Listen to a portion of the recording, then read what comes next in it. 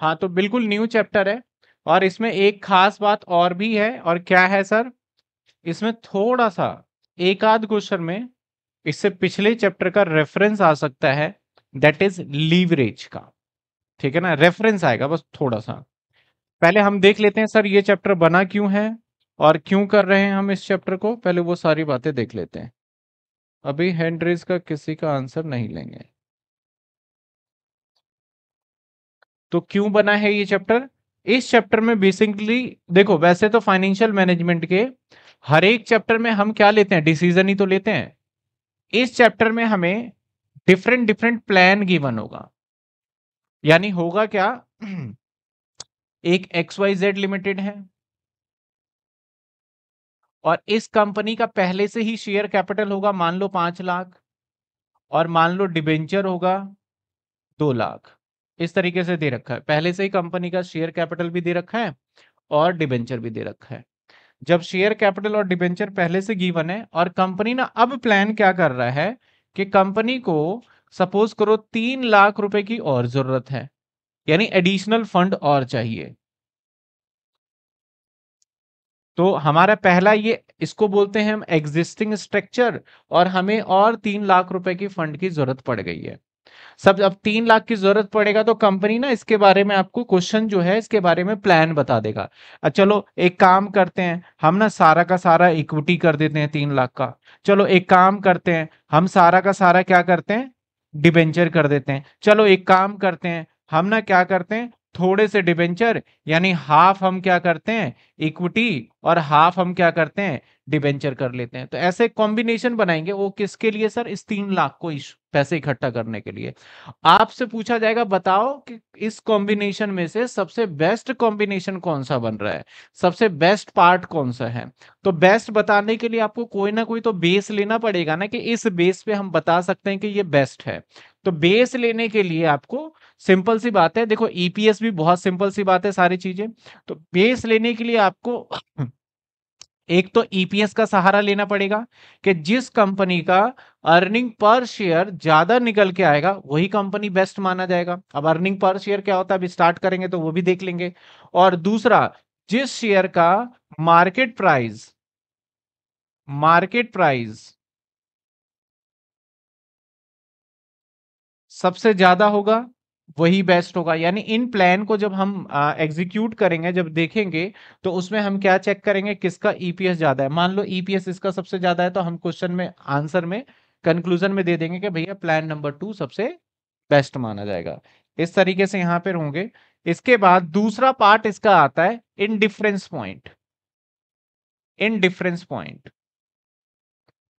sir, ये क्या होता है इनडिफरेंस पॉइंट इनडिफरेंस पॉइंट का मतलब क्या है? वो भी समझ लेते हैं। इनडिफरेंस पॉइंट का मतलब है कि वो लेवल बताना जहाँ पे आप कुछ भी कर लो लेकिन आपका ईपीएस पे कोई फ़र्क नहीं पड़ेगा। उतने प्रॉफिट का बताना होगा, ठीक है ना?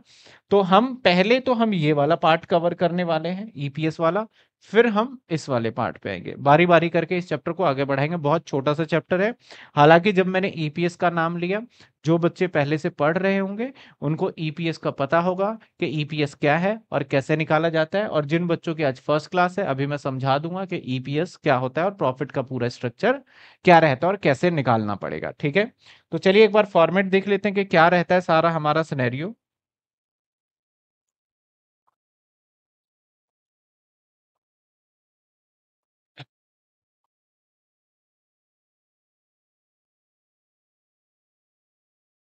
एक ही स्ट्रक्चर बनाते ना।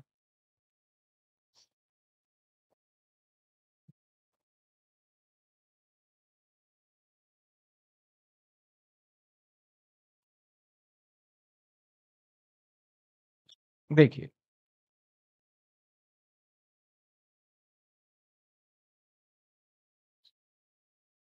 इसको आप कह सकते हो इनकम स्टेटमेंट।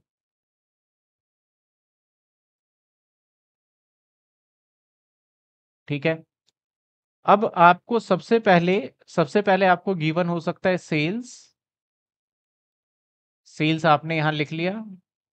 इसके बाद इसमें से माइनस कर देंगे हम वेरिएबल कॉस्ट। वेरिएबल कॉस्ट हमने यहाँ लिख लिया। जैसे ही वेरिएबल कॉस्ट माइनस हो जाएगा, हमें जो रिज़ल्ट मिलेगा दैट इज़ कंट्रीब्यूशन इसको कंट्रीब्यूशन नाम देंगे हम, जैसे ही वेरिएबल माइनस करेंगे। इसके बाद हमें माइनस करना होगा, जो भी क्वेश्चन में फिक्स कॉस्ट गिवन हो। फिक्स कॉस्ट वो माइनस कर देंगे। क्वेश्चन में आपको ऑलवेज गिवन होगा पॉइंट ये जो आएगा, ये हमारा क्या आएगा? Earning before interest and tax earning before interest and tax होगा ये, ठीक है? Earning before interest and tax जो होगा, वो हम यहाँ पे ले लेंगे। जैसे ही earning before interest and tax अब सवाल में ये हो सकता है कि डायरेक्ट आपको ये पॉइंट दे दे। 90 परसेंट चांसेस रहेगा ऐसे चैप्टर के सवाल में कि आपको डायरेक्ट ईबीआईटी दे, ऊपर का हिस्सा ना दे। अब अगर ऊपर का हिस्सा दे रखा हो तो फिर आप ऐसे करेंगे अदरवाइज़ आपको पहले सबसे टॉप पे ये लिख लेना है। फिर हम क्या माइनस करेंगे इसमें से? सर इंटरेस्ट माइनस करेंगे। इंटरेस्ट ठीक है सर जब इंटरेस्ट माइनस कर देंगे तो एक और रिज़ल्ट आ जाएगा दैट इज़ आ जाएगा ईबीटी अर्निंग बिफोर टैक्स। अब इसमें से हम माइनस कर देंगे सर इनकम टैक्स, जिसको हम कॉरपोरेट टैक्स के नाम से भी जानते हैं, इनकम टैक्स के भी नाम से जानते हैं तो उसको क्या करेंगे हम सिंपली यहाँ पे माइनस कर देंगे। इसको माइनस करने के बाद हमारे पास जो रिज़ल्ट आएगा, वो आएगा ई ए टी अब इसमें से माइनस करेंगे हम प्रेफरेंस डिविडेंड अगर क्वेश्चन में है तो।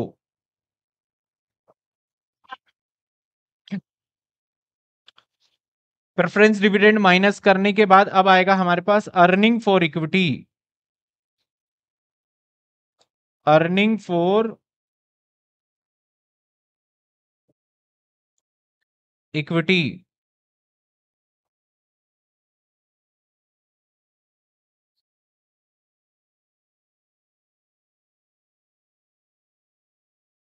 अब अर्निंग फॉर इक्विटी जो भी आता है हमारा वट अब इसके अंदर से हमें क्या माइनस करना है? इसको डिवाइड कर देना है। जो ये पॉइंट आया है ना, फिर हम लिखेंगे नंबर ऑफ़ शेयर्स जो भी आएगा हमारा क्वेश्चन में गिवन होगा। जब इसको इससे डिवाइड करेंगे तो हमारा आ जाएगा सर ईपीएस ईपीएस क्या होता है सर अर्निंग फॉर इक्विटी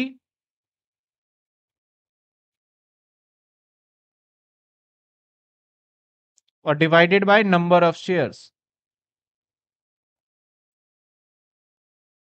अब यही हर बार क्वेश्चन में निकालना होगा। जिस क्वेश्चन में जिसका भी सबसे हायर ईपीएस वो कंपनी वो प्रपोजल क्या माना जाएगा? हमारा बेस्ट माना जाएगा। बहुत सिंपल सा तरीका है।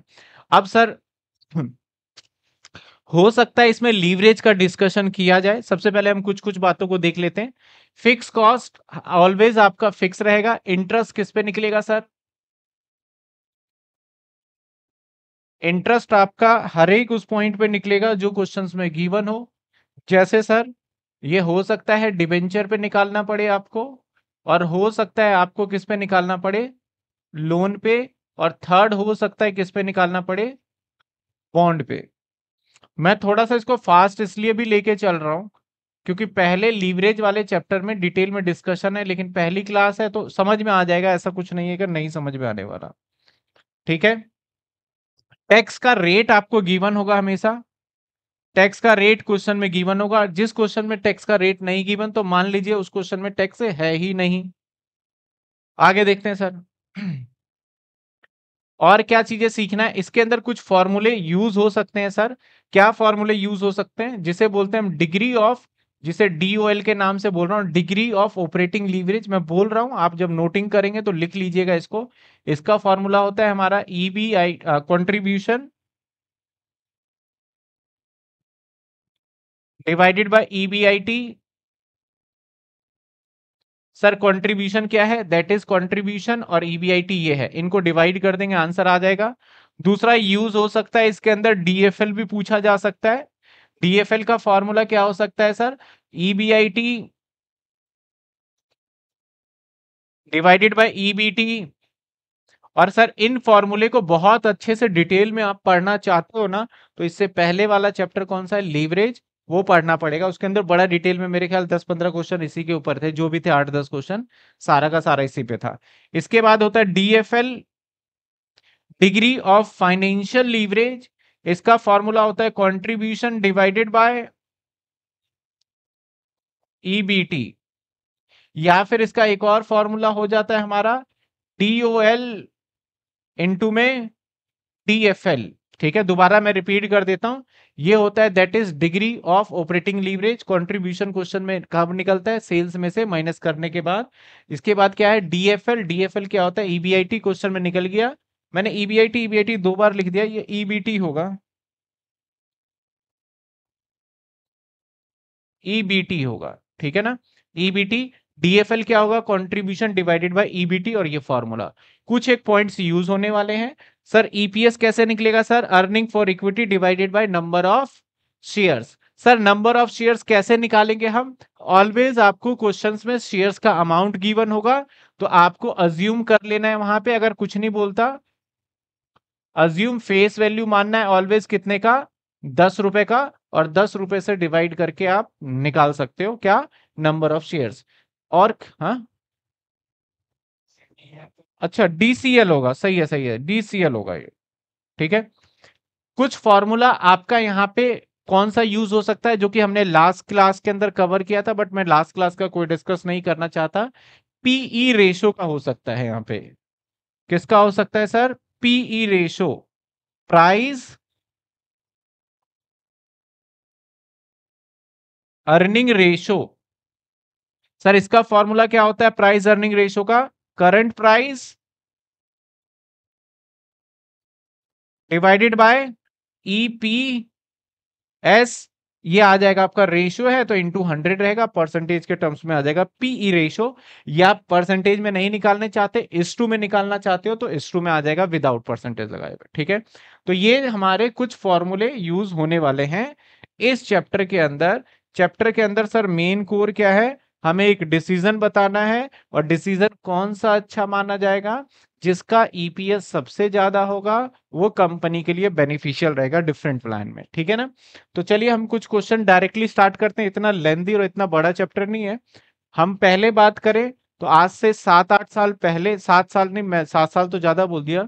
चार साल पहले से कभी भी इस चैप्टर में से एग्जामिनर सवाल नहीं पूछा करता था, लेकिन पिछले चार साल के बाद फ्रिक्वेंटली इस चैप्टर में से वो क्वेश्चन पूछने लगे हैं कि आपको इंडिफरेंस पॉइंट बताइए। और इसमें इंडिफरेंस पॉइंट वाला पोर्शन ज़्यादा इंपॉर्टेंट है, जो कि हमारा नेक्स्ट क्लास या नेक्स्ट से नेक्स्ट क्लास के अंदर जाएगा। ठीक है? चलिए सर क्वेश्चन पढ़ते हैं हम।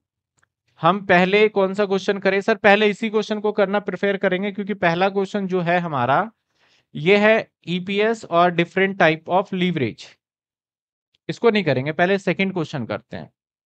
ठीक है? पहले हम सेकंड करेंगे फ़र्स्ट बाद में। डीसीएल डीसीएल ठीक है।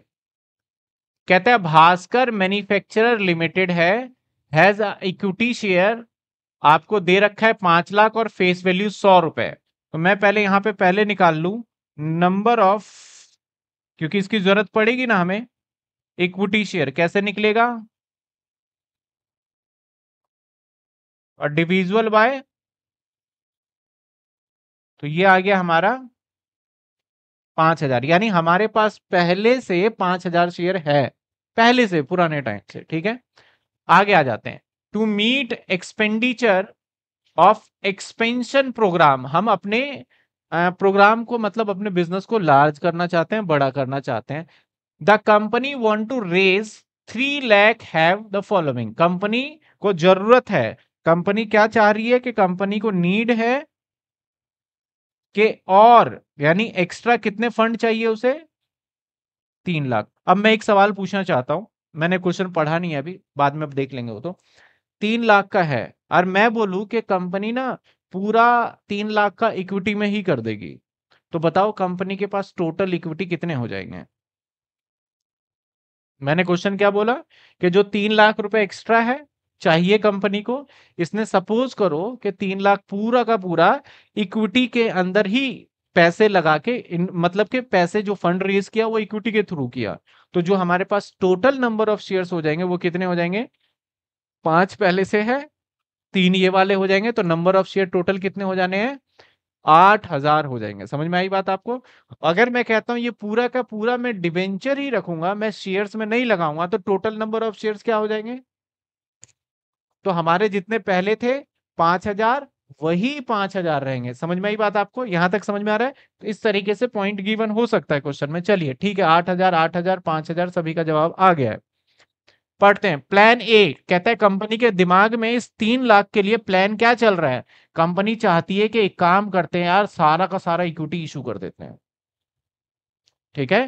तो अर्निंग हम निकालेंगे अर्निंग को डिवाइड किससे करेंगे? अब आठ हज़ार से डिवाइड करना होगा, क्योंकि पाँच हज़ार पुराने वाला शेयर और तीन हज़ार ये वाला शेयर दूसरा प्लान कंपनी के दिमाग में चल रहा है, यार एक काम करते हैं, एक लाख का इक्विटी करते हैं, दो लाख रुपए का डेट करते हैं और उसके ऊपर इंटरेस्ट रहेगा दस परसेंट।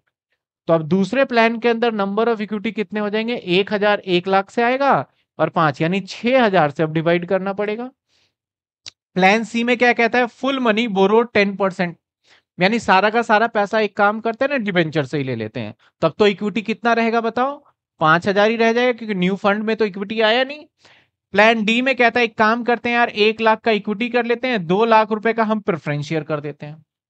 तो ओके भाई प्रेफरेंस शेयर हो जाएगा तो प्रेफरेंस डिविडेंड वाला पार्ट यहाँ पे फैक्टर आ जाएगा। तो यानी चार प्लान बता दिया। The company having the present earning यानी कंपनी का सीधा परजेंट अर्निंग का मतलब है ईबीआईटी जब कभी भी परजेंट अर्निंग देगा तो दैट इज़ इंडिकेट क्या करेगा? ईबीआईटी द कॉर्पोरेट टैक्स यानी टैक्स का रेट थर्टी परसेंट है। Select the suitable plan out of the अब four plan raise required fund बताइए कंपनी को ए प्लान चूज़ करना चाहिए बी प्लान चूज़ करना चाहिए सी प्लान चूज़ करना चाहिए या डी प्लान चूज़ करना चाहिए? ये सारी बातें तो एक ही बात पे डिस्कस मतलब ये जितने भी डिसीज़न निकलेंगे, उसका बेस क्या लेंगे हम? ईपीएस ले लेंगे। यानी जिसका सबसे हायर ईपीएस वो प्लान कंपनी को क्या करना चाहिए? चूज़ कर लेना चाहिए। तो चलिए हम कितने प्लान बना लेते हैं यहाँ पे? चार प्लान को हम लेके चलने वाले हैं, ठीक है ना? चार प्लान को ले लेते हैं यहाँ पे फटाफट से।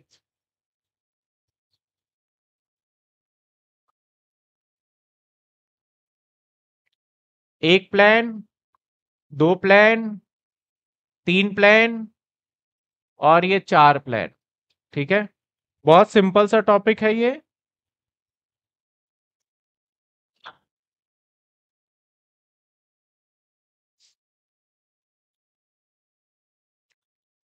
Plan A plan B plan C और प्लान डी चार प्लान हो गया। सबसे पहले सभी प्लान के अकॉर्डिंगली आपको क्या रख लेना है? अपना ईबीआईटी e रख लेना है। ये पर्टिकुलर सबसे पहले क्या रख लिया हमने? ईबीआईटी e और ईबीआईटी e सभी प्लान में समान ही रखना है। दैट इज़ हमारे पास डेढ़ लाख है। तो सभी जगह पे डेढ़ लाख ही आएगा। और ऐसे क्वेश्चन ना 15 मार्क्स में आ जाते हैं तो मान के चलो लॉटरी लग गई आपकी एक तरीके से। क्योंकि 15 मार्क्स में देखो कितना सिंपल सवाल, देखने में थोड़ा सा लग रहा है, लेकिन देखना इजीली कितनी जल्दी ये सॉल्व होता है और आंसर हमारा कितनी जल्दी आता है। तो इसमें से सबसे पहला काम ईबीआईटी e के बाद हमारा स्टेप देखो तो ईबीआईटी e के बाद हमारा क्या रोल होता है माइनस करना? इंटरेस्ट तो चलिए सबसे पहले माइनस करते हैं हम इंटरेस्ट सर इंटरेस्ट की बात करें तो प्लान ए में तो पूरा कभी लोन तो है ही नहीं, है ना? प्लान ए में तो लोन है ही नहीं साहब तो फिर इंटरेस्ट की कहाँ से बात आएगी? प्लान बी में लोन है सर, कितने का लोन है प्लान बी में? दो लाख का और दस परसेंट का रेट है तो प्लान बी का इंटरेस्ट क्या आ जाएगा हमारा? बीस हज़ार, ये सभी बच्चों को समझ में आना चाहिए प्लान बी का इंटरेस्ट बीस हज़ार। कैसा है प्लान बी का इंटरेस्ट प्लान बी का इंटरेस्ट मैं निकाल रहा हूँ। सर, दो लाख रुपए का लोन है और इंटू में टेन परसेंट दैट इज़ बीस हज़ार रुपए ले लिया। और प्लान बी का अगर इक्विटी की बात करें तो इक्विटी कितना होगा सर ओल्ड वाला इक्विटी तो न्यू इक्विटी की बात करें अगर हम। न्यू इक्विटी की बात करो तो कितना होगा? एक लाख रुपए का फंड डिवाइडेड बाय सौ, यानी सर एक हज़ार। मैं एक का पूरा करके दिखा देता हूँ, बाकी ओरली कर लेंगे हम, है ना? तो एक हज़ार। और पुराना इक्विटी तो हमारा चल ही रहा है। दैट इज़ कितना था हमारा ये? पाँच हज़ार रुपए। तो जितने प्लान में इक्विटी ऐड होता रहेगा, वो लिखते रहेंगे, ठीक है? चलिए प्लान थ्री पे आ जाते हैं। प्लान थ्री में क्या कहानी है सर प्लान थ्री में सारा का सारा लोन ही है प्लान सी के अंदर। तो सारा का सारा लोन है तो लोन कितने का होगा? तो सर तीन लाख का तो एडिशनल फंड चाहिए तो इसका मतलब आ जाएगा यहाँ पे तीस हज़ार। सभी बच्चों को समझ में आया? प्लान नंबर तीन पे लोन कैसे लिया हमने? तीस हज़ार ले लिया। बिल्कुल सही। चलिए, आइए अब। प्लान नंबर थ्री के अंदर बताओ कितना इक्विटी होगा? सर प्लान नंबर थ्री में पाँच हज़ार ही इक्विटी रहेगा क्योंकि नई इक्विटी की बात ही नहीं है। प्लान डी में आ जाओ। सर क्या यहाँ इंटरेस्ट होगा? जी, जवाब है नहीं होगा। सर यहाँ पे इंटरेस्ट बिकॉज़ ऑफ़ यहाँ पे लोन तो है ही नहीं। क्या है यहाँ पे प्रेफरेंस शेयर और प्रेफरेंस डिविडेंड कहाँ माइनस करते हैं? देखिए, मैंने बताया था पीडी मतलब प्रेफरेंस डिविडेंड इसके बाद होता है माइनस टैक्स के बाद। तो चलिए, आपके पास एक रिज़ल्ट निकल के आया है यहाँ पे।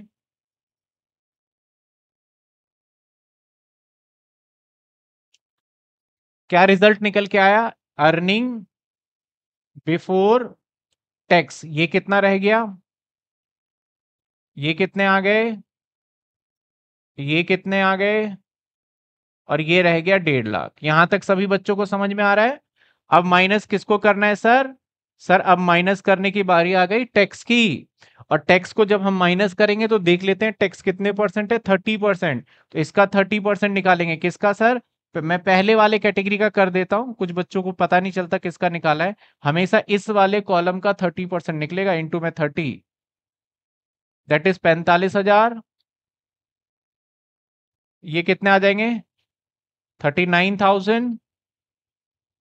छत्तीस हज़ार और पैंतालीस हज़ार। टैक्स हो गया ये।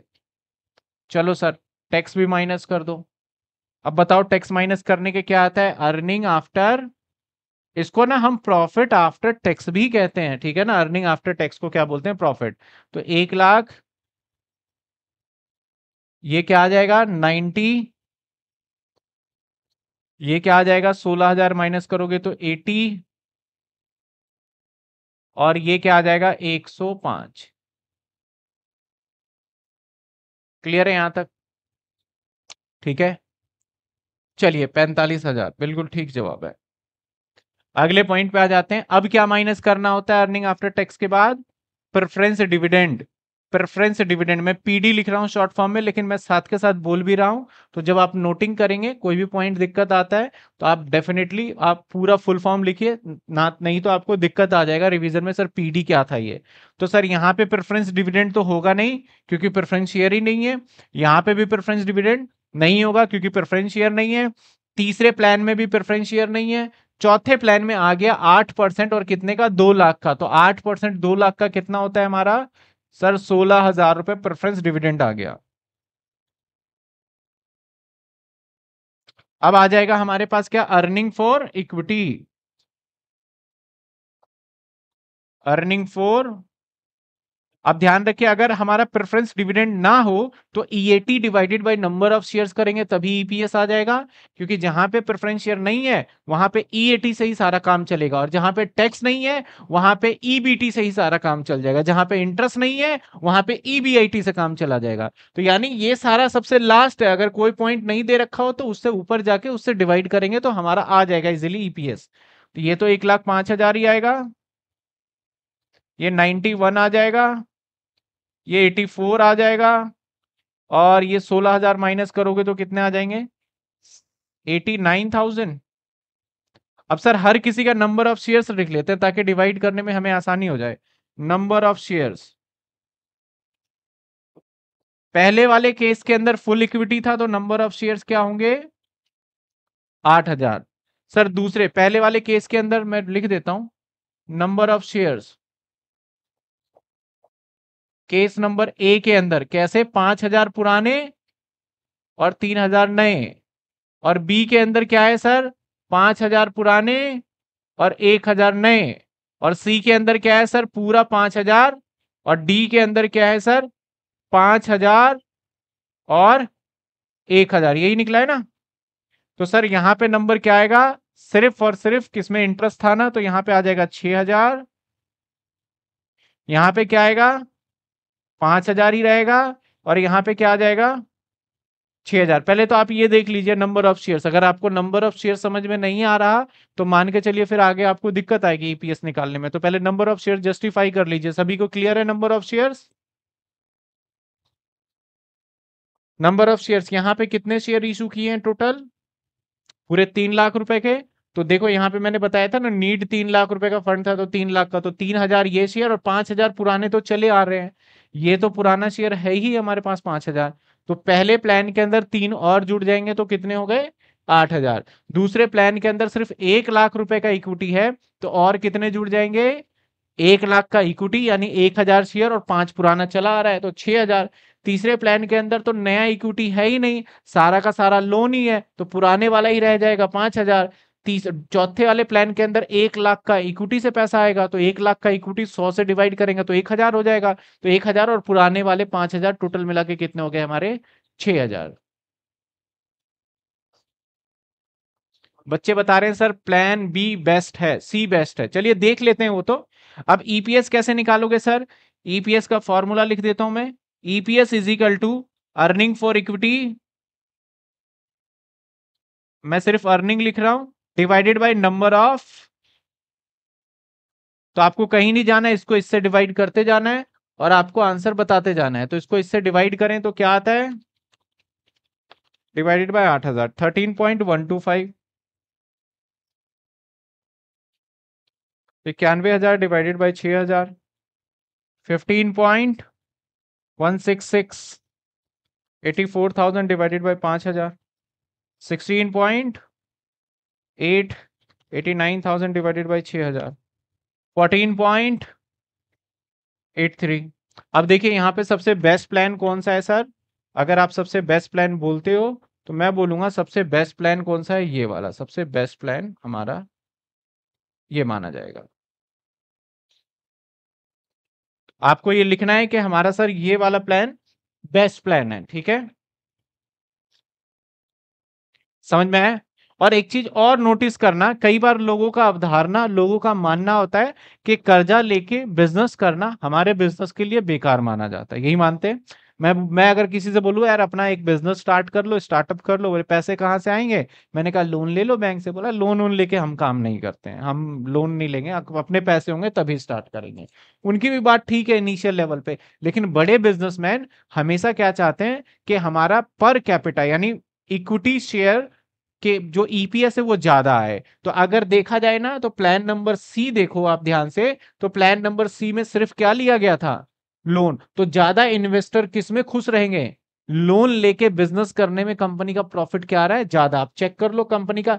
नंबर के टर्म्स में प्रॉफिट कम आ रहा हो भले ही, लेकिन जब हर लोगों के बीच में बटेगा तो ज़्यादा बट रहा है। किसमें प्लान नंबर सी में। तो कई बार और मैक्सिमम टाइम पे यही होता है जिस कंपनी के अंदर एक सिस्टमेटिक इनकम से आता रहता है इनफ्लो तो उसे हमेशा क्या करना चाहिए? लोन लेके ही बिज़नेस करना चाहिए।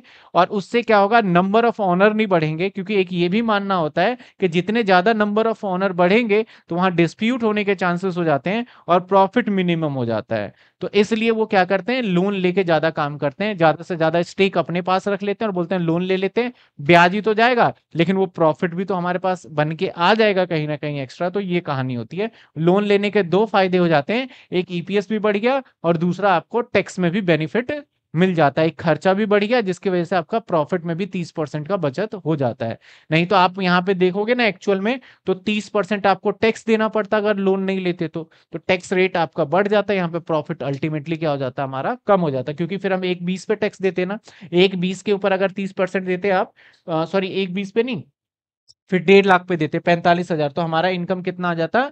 एक लाख पाँच हज़ार। और नंबर ऑफ़ शेयर्स बहुत सारा होने की वजह से क्या हो जाता पर पर्सन इनकम कम हो जाता तो बेस्ट प्लान यही है और यही बताना। और इस टाइप के क्वेश्चंस मैं बोलूँ तो एग्ज़ाम में बहुत बार पूछा गया है ये।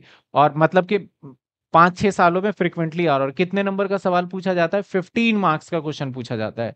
और सर फिफ्टीन मार्क्स में मैं नहीं समझता कि आपका कोई इसके अंदर बहुत कुछ करना है। बस सिंपली आपको प्लान बनाना है और फटाफट फटाफट, और इस क्वेश्चन को करने में मैं तो बोर्ड पे समझा के कर रहा हूँ पेपर पेन पे करोगे तो दस मिनट भी इस सवाल को करने में नहीं लगना आपको, सिर्फ़ नंबर आपको डिवाइड करने हैं इसमें। क्लियर है आपको? सर इंटरेस्ट वाला एक्सप्लेन कर दें इंटरेस्ट वाला एक्सप्लेन कर देते हैं। इंटरेस्ट कैसे निकला सर पहले वाले प्लान के अंदर, देखो हमारे पास कैपिटल ये है तो पहले वाले प्लान में तो हमने लोन लिया ही नहीं तो इंटरेस्ट भी नहीं हुआ। दूसरे वाले प्लान के अंदर हमने लोन दो लाख का लिया तो दो लाख पे दस परसेंट बीस हज़ार हो गया। तीसरे वाले प्लान के ऊपर, अब तीसरे वाले प्लान की बात करते हैं, तीसरे वाले प्लान में तो सारा का सारा लोन ही है तो तीन लाख का लोन था, तीन लाख पे दस परसेंट निकालोगे तो तीस हज़ार हो गया। चौथे वाले प्लान के अंदर लोन का कोई नामो निशान नहीं है, क्या है? प्रेफरेंस शेयर तो यहाँ लोन आया नहीं तो इसलिए मैंने डैश लगा दिया। ठीक है?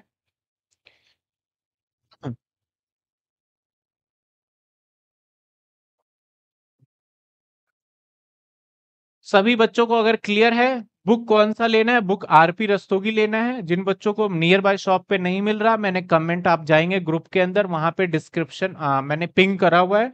वहाँ से आप डायरेक्ट अमेजोन से बाय कर सकते हैं बुक जो कि लेटेस्ट बुक अवेलेबल है। क्योंकि दुकान में कई बार पुरानी बुक मिलती है, कुछ मिलता है तो इसलिए मैंने लेटेस्ट बुक का वहाँ पे डाला हुआ है सारा। अगले पॉइंट पे चले क्या? चलिए, एक और सवाल आपके सामने है।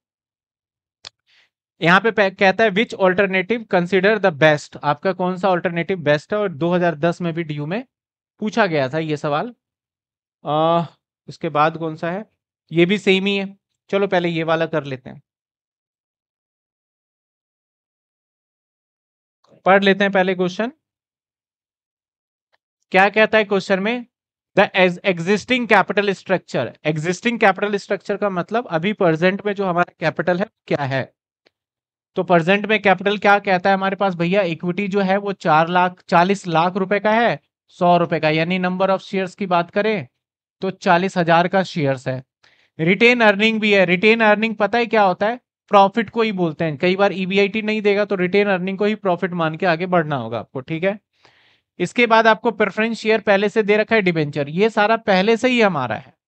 The company earn EBIT of बारह percent and the tax on income thirty percent अब कहता है कंपनी ना बारह परसेंट कमा रही है तो जब कभी भी आपको पता ना चले बारह परसेंट किस पे कमा रही है तो ऑलवेज याद रखना कंपनी अर्निंग का जब रेशो देता है कि इतने परसेंट कमा रही है तो वो टोटल कैपिटल के ऊपर हमेशा परसेंटेज कमाती है। तो हमारा यहाँ पे कैपिटल कितना है? चालीस लाख तो चालीस लाख पे हमें बारह की कमाई होगी। दैट इज़ कितने हो जाएँगे? चालीस लाख पे बारह परसेंट लाख अस्सी की इसकी क्या होगी? अर्निंग हो जाएगी, कैपिटल पे, इक्विटी पे मेनली कमाते हैं। अभी आगे देख लेते हैं और क्या कहता है? The company want to raise 25 lakh रुपए कंपनी को एक्स्ट्रा चाहिए, यानी यहाँ से यहाँ तक कंपनी की पुरानी कहानी है। अब कंपनी 25 लाख रुपए और फंड चाह रही है फॉर इट्स एक्सपेंशन उसके एक्सपेंशन प्रोजेक्ट के लिए कंसिडर द फॉलोइंग ऑल्टरनेटिव और कंपनी बोलती है कि भैया ये 25 लाख कैसे कैसे लिए जाएँगे, हम कुछ प्रपोजल बता रहे हैं। बोलते हैं, एक काम करते हैं कि हम बीस हज़ार इक्विटी पच्चीस रुपए पर शेयर का इशू कर देते हैं। तो बीस हज़ार इक्विटी पच्चीस रुपए में पर शेयर करोगे तो कितने आ जाएँगे? पाँच लाख रुपए आ जाएँगे, है ना? और कहता है इशू प्रेफरेंस शेयर कर देंगे टेन परसेंट पच्चीस इंटू बीस हज़ार कितने होते हैं? पाँच लाख कंपनी को चाहिए कितना? अच्छा ये शेयर पच्चीस प्रीमियम है। पर शेयर तो यानी 125 का हो जाएगा ना। पहले 100 का तो था ही तो 125 पच्चीस इंटू में बीस हज़ार। तो आपका वो 25 लाख ही आएगा, ठीक है ना? उससे कोई लेना नहीं है प्रीमियम पे आ रहा है तो प्रीमियम से नंबर ऑफ़ शेयर्स डिसाइड करने में इजी रहेगा। कहता है, चलो सारा का सारा प्रेफरेंस कर दे और सारा का सारा क्या कर दे हम? डिबेंचर कर दें। यहाँ तक कहानी समझ में आ रही है, पिछले वाले केस हो गया हमारा लगभग लगभग it is the project that P ratio of the company preference uh, P ratio in case of equity preference and debenture. आपका क्या है? ट्वेंटी सत्रह और सोलह। पहले वाले में पी रेशियो क्या है? ट्वेंटी दूसरे वाले में क्या है? सत्रह तीसरे वाले में सोलह। Respectively which alternative would be consider to the best give the reason your choice आपका सबसे बेस्ट कौन सा होगा? तो बड़ी सीधी सी बात है बेस्ट कौन सा माना जाएगा सर जहाँ का ईपीएस ज़्यादा है।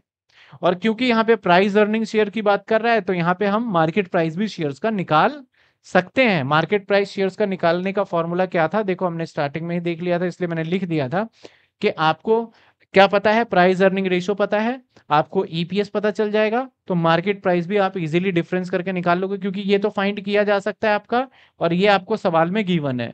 तो इस सिचुएशन में देखा जाए मार्केट प्राइस तो इस वाले फैक्टर में हम डिसीज़न जो लेंगे, वो किस बेसिस पे लेंगे? मार्केट प्राइस के ऊपर से लेंगे, ठीक है ना?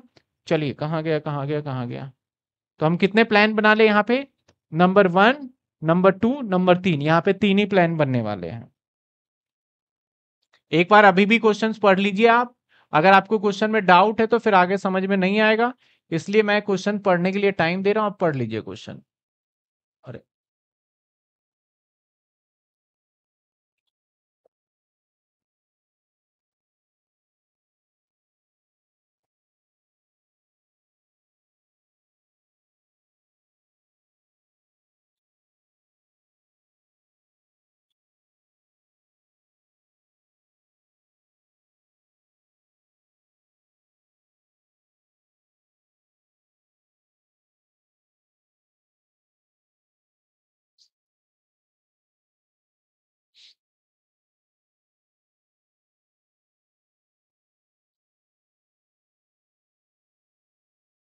देखिए आप यहाँ पे रिटेन अर्निंग का क्या काम है सर? रिटेन अर्निंग आपका प्रॉफिट पुराने अर्निंग दे रखे हैं आपको। क्वेश्चन में कह दिया company earn profit EBIT 12 percent and tax on 30 percent. उसके ऊपर टैक्स कितना लग जाएगा हमारा? 30 परसेंट टैक्स लग जाना है। चैप्टर है हाँ?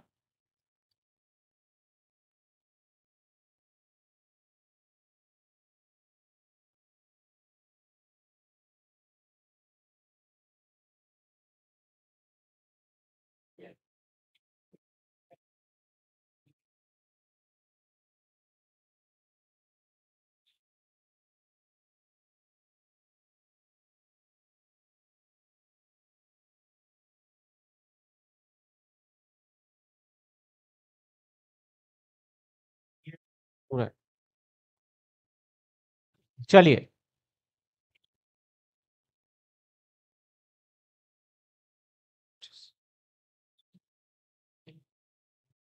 चालीस।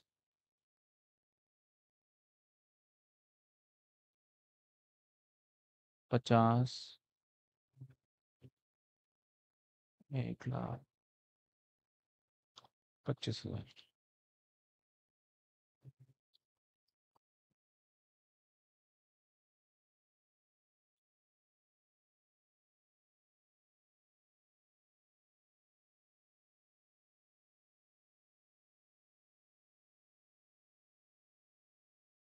ठीक है। चलिए, ध्यान दीजिए। अब यहाँ पे ईबीआईटी क्या कह रहा है, सर? ईबीआईटी ना 12 परसेंट है और द टैक्स ऑन इनकम। तो ईबीआईटी निकालने के लिए थोड़ा सा मैं पॉइंट डिस्कस कर लेता हूँ। When EBIT given in percentage जब आपको ईबीआईटी सिंपल दे दे, जैसे पिछले सवाल में था, तब तो कोई दिक्कत नहीं है। लेकिन परसेंटेज दे दे तो हमेशा निकालेंगे हम टोटल फंड पे। और सर टोटल फंड क्या होता है? Equity share capital plus preference share capital plus reserve and surplus plus loan plus debenture plus कोई एडिशनल जो हम फंड रेज कर रहे हैं न्यू फंड उसको मैं नाम दे देता हूँ न्यू फंड जो ये सारे फंड ऐड होके आएँगे, उस फंड के ऊपर आपको लगाना है सम परसेंटेज किसका? ईबीआईटी का. ये ध्यान रखना है आपको ईबीआईटी निकालते टाइम पे. अगर सिर्फ़ इक्विटी है तो तो इक्विटी पे लगा दोगे। अदरवाइज़ आपको जितने भी आपके, यानी मैं टोटलिटी में कहूँ तो जो भी ये सारे डिबेंचर वगैरह हैं करंट लाइबिलिटी इसमें कंसिडर नहीं करना आपने, ठीक है? एक बात ध्यान रखना है करंट लाइबिलिटी आपको कंसिडर नहीं करना, ये सारा का सारा और न्यू फंड कई बार सम टाइम आपको एसेट्स दे दे टोटल वो तो टोटल एसेट्स पे ही वो परसेंटेज लगा दोगे, क्योंकि ऑनर का अल्टीमेटली इन्वेस्टमेंट क्या है बिज़नेस के अंदर, वो देखा जाएगा। जितने एसेट्स होंगे, वो इन्वेस्टमेंट ठीक है? तो कई बार ऐसा हो सकता है कि हमें किस पे लगाना पड़े सर टोटल एसेट्स इनटू में ईबीआईटी का परसेंटेज हो सकता है, वैसे अभी क्वेश्चंस में आएगा नहीं। तो सर, जो हमें क्वेश्चन करना है ईबीआईटी अगर निकालें तो सबसे पहले ईबीआईटी निकालने के लिए हमें फंड को पता करना है। सर फंड क्या होगा? चालीस लाख प्लस प्लस प्लस और प्लस जो फंड रिक्वायर्ड है, वो भी ले लेंगे, ठीक है? तो टोटल कितने होंगे? चालीस, पचास पचास, एक पच्चीस। एक करोड़ पच्चीस लाख। एक करोड़ पच्चीस लाख पे आपको बारह परसेंट अप्लाई करना है। तो प्लान नंबर वन,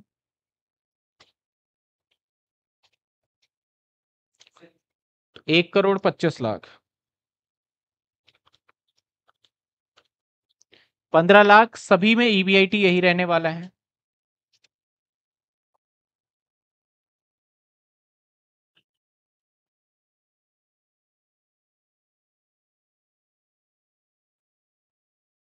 अब बात करते हैं इंटरेस्ट का। सर, अब इंटरेस्ट देखिए, पुराने टाइम का भी इंटरेस्ट कंसीडर होगा। ऐसे नहीं कि आपको पुराने टाइम वाला इंटरेस्ट नहीं लोगे। प्लान वन में तो इंटरेस्ट है ही नहीं। समझ रहे हो? और पुराने टाइम का कोई इंटरेस्ट है? बिल्कुल है। कितने का इंटरेस्ट है? पच्चीस लाख का। सेवन परसेंट, यानी एक लाख पिछहत्तर हज़ार। करेक्ट है? प्लान बी के अंदर देखा जाए तो प्लान बी के अंदर प्रेफरेंस शेयर है तो यहाँ भी इंटरेस्ट नहीं है तो वही पुराना आ जाएगा, एक लाख पिछहत्तर हज़ार। प्लान थ्री में सारा का सारा इंटरेस्ट आने वाला है तो पच्चीस लाख पे नौ परसेंट। तो आपका प्लान सी का मैं यहाँ कैलकुलेशन कर देता हूँ। प्लान सी का। प्लान सी का। कैसे आएगा, सर? पहले से एग्जिस्टिंग में हमारे पास 25 लाख था और उस 25 लाख पे हमारा सात परसेंट तो था ही था और प्लस नए वाला कितना आ गया? 25 लाख और उसके ऊपर कितना लगाना है हमें? 9 परसेंट। तो ये आएगा टोटल कर लिया, चार लाख आ गया। सब, कुछ बच्चों को हो सकता है इंटरेस्ट में थोड़ी कंफ्यूजन हो, बाकी कंफ्यूजन वाली कोई चीज़ है नहीं तो आप देख लीजिए। तो यहाँ पे क्या लिख लें सर? यहाँ पे लिख लेते हैं ई बी टी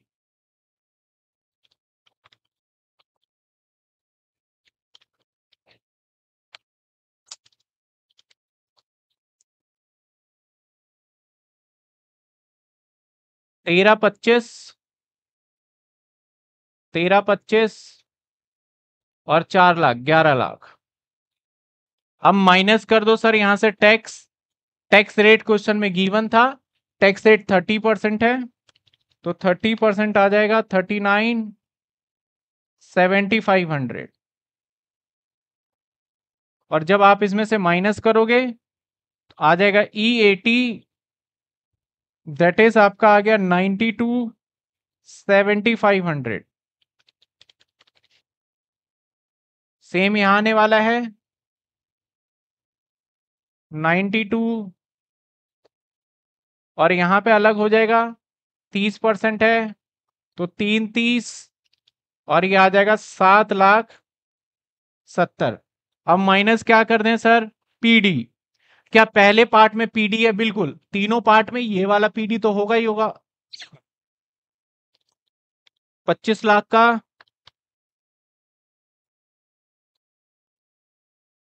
कैसे निकला? दूसरे प्लान में पचास लाख हो गए तो मैं यहाँ कर देता हूँ। प्लान टू का या बी का कह लो तो सर पच्चीस लाख का नौ परसेंट तो था ही, प्लस फिर से पच्चीस लाख का दस परसेंट, है ना?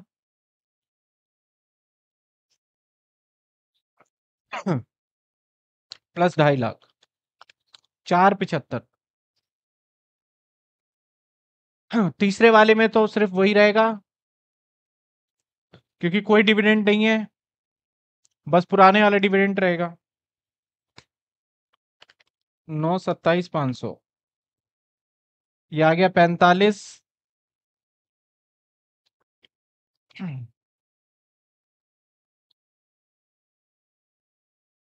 सेवन ज़ीरो टोटलिंग आप चेक करते रहिएगा, मैं तो फटाफट कर रहा हूँ।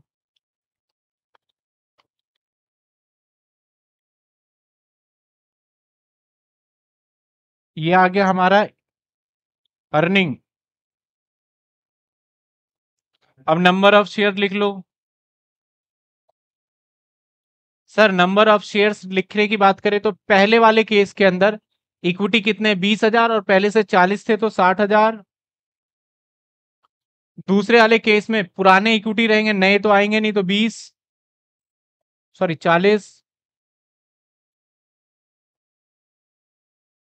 और यहाँ भी ये देखिए आप। आपको गौर करना है इस क्वेश्चन में किस पे, एक तो इंटरेस्ट पे देख लीजिए, किसी बच्चे को डाउट आ रहा है, सर इंटरेस्ट मैंने प्लान सी का थोड़ा अलग आ रहा था इंटरेस्ट इसलिए बता दिया। एक आप पीडी पे देख लीजिए प्रेफरेंस डिविडेंड का प्लान वन में प्लान थ्री में तो सेम है। क्योंकि वहाँ पे कोई एडिशनल फंड प्रेफरेंस शेयर हुआ ही नहीं था। प्लान टू में सारा का सारा प्रेफरेंस शेयर हुआ था तो प्लान वन वाला तो जो पहले एग्जिस्टिंग वाला डिविडेंड था, वो तो लिया ही लिया। और साथ के साथ जो न्यू आ गया, वो भी ऐड करके मैंने दिखा दिया। थोड़ा इसको साफ़ लिख देते हैं।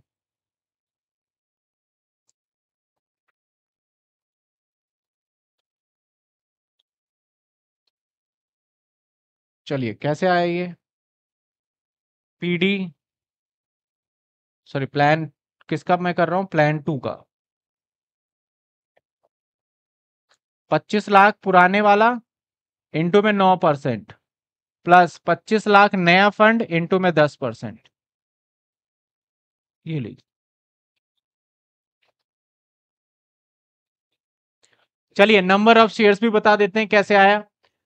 पहले वाले केस के अंदर बीस हज़ार नए वाले शेयर थे। ये नए वाले शेयर हैं। और पुराने शेयर्स हमारे कितने चले आ रहे हैं?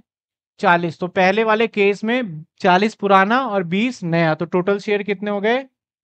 साठ हज़ार। दूसरे वाले केस में नया शेयर तो है ही नहीं, पुराना ही रह गया चालीस। तीसरे वाले केस में नया शेयर तो है ही नहीं, पुराना ही रह गया चालीस। बात खत्म। अब ईपीएस निकाल ले यहाँ पे। सर ईपीएस डिवाइड करते जाते हैं। इलेवन पॉइंट, इसका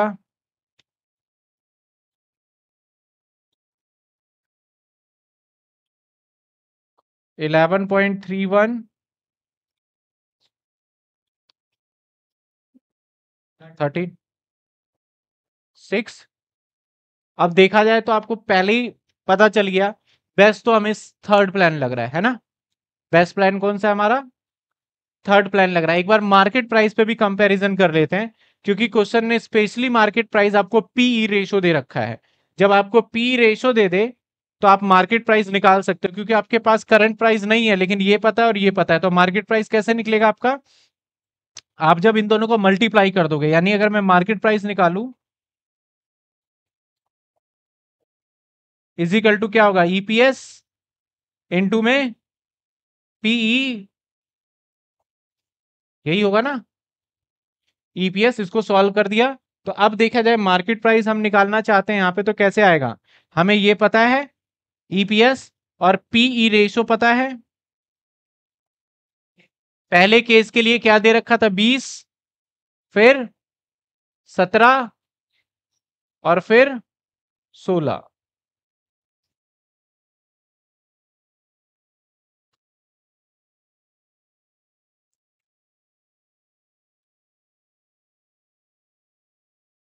चलिए, अब निकाल लेते हैं मार्केट प्राइस क्या होगा सर? पीई रेशो इनटू में ईपीएस कर दीजिए मल्टीप्लाई इसको।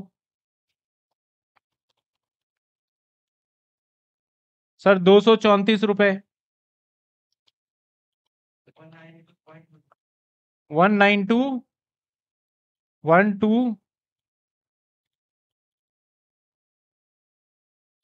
दो सौ अठारह रुपए। ठीक है? अब हमें प्लान हमें दो चीज़ों पे फैक्टरिंग करना होता है डिसीज़न क्योंकि इस सवाल में हमें पी रेशो दे रखा था तो हम अपना फैसला मार्केट प्राइस पे सुनाएँगे, और हमारे लिए बेस्ट कौन सा है? Plan number one according to the market आप दोनों कंक्लूजन लिख सकते हो। According to the market value of shares first plan is best but according to EPS third plan third है ना? हाँ थर्ड प्लान इज़ बेस्ट दोनों कंक्लूजन में लिख सकते हो. एग्जामिनर को जो पिक करना होगा, वो कर लो। क्या आ रहा है? गलत तो नहीं कर दिया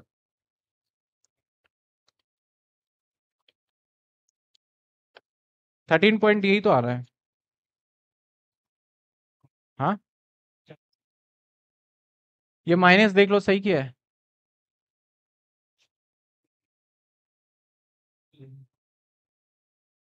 क्या आ रहा है देखो? ये। ये।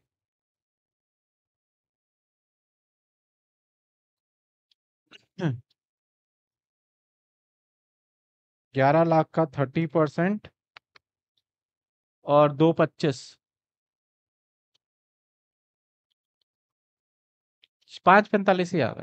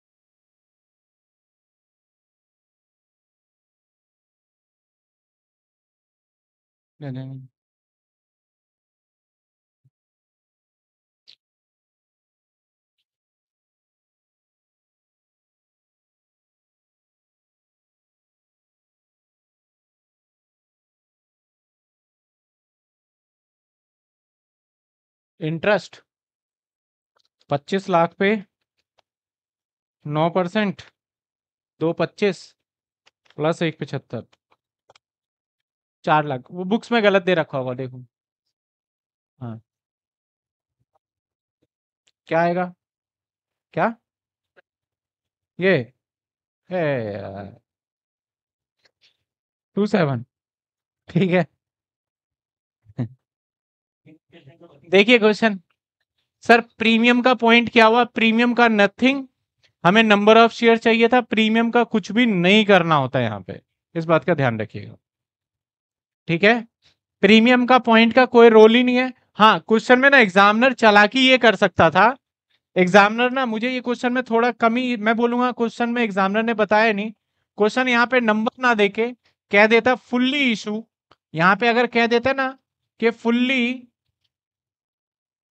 issue equity share capital at twenty five percent premium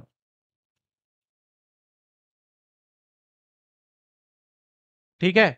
अगर सवाल में ये कह देता ना तक यहाँ पे नंबर ना देके कंपनी ने 25 लाख रुपए का इक्विटी शेयर इशू करा 25 परसेंट प्रीमियम पे, तब क्वेश्चन थोड़ा और इंटरेस्टिंग हो जाता, तब आपको नंबर ऑफ़ शेयर्स निकालना पड़ता। और कैसे निकालते आप? सर 25 लाख और डिवाइडेड बाय 125 जो कि निकल के आता आपका बीस हज़ार। लेकिन यहाँ पे सवाल में बीस हज़ार दे ही दिया तो कोई रोल ही नहीं बचा प्रीमियम का हमारा।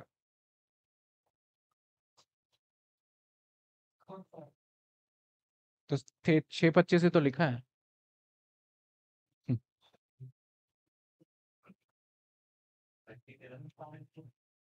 दो सौ अठारह आएगा इसका मार्केट प्राइस अब पॉइंट फोर वगैरह आ गया कैलकुलेटर पे, मैं तो पूरी डिजिट ले रहा हूँ ना thirteen point six two five दो सौ अठारह आ रहा है, ठीक है हाँ दो सौ अठारह है। अब एक बात ध्यान रखिएगा बुक में कुछ बच्चे चेक कर रहे हैं, बोल रहे हैं कि, सर बुक में बुक में ना उन्होंने इंटरेस्ट गलत निकाला हुआ तीसरे का आप देख सकते हैं, वो एरर होगा मिसप्रिंट होगा, वो चीज़ आप देख लीजिए. कोई दिक्कत यहाँ तक बताइए?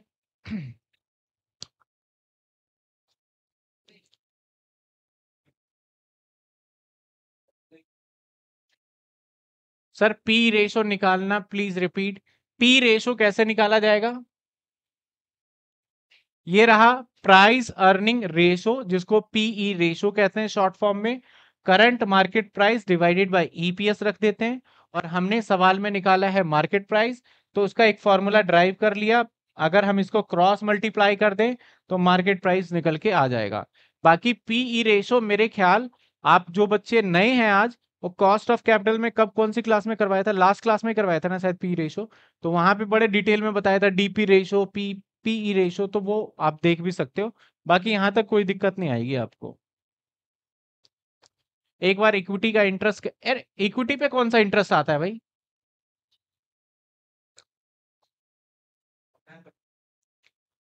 इक्विटी पे तो कोई इंटरेस्ट ही नहीं आता। इक्विटी पे इंटरेस्ट थोड़ी है इक्विटी पे कुछ भी नहीं है। प्रेफरेंस डिविडेंड पे हो सकता है ये मैंने बता दिया इसका दो पच्चीस है। नौ लाख पे सीधा निकालोगे, यहाँ पे भी नौ, यहाँ पे भी नौ लाख पे, और इसके अंदर कैसे निकला है वो, इसका प्लान टू का मैं साइड में बता ही रहा हूँ।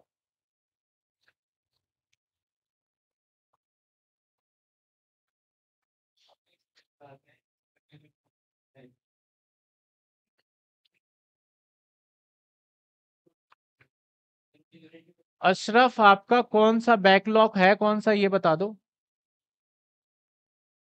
175 इंटरेस्ट, ये इक्विटी पे, ये डिबेंचर पे है सर डिबेंचर कैसे है डिबेंचर पहले से देखो, पुराना डिबेंचर 25 लाख का था, पुराना डिबेंचर उसके ऊपर 9 परसेंट है। 7 परसेंट ये रहा ना, इसके ऊपर 7 परसेंट ही आया। क्लियर है? देखिए सर क्वेश्चन की बात करते हैं।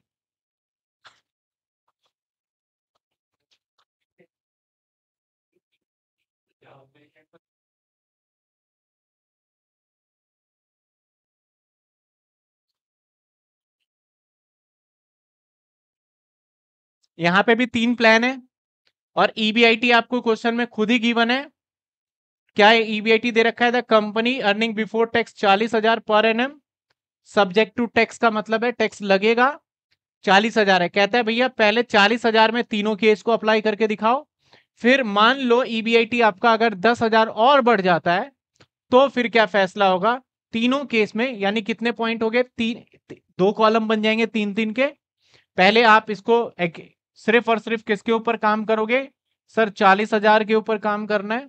उसके बाद न्यू कॉलम जब बनाओगे तो दस तो यानी दो क्वेश्चन हो गए तो ये होमवर्क में रहेगा। बिल्कुल सेम पार्ट है, कुछ भी इसमें एक्स्ट्रा है नहीं। ये मैं कराऊँगा।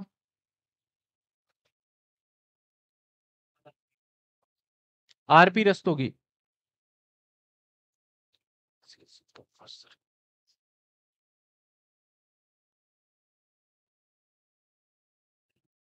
ये भी ट्राई करिएगा होमवर्क में।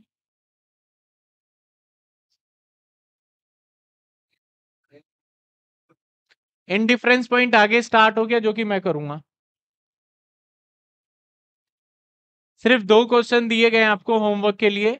एक 7.6 एक ये, आपका एक ये, और एक मैं और क्वेश्चन दे देता हूँ, मैंने कराया नहीं। फ़र्स्ट क्वेश्चन भी लिख लीजिए होमवर्क में।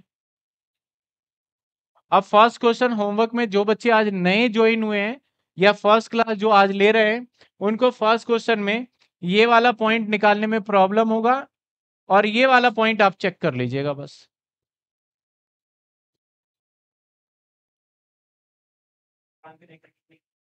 ये आंसर है क्या ये? ये क्या दे रखा है? देखना एक बार बुक में। एक दो ज़ीरो। अच्छा ईबीआईटी फाइंड करना है अगर ईपीएस दे रखा हो तो। एक बार ट्राई करिएगा, नहीं तो मैं अगली क्लास में तो ये करा दूँगा। अब जिस जिसके डाउट है वो देख लेते हैं। संडे आपका टेस्ट होगा कॉस्ट ऑफ़ कैपिटल का। जो स्टूडेंट नहीं भी हैं, वो देख सकते हैं। आपके फोल्डर में पड़ा हुआ है पूरा का पूरा का चैप्टर और कॉस्ट ऑफ़ कैपिटल का हम टेस्ट लेंगे संडे सिर्फ़ एक chapter cost of capital Sunday नहीं सॉरी मंडे मंडे टेस्ट होगा, कॉस्ट ऑफ़ कैपिटल का। टेस्ट लेंगे। संडे क्लास लेंगे। ग्यारह बजे के आसपास क्लास रखेंगे संडे। हाँ? कल नहीं है, अभी अब एमडब्ल्यू एफ़ रखेंगे class. Seven point four.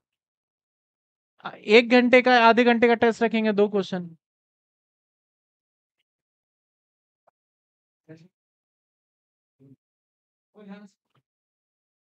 Seven point four में इंटरेस्ट ये रहा आपका पचास हज़ार पे निकाल लोगे आप टेन परसेंट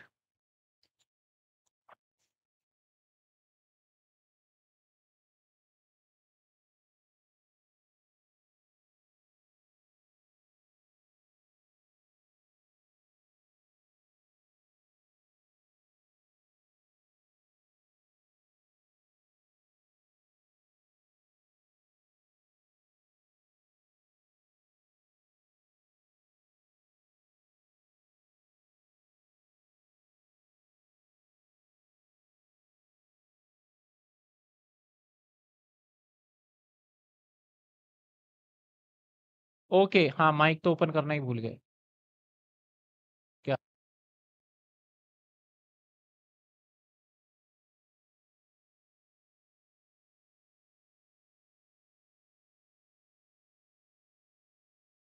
हाँ जी।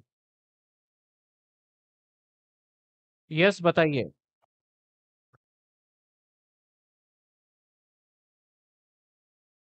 आ रही है वॉइस आपको? हाँ जी, आ रही आ रही है, बताइए।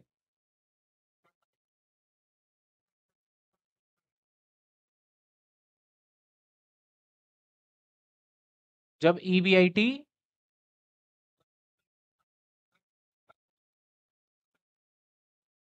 जब ऐसे नहीं हो, हम क्या करते हैं, टोटल इन्वेस्टमेंट चाहिए होता है।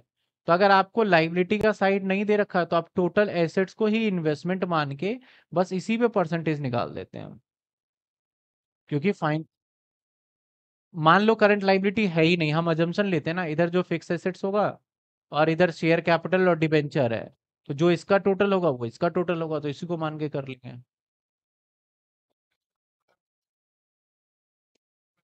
हाँ हाँ बिल्कुल बिल्कुल। प्रिंसिपल ऑफ़ मार्केटिंग की कल आ जाएगी फ़र्स्ट क्लास अपलोड हो जाएगी आ, शाम को चार बजे।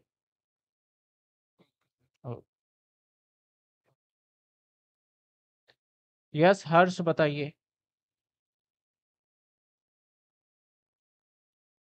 सर, अभी कमेंट पढ़ो सिद्धार्थ।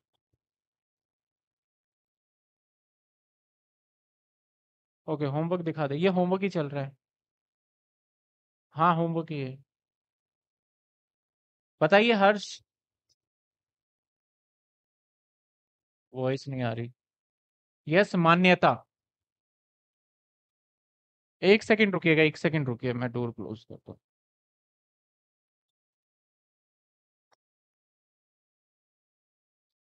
हाँ जी, मान्यता, बोलिए। हाँ बिल्कुल आ रही है। बिल्कुल, सभी बच्चों के लिए, मंडे इसलिए रखा है कि अगर आपने कॉस्ट ऑफ़ कैपिटल नहीं किया तो छोटा सा चैप्टर कर सकते हो ऑनलाइन ही होगा, जैसे स्क्रीन है, आपको स्क्रीन पे दिखेगा, पर्टिकुलर टाइम दिया जाएगा, टाइम के बाद वो टेस्ट हट जाएगा और टेस्ट आपको करके व्हाट्सअप नंबर दिया जाएगा उस पर भेजना है, चेक करके फिर मिलेगा आपको।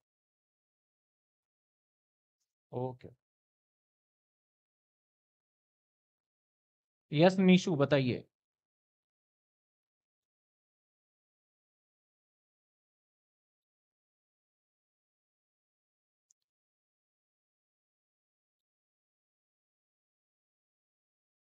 बताइए निशु वॉइस आ रही है आपको?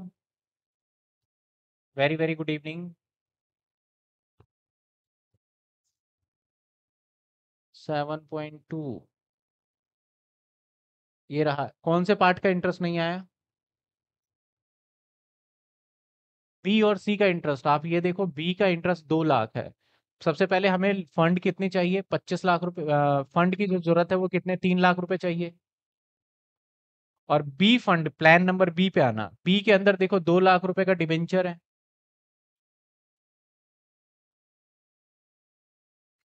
अब दो लाख रुपए पे दस परसेंट का ब्याज होगा तो बीस हज़ार हो जाएगा। और सी में पूरा का पूरा बोरोइंग ही है दस परसेंट तो सी वाले का देखोगे तो पूरा किस पे निकालेंगे सर? क्योंकि सी पूरा का पूरा बोरोइंग बोल रहा है बोरोइंग कितना ले लिया हमने? तीन लाख। तीन लाख के ऊपर दस परसेंट निकालोगे तो तीस हज़ार आ जाएगा। ओके वेलकम तो सर, हमारा टॉपिक और चैप्टर है ईबीआईटी बेसिकली जो चैप्टर है, वो ईबीआईटी है। एंड ईपीएस एनालिसिस के नाम से, लेकिन हम ईबीआईटी की बात करेंगे। अभी तक हमें जो समझ में आ रहा था ना, कह रहा था, भैया, ऑप्शन नंबर वन लो ऑप्शन नंबर टू लो। पहले ऑप्शन में एक काम करते हैं, सिर्फ़ इक्विटी शेयर कैपिटल रख देते हैं, मान लेते हैं पाँच लाख का। दूसरे ऑप्शन में ऐसा करते हैं कि इक्विटी शेयर कैपिटल रख देते हैं हम दो लाख का और डिबेंचर रख देते हैं कितने रुपए का? तीन लाख का। और आपको एक ईबीआईटी e दे दिया जाता था और उस ईबीआईटी e के हिसाब से इन दोनों में से विच प्लान आपका कौन सा प्लान बेस्ट है वो बताना होता था। यही तो सीख रहे थे अभी तक हम। अगर आप रिमाइंड करो तो हमें दो, तीन ऑप्शन गिवन होते थे। उस ऑप्शन में से हम सबका क्या करते थे? कैलकुलेशन करके ईपीएस निकालते थे। फॉर एग्जांपल मैंने बोल दिया सवाल में ईबीआईटी आपको दे दिया मैंने। ईबीआईटी सपोज़ करो मैंने दे दिया दो लाख रुपए। अब मैंने बोला अब इस सवाल को सॉल्व करो। आपके लिए ऑप्शन वन बेस्ट है या ऑप्शन टू तो आप क्या करते थे यहाँ पे? आप यहाँ पे सिंपली दो प्लान बनाते थे यहाँ पे। मैं अभी पुरानी क्लास याद दिला दिला रहा हूँ आपको। आप क्या लिखते थे सर? ईबीआईटी e और ईबीआईटी e के हिसाब से दो लाख इधर भी, दो लाख इधर भी। माइनस इंटरेस्ट, पहले वाले में इंटरेस्ट होगा नहीं क्योंकि शेयर है, दूसरे वाले में दस परसेंट बता दिया अगर तो तीस हज़ार हो गया हमारा। माइनस करोगे दो लाख और ये आ जाता है एक सत्तर। अगर टैक्स है तो ठीक है, नहीं तो ईबीटी e और मान लो टैक्स अगर 50 परसेंट है तो यहाँ पे आ जाता एक लाख और यहाँ पे आ जाता आपका सत्तर है ना तो पैंतीस, पचास एटी फाइव और ये बचता एक लाख और ये बचता एटी फाइव और इसको नंबर ऑफ़ शेयर से डिवाइड कर देते सपोज़ करो सौ रुपए का शेयर है तो डिवाइड कर दो किससे? पाँच हज़ार से और इधर कितने हो जाएँगे? आपके दो हज़ार से। तो यहाँ पे ईपीएस निकल के क्या आ जाता हमारा? बीस रुपए और यहाँ पे एटी फाइव थाउज़ेंड को डिवाइड करते दो हज़ार से तो ये आ गया हमारा बयालीस पॉइंट फाइव। तो एक बार दोबारा देख लेते हैं, कहीं मैंने जल्दबाजी में गलत तो नहीं कर दिया। ठीक है, ये आता अब मैं आपसे पूछता हूँ, बताओ कि कौन सा प्लान बेस्ट है? लाइव में भी बच्चे जवाब दे दें कि कौन सा प्लान प्लान जो है आपका बेस्ट है? प्लान नंबर वन या टू टू बेस्ट है। क्यों सर टू क्यों बेस्ट है? तो बड़ी सिंपल सी बात है कि सर यहाँ पे ईपीएस इसका ज़्यादा है। यानी सारा खेल किसका चल रहा है? ईपीएस का। जिसका हायर ईपीएस वो बिज़नेस वो प्लान हमारे लिए प्रपोजल बेस्ट होगा। सभी ने जवाब दे दिया टू टू टू अब एग्जामिनर क्या बोलेगा? भैया बोलेगा कि आप ना वो प्रॉफिट निकाल के बताओ। अब आपसे ये पूछा जाएगा। वो प्रॉफिट निकाल के बताओ जहाँ पे चाहे आप ये प्लान ले लो, चाहे ये प्लान ले लो। दोनों पे ईपीएस इक्वल हो। एक पॉइंट होता है, जैसे ब्रेक इवन पॉइंट होता है ना तो एक इनडिफरेंस पॉइंट बताओ। जैसे अगर मैं ग्राफिकल फॉर्म में बात करूँ तो एक ऐसा इंडिफरेंस पॉइंट बताओ। इंडिफरेंस पॉइंट का मतलब वो पॉइंट बता दो मुझे, जहाँ पे हमारा ईबीआईटी e और हमारा ईपीएस e दोनों एक दूसरे को काटता हूँ। मान लेते हैं ईपीएस e पाँच रुपए यहाँ आ गया ईबीआईटी मान लेते हैं पाँच हज़ार यहाँ आ गया। यानी जहाँ पे ईपीएस और ईबीआईटी कोई भी आपका प्लान हो प्लान वन हो टू हो थ्री हो लोन हो डिबेंचर हो प्रेफरेंस कुछ भी हो, लेकिन ईपीएस आपका सेम आना चाहिए। ऐसा प्लान बताओ। तो मैं सीधा बुक का ही क्वेश्चन ले लेता हूँ, क्योंकि फिर मैं अपने एग्ज़ाम्पल लूँगा, फिर बुक के लूँगा तो उसमें थोड़ा सा टाइम खिंच जाएगा आपका, ठीक है? तो सबसे पहले हम सीखने क्या वाले हैं, वो बात समझिए। हम समझने वाले हैं indifference point sir indifference point क्या होता है? इनडिफरेंस पॉइंट या इनडिफरेंस लेवल वो लेवल होता है जहाँ पे एक ईबीआईटी e निकलता है और आपका प्रपोजल प्लान वन हो टू हो, कोई भी हो ईपीएस e इक्वली आएगा। हम वेरीफाई करके भी चेक करें। समझ में आया क्या सीख रहे हैं हम? तो हम सीख रहे हैं इंडिफरेंस पॉइंट और ये हमें निकालना पड़ेगा। यानी अब हमारा आंसर क्या रहेगा? ईबीआईटी e फाइंड करना। वो लेवल का क्या फाइंड करना? ईबीआईटी सेम आने से क्या होगा? ईपीएस सेम आने से कुछ नहीं होगा। अगर हमारी अर्निंग वो आ जाती है और मैं आपको बोलता हूँ प्लान वन में जाओगे बी में जाओगे तो आप बोलोगे, जवाब दोगे, किसी में चले जाओ, कोई फ़र्क ही नहीं पड़ना आपको। आप बोलते हो, कंपनी प्लान नंबर टू अच्छा है। कैसे अच्छा है भाई? ईपीएस तो नहीं है उतना। और कंपनी नंबर वन तो आपको कोई डिसीज़न लेने में दिक्कत ही नहीं भाई, ये कर ले, ये कर ले, बात एक है। तो बस ये बताना चाहता है एग्जामिनर तो चलिए, एक सवाल आपके सामने है। और देखिए, सबसे लास्ट में जो पॉइंट बोला हुआ है that is indifference level of EBIT या इन डिफरेंस पॉइंट भी बोल दिया जाता है। इस वर्ड को आप ध्यान रखिएगा। और आपके एग्ज़ाम में जो हम आज करने वाले हैं क्वेश्चन, मान के चलिए ज़्यादा से ज़्यादा प्रोबेबिलिटी अगर मैं बात करूँ तो 90 परसेंट प्रोबेबिलिटी है कि आपके एग्ज़ाम में अगर इस चैप्टर से कुछ पूछा जाएगा तो इन डिफरेंस पॉइंट आने के चांसेस सबसे ज़्यादा होता है। ईपीएस e भी ऑल है, लेकिन परसेंटेज वाइज मुझे लगता है कि इस बार ये चीज़ें ज़्यादा पूछी जाएगी तो इसलिए इसको भी समझ लेंगे। और ये बहुत आसान है। क्या कहता है क्वेश्चन में, एक फर्म है कंसिडरिंग ऑल्टरनेटिव प्रपोजल फाइनेंस उसको कितने प्लान के हिसाब से कितने रुपए चाहिए? चालीस लाख। और दो प्लान है, बोलता है, भैया, एक काम करते हैं ना, पंद्रह परसेंट लोन ले लेते हैं हम दो लाख का, और दो हज़ार इक्विटी इशू कर देते हैं सौ रुपए का। तो टोटल देखो, चार लाख है, चालीस मैंने बोल दिया शायद, चार लाख है। तो यहाँ पे दो लाख रुपए किस फॉर्मेट में आ गए? लोन में और दो हज़ार, दो लाख रुपए किस फॉर्मेट में आ गया? इक्विटी में। अगर मैं प्लान नंबर वन की बात करूँ तो आपको जो दिखाया जा रहा है, वहाँ पे इक्विटी शेयर बताया जा रहा है आपको, और वो बताया जा रहा है दो लाख रुपए, और आपको पंद्रह परसेंट क्या बताया जा रहा है, सर? पंद्रह परसेंट लोन बताया जा रहा है दैट इज़ वो भी कितने का है? दो लाख। और दूसरा प्रपोजल क्या कहता है?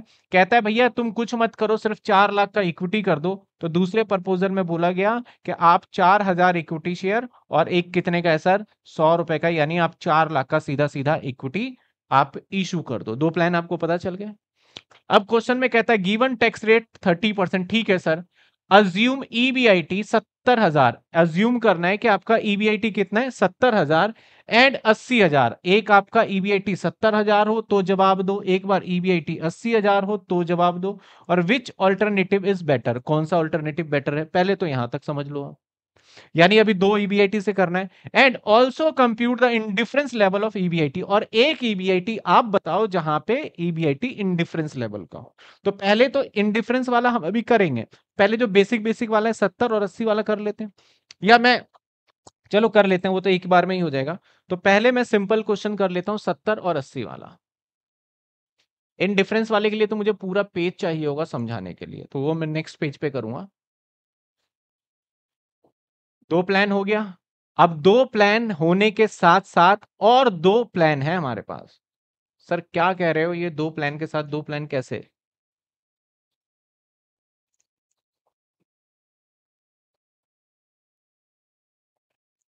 देखिए, यहाँ पे आपका प्रॉफिट ले लो सत्तर हज़ार। तो यहाँ पे प्लान वन है टू दोनों कंपेयर करोगे। और यहाँ पे प्रॉफिट कितना ले लो आप? अस्सी हज़ार, यहाँ पे भी वन और टू को कंपैरिजन करोगे तो हो गए चार। क्वेश्चन में क्या कहता है? Assume EBIT seventy thousand and eighty thousand ये नहीं बोला कि सेवेंटी थाउज़ेंड इसके लिए एटी थाउज़ेंड तब तो कोई मतलब कंपैरिजन हो ही नहीं सकता। तो बोला ऐसा प्रॉफिट है तो बताओ। तो सिंपल सी बात है, अब ले लेते हैं ईबीआईटी सर ईबीआईटी पहले वाले केस में कितना ले लिया? और यहाँ भी? और यहाँ पे? और यहाँ पे? अभी इंडिफरेंस पॉइंट के बारे में कुछ नहीं बात कर रहे, जो पिछली क्लास था, उसी क्लास को हम आगे लेके चल रहे हैं कंटिन्यू ठीक है? चलिए, आगे चलते हैं सर माइनस कर, क्या कर दें हम? इंटरेस्ट अब पहले प्लान के हिसाब से भैया पंद्रह परसेंट दो लाख का लोन है तो इंटरेस्ट कितना बनेगा? और दूसरे में है ही नहीं तो नहीं बनेगा तो यहाँ भी क्या बनेगा? तीस हज़ार और इसमें है ही नहीं तो नहीं बनेगा। मैं एक ही बार में सारा निपटाना चाह रहा हूँ, इसलिए थोड़ा सा आपको लग सकता है। ये बन जाएगा हमारा कितने? चालीस और ये कितना रहेगा? सत्तर। ये कितने हो जाएँगे? पच्चीस। ये कितने हो जाएँगे? अस्सी। अब माइनस क्या कर दो sir? Tax. Sir, tax rate कितना है? तीस परसेंट है तो बारह हज़ार। और इक्कीस हज़ार, पंद्रह हज़ार और चौबीस हज़ार। फटाफट माइनस करके आप निकाल दो E AT sir E AT क्या आएगा? बारह माइनस कर दोगे तो कितने आएँगे? अट्ठाईस। इक्कीस माइनस कर दोगे तो कितने आ जाएँगे? Forty nine. पंद्रह माइनस करोगे तो थर्टी फाइव। चौबीस माइनस करोगे तो कितने आ जाएँगे? छप्पन।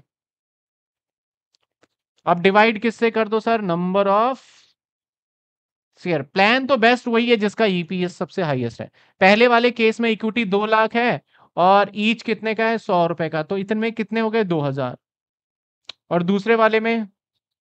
इसमें दो हज़ार। इसमें चार हज़ार, निकाल दो ईपीएस फटाफट से ईपीएस देखते हैं, किसी का आंसर आया ईपीएस का नहीं आया। सर ईबीआईटी और ईपीएस की फुल फॉर्म क्या है?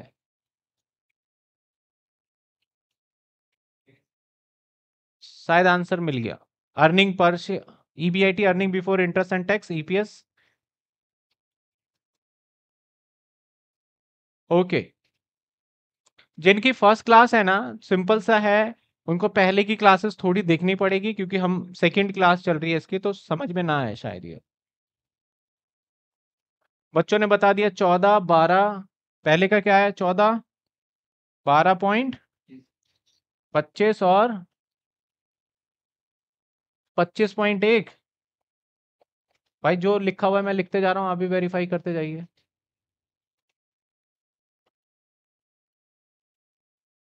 बताइए। इसका कितना है? चौदह। ये सत्रह पॉइंट पाँच।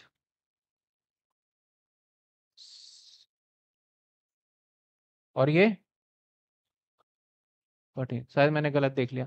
हाँ बिल्कुल सही, सत्रह पॉइंट पाँच, पच्चीस। मैंने गलत देख लिया तो पॉइंट पच्चीस को मैंने उसको आगे देख लिया, ठीक है? पहला क्वेश्चन डन हो गया, इंडिफरेंस पॉइंट। अभी तक के क्वेश्चन में जितना भी करा है तो आप में से किसी बच्चे को, नए बच्चे की बात नहीं कर रहा नए बच्चों को तो डाउट होगा ही होगा। जो फ़र्स्ट क्लास ले चुके हैं, अभी तक में कोई डाउट है तो बताइए, ये क्लास के अंदर हमने कुछ भी एक्स्ट्रा पार्ट नहीं किया, ये पिछली क्लास का ही पार्ट है पूरा। किसी को कोई डाउट है अभी तक में? फिर इंडिफरेंस पॉइंट पे चले हम।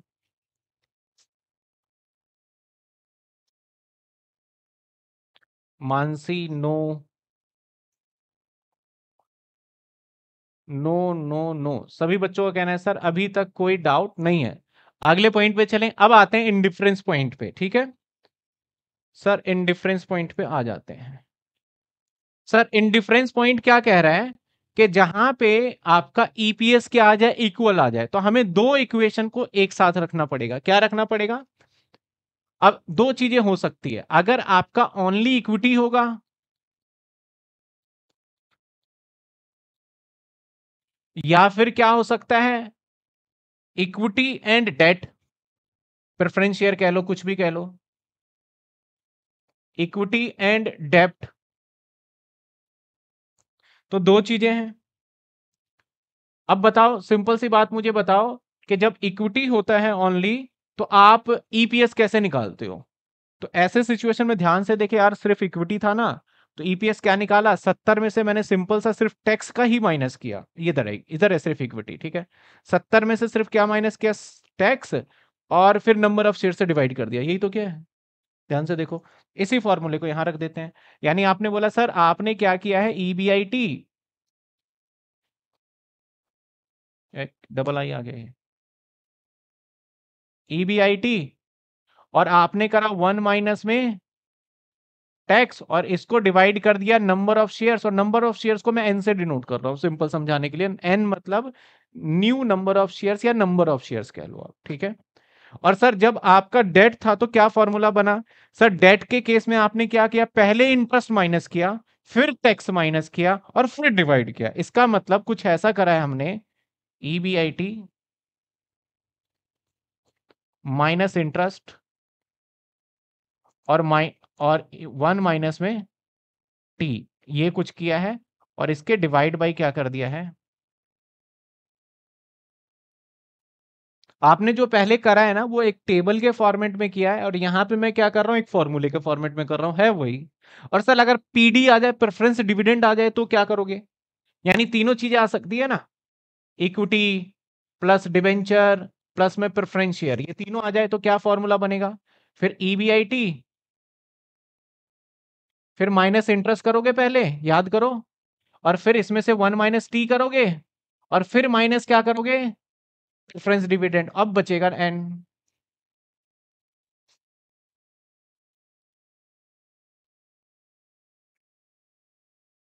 ये देखो, तीनों फॉर्मूले रख दिए मैंने। ये तीनों फॉर्मूले, अगर आपको मैं बात कहूँ ना तो ये नए नहीं है। आपके ये तीनों बातें जो हैं, पहले लिखा हुआ है, हमने करा हुआ है, लेकिन हमने जो करा था ना, वो हमने एक स्टेटमेंट के फॉर्मेट में किया था। उस स्टेटमेंट को यहाँ कर दिया। अगर आपको मैं याद दिलाऊं तो क्या था सबसे पहले ईबीआईटी उसमें माइनस क्या करते हो? इंटरेस्ट आपका क्या आता था? ईबीटी फिर माइनस क्या करते थे? टैक्स फिर क्या आता था? ईएटी फिर माइनस क्या करते थे? पीडी और फिर जो माइनस करके आता था, वो इक्विटी शेयर से डिवाइड हो जाता था। अब देखो, पहले वाला मैंने सिंपल अगर इंटरेस्ट है ही नहीं भाई तो मैं आई माइनस क्यों करूँ यहाँ पे? क्योंकि मैंने क्या बोला? ओनली तो इंटरेस्ट होगा ही नहीं तो आई माइनस ही नहीं होगा। और यहाँ क्या बोला? इक्विटी और डेट तो इसलिए पहले आई माइनस कर दिया, फिर टैक्स माइनस किया। और मैंने बोला तीनों है तो पहले इंटरेस्ट माइनस किया डेट उसके बाद जो प्रॉफिट बचा है, ये जो ये जो पॉइंट बता रहा है ना यहाँ से यहाँ तक, आप देखो यहाँ से यहाँ तक तो that is E A T earning EBIT minus interest फिर माइनस टैक्स तो ईएटी बचा। अब इसके बाद क्या माइनस करते हैं? पीडी तो लास्ट में मैंने पीडी माइनस कर दिया। समझ में आई बात आपको? तो ये फॉर्मूला आपके लिए न्यू नहीं है, बस मुझे समझाना था कि हम करते आए हैं। चलिए सर फिर इंडिफरेंस पॉइंट क्या होगा? आपके पास जो दो ऑप्शन होगा, इन दोनों ऑप्शन को इक्वल में रख दीजिए। क्योंकि दोनों का मतलब एक ही है। आपको हर एक बात पता होगा इंटरेस्ट पता होगा टैक्स पता होगा नंबर पता होगा, बस ईबीआईटी नहीं पता होगा। तो यानी इंडिफरेंस पॉइंट निकालोगे तो तीन का नहीं निकाल सकते एक साथ। आप जब भी निकालोगे तो किसका निकालोगे? दो का ही निकाल सकते हो किसी का। जैसे अगर मैं यहाँ पे बोलूँ तो इन दोनों के बीच में निकाल सकते हो, या फिर इसके और इसके बीच में निकाल सकते हो, या फिर इसके और इसके बीच में निकाल सकते हो तो इनडिफरेंस पॉइंट हमेशा दो सिचुएशन के बीच में ईवीआईटी निकाला जाएगा। ठीक है? हमारे वाले सवाल में, उसी को मैं करता हूँ कंटिन्यू में। हमारे पास ऑप्शन नंबर वन था और ऑप्शन नंबर वन में डिबेंचर था हमारा। डिबेंचर नहीं था डेट था ना। कितना डेट था हमारा? दो लाख का पिछला क्वेश्चन मुझे तो याद है, आप भी देख लो एक बार। और हमारा इक्विटी कितने थे? वो भी दो लाख थे। और नंबर की बात करें, यहाँ पे कितने थे? 2000 नंबर ऑप्शन टू आ गए थे। ऑप्शन नंबर टू में क्या था? ओनली इक्विटी था। और इक्विटी कितने थे? चार लाख। नंबर की बात करें तो? चार हज़ार। और टैक्स रेट क्या था? दोनों क्वेश्चन के लिए सेम ही था दैट इज़ तीस परसेंट। ये पिछला क्वेश्चन है, जो कि पीछे वाले पेज पे गिवन था, उसको मैंने नोट कर दिया। बस ये देख लो, आपके सामने क्वेश्चन है। ठीक है ना?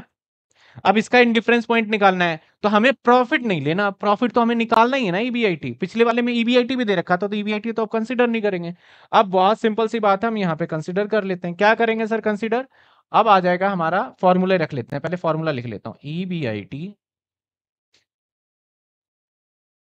I T minus में क्या करना है इसमें? इसमें पहले वाले फॉर्मेट में, पहले लोन वाला ऑप्शन है ना तो माइनस इंटरेस्ट कर देते हैं। कोई भी कहीं रखो, फ़र्क नहीं पड़ता। और वन माइनस में टी कर देते हैं। और डिवाइड बाय क्या कर देते हैं?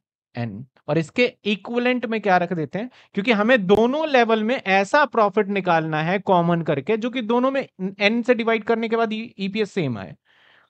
यहाँ पे देखा जाए तो क्या होता है हमारा सर यहाँ पे आ जाएगा ईबीआईटी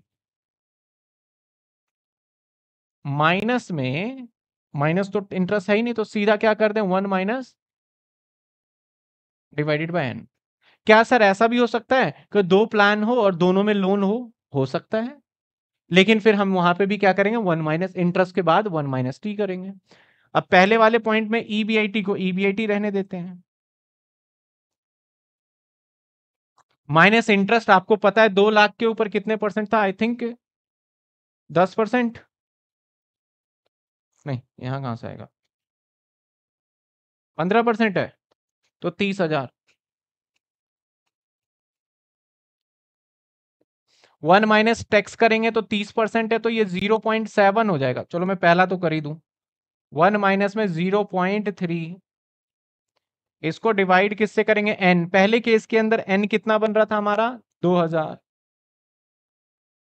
अब इधर आ जाते हैं। सर ईबीआईटी कितना है? ईबीआईटी तो पता ही नहीं है ना।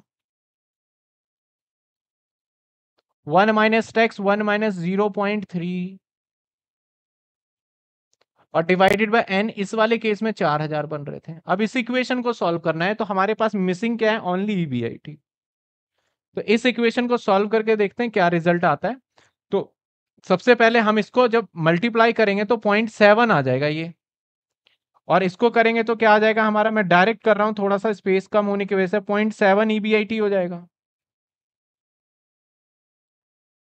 और माइनस में ये इक्कीस देखो, मैंने डायरेक्ट करा है इसको। पहले ही मैंने यहीं पे मन में ही काउंट कर लिया कि भैया सेवन पॉइंट सेवन आएगा। Point seven into thirty thousand इक्कीस हज़ार पॉइंट सेवन इंटू ईबीआईटी तो पॉइंट सेवन ईबीआईटी इसके बाद क्या है हमारा सर इसको करेंगे point seven EBIT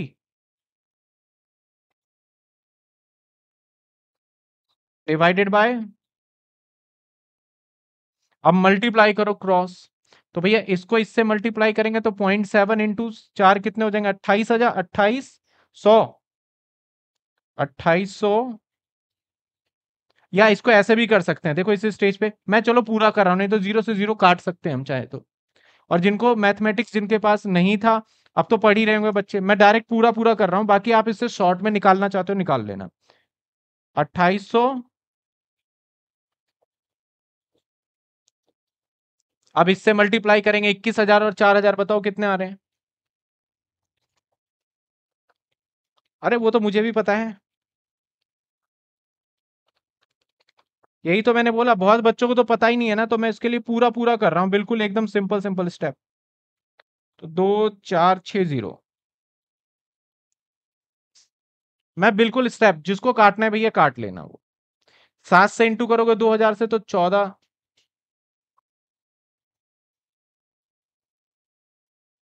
करेक्ट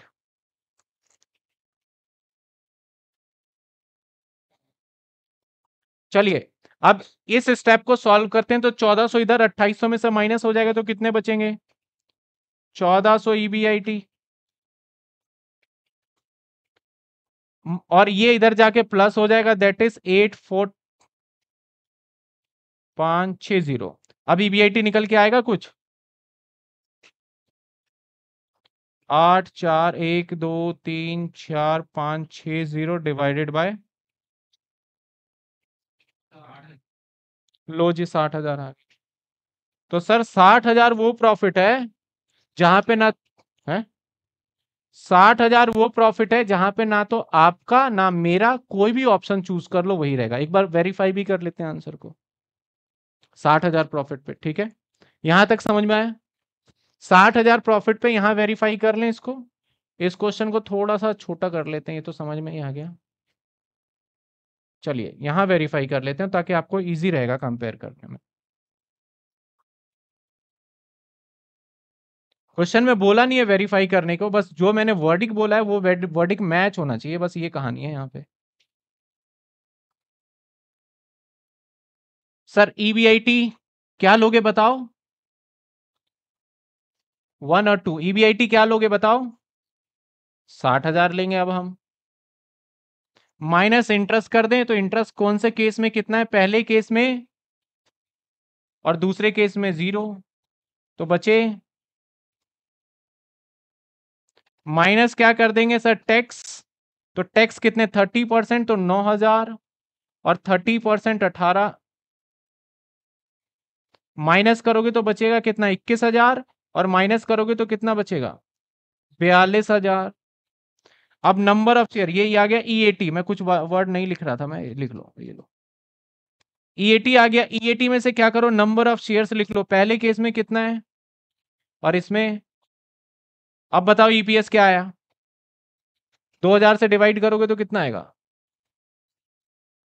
उन्नीस हज़ार आ गया।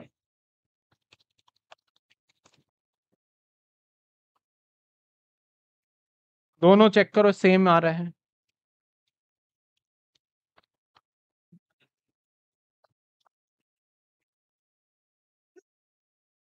ठीक है? तो क्या हम सीख रहे थे इस टॉपिक में बेसिकली कि भैया इनडिफरेंस पॉइंट का मतलब वो लेवल प्रॉफिट है, जिसके ऊपर ना तो प्रॉफिट मतलब कि यहाँ पे ईपीएस e दोनों में सेम होगा। और एग्जामिनर यही पूछेगा आपको, कोई प्रूफ नहीं करना यहाँ पे? ये मैंने प्रूफ करके दिखा दिया। आपने बिल्कुल भी प्रूफ नहीं करना। आपने तो ये बताना है ईबीआईटी e ये होना चाहिए।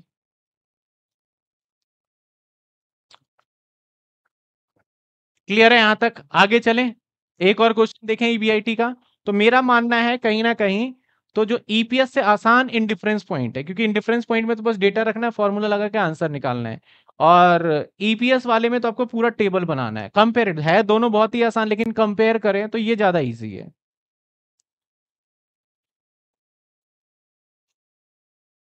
अगर ओनली इक्विटी और प्रेफरेंस इशू होगा तो क्या होगा? सिंपल सी बात है। इक्विटी में वन माइनस टी कर देंगे, यही इसी के माइनस में बस प्रेफरेंस शेयर कर देंगे।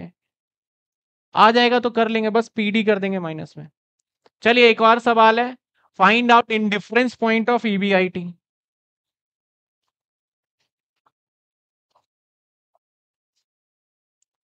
sir option check कर लेते हैं क्या क्या है। कहता है प्रोजेक्ट रिक्वायरमेंट आउटले आउटले का मतलब फंड कितने पैसे चाहिए? आउटले का मतलब होता है फंड कितने पैसे चाहिए।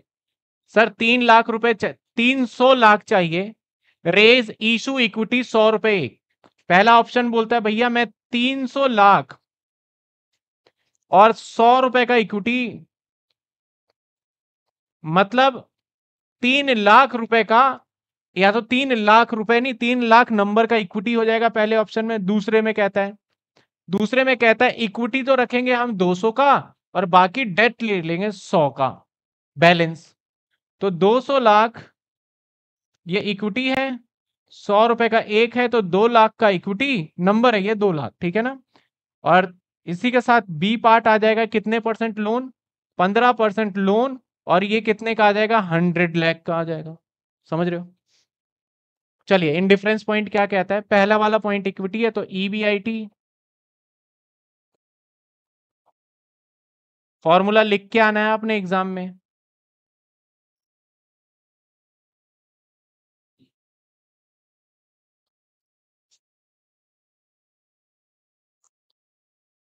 चलिए सर सॉल्व करते हैं। ईबीआईटी e नहीं पता ईबीआईटी e रहने दो। अब मैं जो भी एक्स्ट्रा अमाउंट होगा वो मैं काट दूँगा। One minus T, one minus T tax question में थर्टी परसेंट लास्ट में दे रहा है तो minus zero point three divided by N, पहले केस में एन कितना है? तीन लाख। मैंने पूरे नंबर लिखे कितना है? तीन लाख। चलिए आ जाइए। ईबीआईटी e कितना है, सर? कुछ नहीं पता। माइनस इंटरेस्ट, दूसरे केस में इंटरेस्ट 200 लाख पे अगर आप सॉरी सौ लाख पे अगर आप पंद्रह परसेंट निकालोगे तो पंद्रह लाख आएगा ना? तो पंद्रह लाख। वन माइनस टी तो one minus zero point three. और यहाँ पे नंबर कितने हैं?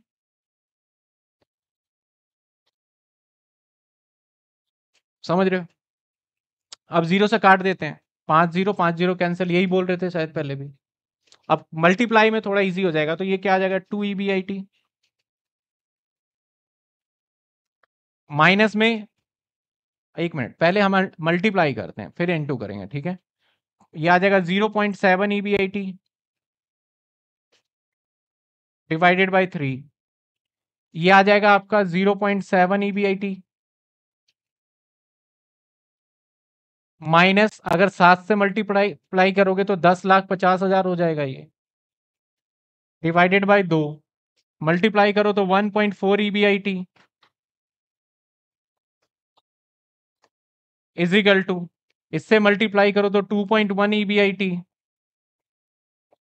minus into तीन से करो तो तीस, इकतीस लाख पचास हज़ार।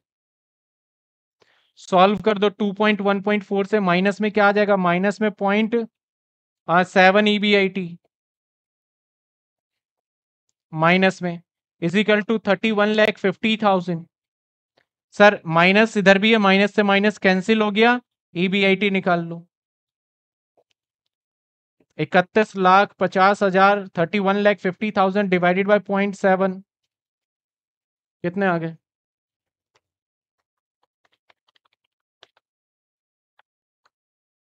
Forty five lakh. तो सर, ये वो प्रॉफिट है, वो ईबीआईटी e है, जहाँ पे हमारा कोई भी प्लान चूज़ करो ईपीएस e सेम आएगा। Forty five lakh. बहुत बच्चों का गया। लास्ट क्वेश्चन में इंटरेस्ट कैसे आया? अभी बता देंगे। भाई साहब लास्ट क्वेश्चन में पूछ रहे थे इंटरेस्ट कैसे है? बता देंगे। ये देखो लास्ट क्वेश्चन में ना ये था ना, पंद्रह परसेंट इंटरेस्ट इसके ऊपर तो ये मैंने बता दिया, बस देख लो आप। आ जाते हैं इसी पे। एन वैल्यू बता दो। एन वैल्यू कैसे आया? आपको पता था 300 लाख रुपए है ये ये रुपीस में है। देखो 300 लाख रुपए का सिंबल है और सौ रुपए का एक शेयर है। तो अगर 300 लाख यानी तीन करोड़ को 100 से डिवाइड करोगे तो तीन लाख नंबर निकल के आएगा। कैसे आया सर? 300 डिवाइडेड बाय 100 तो तीन लाख नंबर आया। ऐसे ही यहाँ पे कर दिया दो लाख में। वन माइनस टी क्यों किया? किसके अंदर वन माइनस टी किया? हर जगह वन माइनस टी, क्योंकि प्रॉफिट हमारे पास जो आएगा, वो आफ्टर टैक्स वाला ही तो इक्विटी शेयर होल्डर में बटेगा। क्योंकि बिना टैक्स काटे, अगर मैं शेयर होल्डर को डिविडेंड बांट दूँगा तो फिर तो गलत है। गवर्नमेंट कहता है, आपका नेट प्रॉफिट बांटना है शेयर होल्डर में मेरा टैक्स देने के बाद। ना कि मेरा टैक्स मत दो और शेयर होल्डर में बांट दो, ऐसा पॉसिबल नहीं तो इसलिए पहले हम टैक्स माइनस कर देते हैं। और वन माइनस टी का मतलब है भैया टैक्स माइनस करने के बाद जो बचा बैलेंस उसे बोला जाता है।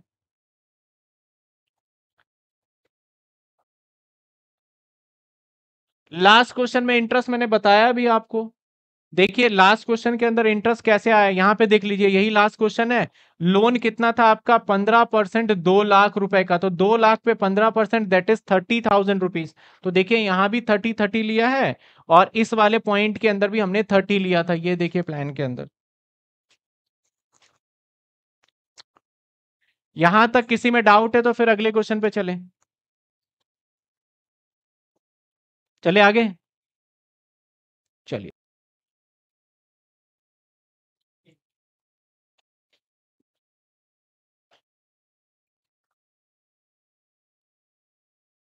मैं कुछ एक क्वेश्चन समझाऊँगा, जैसे जो मुझे लगेगा कि भाई ये तो हो ही जाएगा, इसमें तो बस फॉर्मूले पुट करने और तो कुछ है ही नहीं।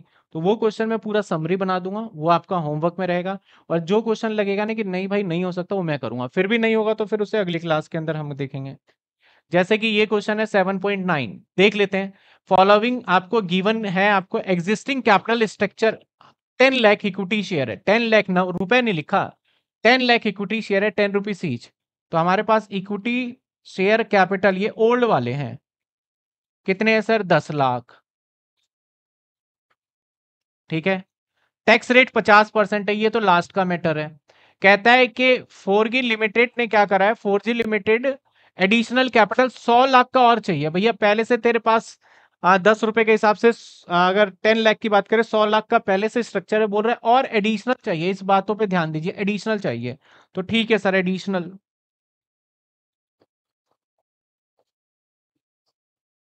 एडिशनल कितने चाहिए? सौ लाख रुपए और चाहिए financing expansion the.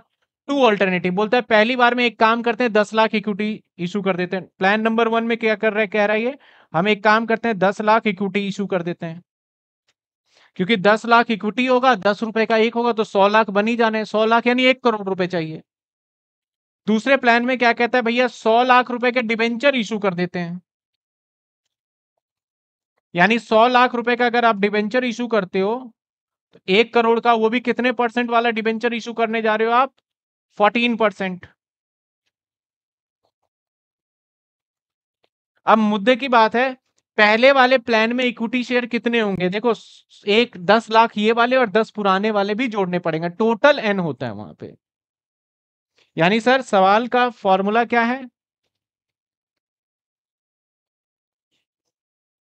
One minus में टी जहाँ पे नहीं होता N equal to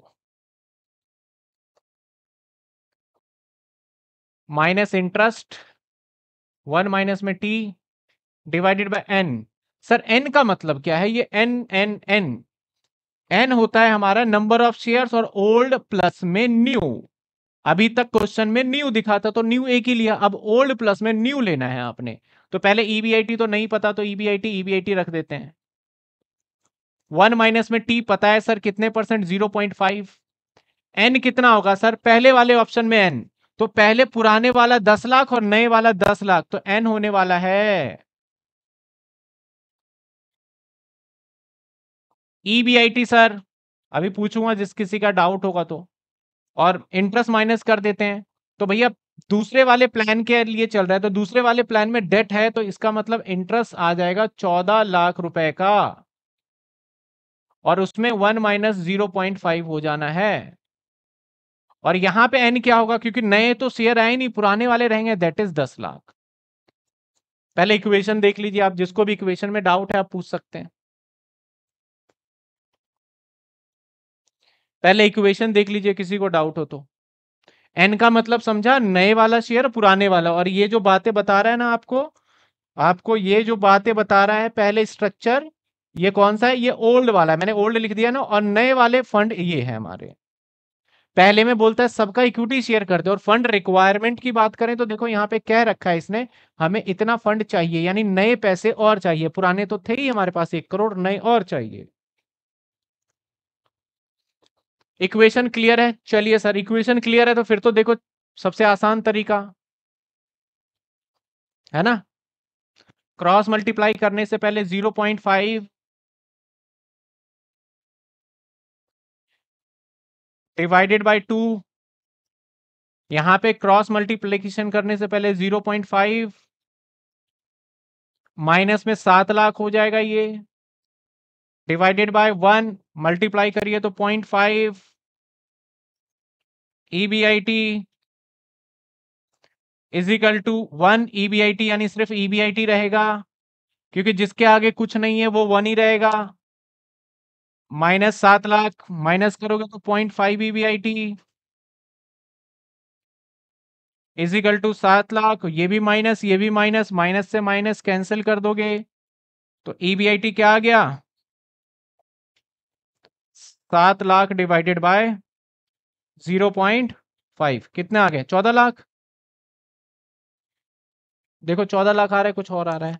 डिवाइड करके ठीक है?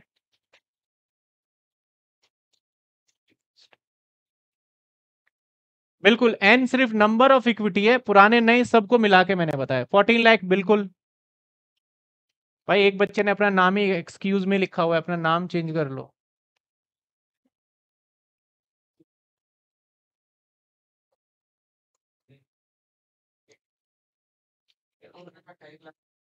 हाँ? तो कहीं माइनस प्लस में गड़बड़?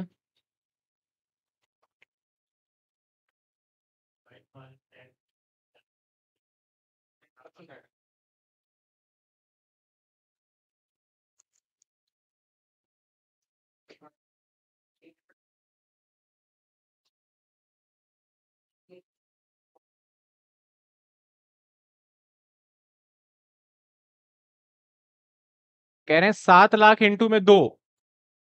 अच्छा ये करना भूल गए, सात लाख को इससे मल्टीप्लाई कर दिया, इससे नहीं करा ना, ये दो से मल्टीप्लाई होगा। ये चौदह लाख रह गया। ठीक है? ओके।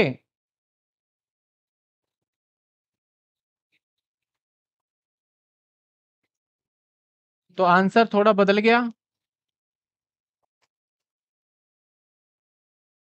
ये लीजिए, ठीक है? दो से मल्टीप्लाई करना रह गया था। कहाँ पे? फिर याद दिला देता हूँ। मैंने इस दो को पॉइंट फाइव या ईबीआईटी भी नहीं लिखा।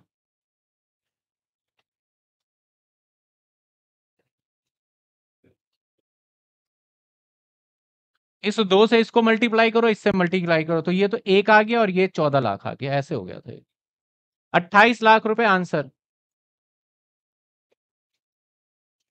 नहीं, कल क्लास नहीं होगी, अभी पहले आज वाली क्लास तो पहले पूरा चैप्टर मेरे मन में तो खत्म करने का आज। चलिए।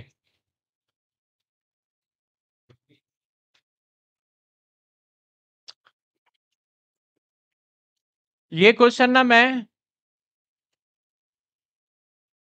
होमवर्क में दे रहा हूँ। ठीक है, ये क्वेश्चन किसमें दे रहा हूँ मैं? जिसका नहीं हो मान लेते हैं टफ है, आपको इसका सॉल्यूशन वीडियो में अपलोड या क्लास में ही कर लेंगे, ठीक है? होमवर्क में दे रहा हूँ। चलिए सर अब यहाँ पे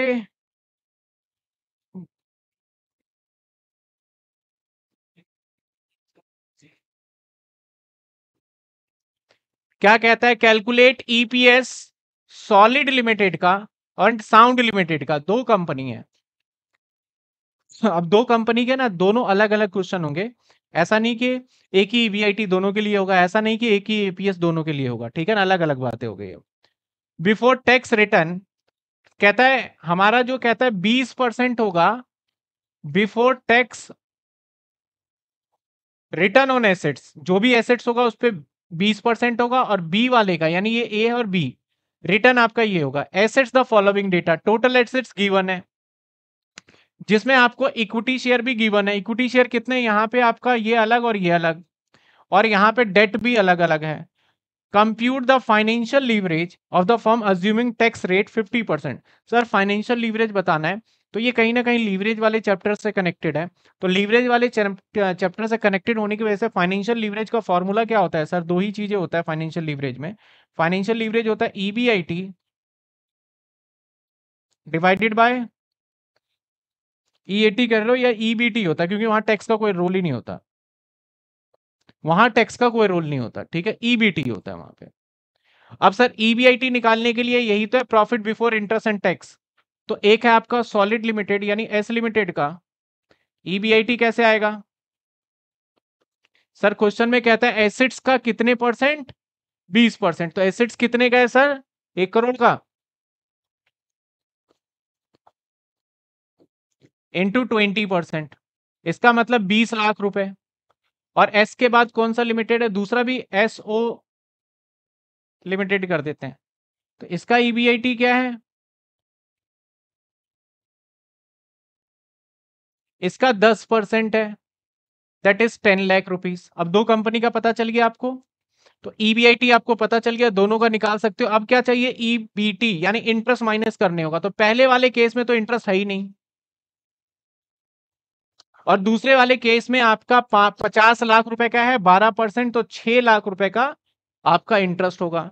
तो प्लान जो सॉलिड है, अब ध्यान दीजिए इंटरेस्ट बता दूँ सॉलिड का।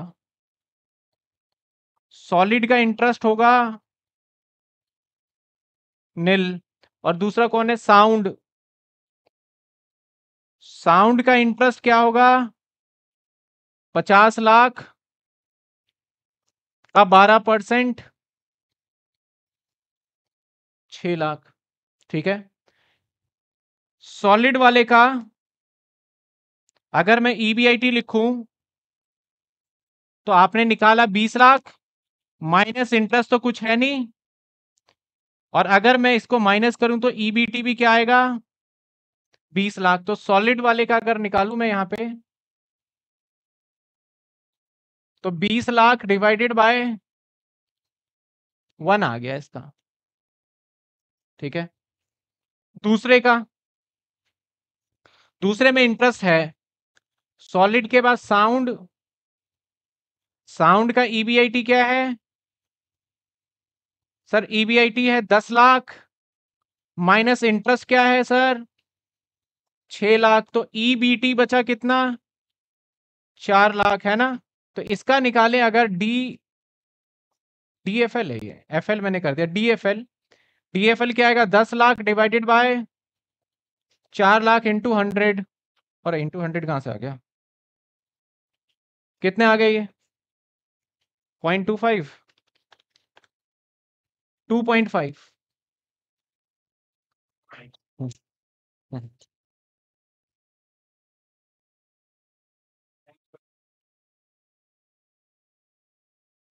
two point five सभी का आ गया। और ये चैप्टर मैं कहूँगा जो अभी स्टार्ट हुआ है ना ईपीएस ये ज़्यादा से ज़्यादा कनेक्ट किससे? लीवरेज। मेरे हिसाब से ये क्वेश्चन ना लीवरेज वाले में देते तो ज़्यादा बेहतर था। लेकिन यहाँ पे दे दिया, कोई बात नहीं। चैप्टर, ये पूरा यूनिट कहीं ना कहीं मैं बोलूँ मिक्स होता रहेगा। कोई क्वेश्चन आप पीछे वाले चैप्टर का आ जाएगा, कोई क्वेश्चन आपका आगे वाले चैप्टर का भी आ सकता है। जैसे कि हमने एक देखा था कॉस्ट ऑफ़ कैपिटल में वैल्यू ऑफ़ फर्म का मैंने छुड़वा दिया। मैंने बोला बाद में करेंगे इसको, है ना? ये चलता रहेगा इसमें। यहाँ तक किसी बच्चे को डाउट है तो पूछे नहीं तो अगले पॉइंट पे चले हम। यहाँ तक किसी को डाउट है तो पूछिए चैट में।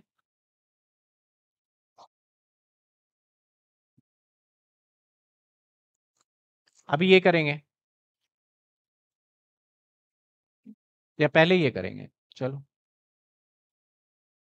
इसमें किसी को डाउट सर ईबीआईटी e कैसे आया? ईबीआईटी e कह रखा है कि एसेट्स के ऊपर निकालना है दस परसेंट। तो ये था हमारा फिक्स एसेट्स टोटल एसेट्स ये था। इसके ऊपर एक में बीस परसेंट था तो बीस परसेंट निकाल दिया। और एक फिक्स एसेट्स हमारा ये था टोटल एसेट्स उसके ऊपर दस परसेंट कह रखा है क्वेश्चन में तो दस लाख आ गया। ये रहा कह रखा है यहाँ। चलिए। ये क्वेश्चन होमवर्क में देते हैं आपको। या मैं कराऊँगा। चलो मैं करा दूँगा, इसे होमवर्क नहीं देते। ये क्वेश्चन अभी करके देखते हैं ट्राई क्वेश्चन बड़े जल्दी जल्दी नंबर आगे बढ़ रहे हैं, ऐसा क्यों? अभी तो आठ पे थे तो बारह, तेरह पे कैसे पहुँच गए? पंद्रह।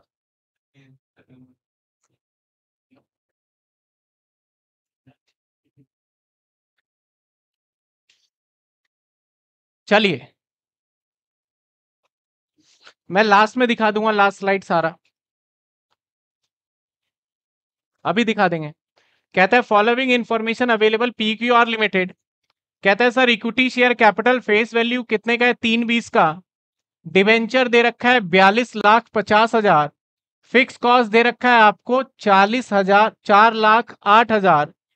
ओ एल दे रखा है operating leverage that is one point four combine leverage two point eight sales given है आपको और टैक्स रेट गिवन है। क्या पूछ लिया भाई? Find out the financing leverage और ईपीएस फॉर्म फाइनेंसिंग लीवरेज अब सबसे पहले डीओल का फॉर्मूला पता है क्या होता है? अरे,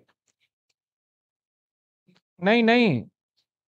डीसीएल अब देखो, ये चैप्टर ये चैप्टर जो बच्चे इसी चैप्टर से एनरोल हुए हैं, उन बच्चों को शायद ये वाला पार्ट समझ में ना आए। क्योंकि मैं यहाँ कर रहा हूँ। हाँ ईबीआईटी e में हर बार बोल रहा हूँ लीवरेज करोगे तो आपके लिए बिल्कुल सिंपल लगेगा, वहाँ बहुत बार करा हुआ है। डीसीएल क्या होता है हमारा फॉर्मूले में? डी ओ एल इंटू में यही होता है। अब आपको दो चीज़ तो दे ही रखा है तो हम तो एक निकाल सकते हैं। क्या क्या दे रखा है? डीसीएल दे दिया टू पॉइंट डीओएल दे रखा है, कितने? वन पॉइंट ऑपरेटिंग लीवरेज का मतलब होता है DOL one point four into में डीसीएल डीएफएल तो अब कैसे निकलेगा बताओ? माइनस कर देंगे। तो ये मल्टीप्लाई करेगा तो 1.4 डीएफएल आ जाएगा। तो अगर हम देखें डीएफएल 1.4 आ गया तो अगर डीएफएल निकालना है तो इससे डिवाइड कर देंगे। 2.8 divided by 1 point equal to DFL क्या आ गया डीएफएल इसको उठा के इधर लेके चलते हैं। क्या आ गया डीएफएल 1.4 अब बताओ तो सही। दो। दो ही आएगा ना? दो। दो आ गया। चलो ठीक है। सिद्धार्थ 1.55 में टू आ जाएगा। ठीक है, पहला क्वेश्चन कर लिया। दूसरा बोल रहा है ईपीएस निकालो। तो ईपीएस निकालने के लिए हमें चाहिए प्रॉफिट और नंबर ऑफ़ शेयर प्रॉफिट सवाल में कहीं नहीं दे रखा। तो इनकम स्टेटमेंट बनाना पड़ेगा, sales minus variable minus fix cost, ऐसे जो करते आए थे। क्योंकि यहाँ पे हमें क्या पता है? सेल्स पता है और सेल्स के साथ साथ हमें क्या पता है? फिक्स कॉस्ट पता है। ठीक है? लेकिन सर, वेरिएबल कॉस्ट नहीं पता। तो हम किसी एक में फॉर्मूला रख के ईबीआईटी ज़रूर निकाल सकते हैं। क्योंकि आपका एक फॉर्मूला पता है डी ओ एल का क्या होता है? E B I T divided by contribution यही होता है। साहब, इसमें कंट्रीब्यूशन है नहीं। दे रखा है। अच्छा उल्टा लिख दिया। कंट्रीब्यूशन डिवाइडेड बाय सर, इसमें कंट्रीब्यूशन है नहीं सवाल में। तो मैंने बोला था, जब कंट्रीब्यूशन ना मिले तो काम चला लेना है किससे? सेल्स से। सेल्स दे रखा है सवाल में, और डीओएल भी दे रखा है तो ईबीआईटी निकल जाएगा आराम से। अब ईबीआईटी निकल गया तो इंटरेस्ट माइनस करके ईपीएस भी निकल जाएगा सारी चीज़ें। तो यहाँ पे देखा जाए तो क्या हो सकता है सर? डीओएल कितना है सर? 1.4 कंट्रीब्यूशन कितना? नहीं पता। सॉरी, सेल है ना कंट्रीब्यूशन। तो यहाँ पे मैं स्लैश करके लिख देता हूँ सेल्स। कितने हमारे? 60 लाख। डिवाइडेड बाय ईबीआईटी तो अब यहाँ पे निकाल देता हूँ। तो क्या आ जाएगा हमारा ई बी आई टी साठ लाख डिवाइडेड बाय 1.4 बताइए। चौदह पॉइंट में आ जाएगा क्या ये?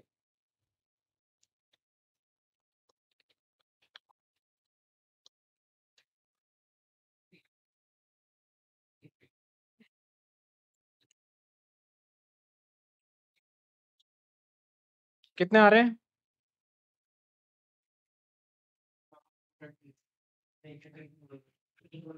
बयालीस लाख पिचासी, eighty, forty two lakh eighty five thousand seven one five का आ गया, ठीक है? ये क्या आ गया हमारा ईबीआईटी अब इसमें से क्या करेंगे? Interest minus. अब यहाँ पे ये वाला सवाल यहीं खत्म हो गया, इसको बॉक्स में बंद कर देते हैं। यहाँ पे आ जाइए। EBIT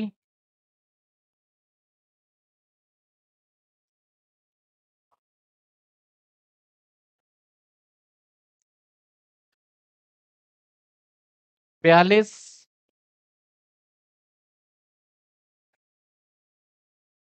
minus interest.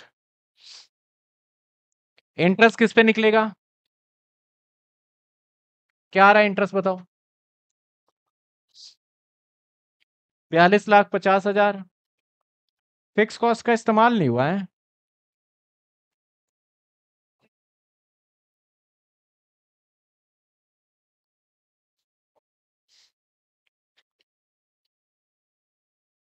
चलो अजम्पशन है।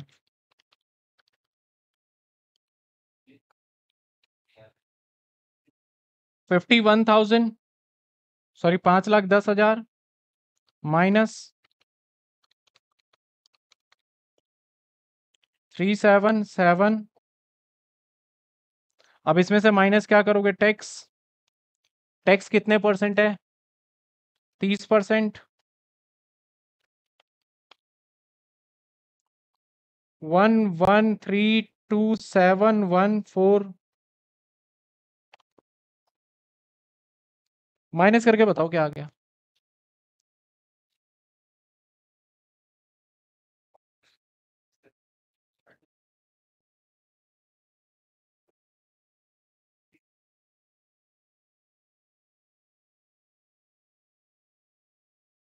सेवन पॉइंट वन क्या आ गया बताओ माइनस करके।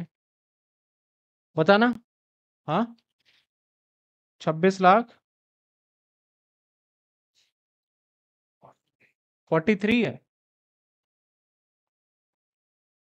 Forty three? बस डबल ज़ीरो रखते, ट्रिपल ज़ीरो कर देते। तो ट्रिपल ज़ीरो कर दिया ना, एक हटा दिया नहीं। हाँ ठीक है। आगे देखो अब क्या करेंगे नंबर ईपीएस निकालना है तो ईपीएस क्या हो जाएगा?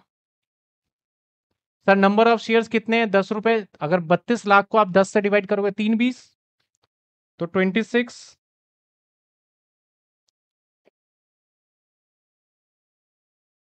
करो। एट पॉइंट टू फाइव अब ना इसमें हमने कुछ अजम्पन लिया है। क्या अजम्पन लिया है? कि हमारा सेल्स क्या है? कंट्रीब्यूशन ठीक है? यहाँ पे फिक्स कॉस्ट का भी इस्तेमाल किया जा सकता था, लेकिन उसके थ्रू नहीं किया हमने। फिक्स कॉस्ट का इस्तेमाल कब होता? जब हम करते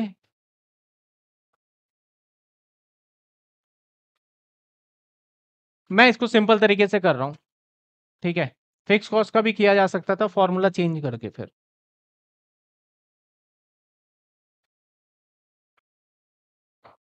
बच्चे कह रहे हैं, बुक में मैच नहीं हो रहा, बुक में क्या है? कोई दिक्कत नहीं है कंट्रीब्यूशन नहीं निकाला, हम सेल्स अजम्पन लेके कर रहे हैं ना, कोई दिक्कत नहीं है।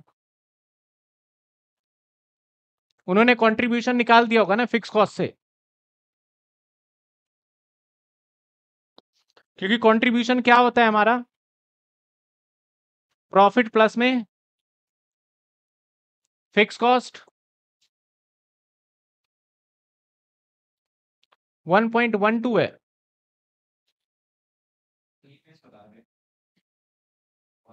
तो हमारा ये 8.25 कैसा है? डिवाइड करके यही आना है। क्वेश्चन नंबर कौन सा है ये?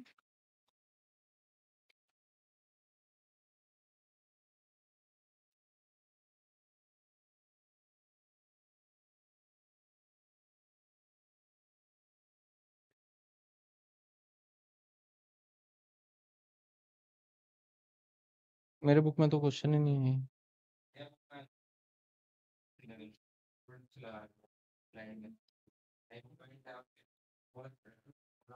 सिक्सटीन है।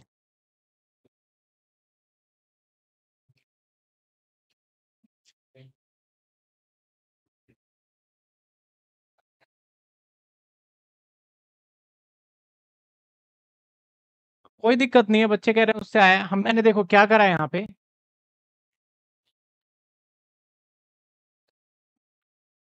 Sales is equal to contribution अब बुक वाले बच्चे कह रहे हैं बुक में क्या कर रखा है? मैं फॉर्मूला वही कह रहा था, दूसरा फिक्स कॉस्ट को। तो आपका DOL क्या होता है? सर DOL होता है आपका कंट्रीब्यूशन कंट्रीब्यूशन क्या होता है?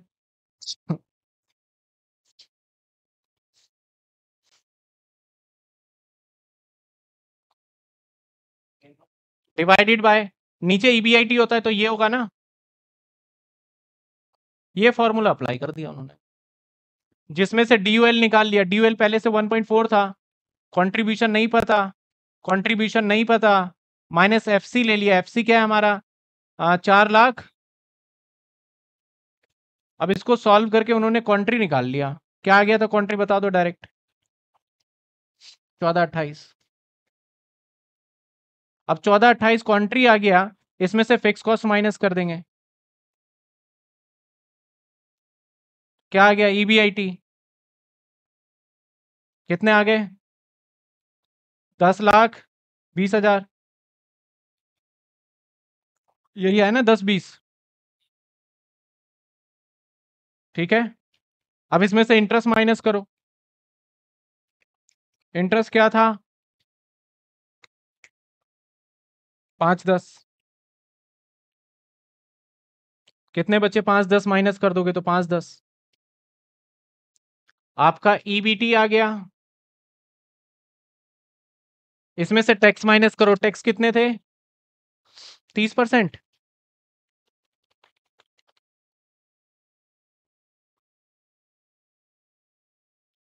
ये आ गया थ्री फाइव इसको डिवाइड कर दो नंबर ऑफ़ शेयर से। दैट इज़ तीन चालीस था। 1.05 तो तो यहाँ पे अजम्पशन क्या? मैंने पिछले वाले में कहा, मेरे में फाइव क्यों आ रहा है? Three fifty seven divided by तीन चालीस है तीन बीस तो नहीं है, देखो। ज़ीरो फाइव आ रहा है वन पॉइंट ज़ीरो फाइव देख लो डिवाइड यही करा है ना। हाँ तो एरर होगा वो। तो मैंने पिछले वाले में जमशन आप दोनों तरीके से कर लो, कोई दिक्कत नहीं है, ठीक है? चलिए। एक बहुत छोटा सा क्वेश्चन ये भी होमवर्क में देते हैं ये।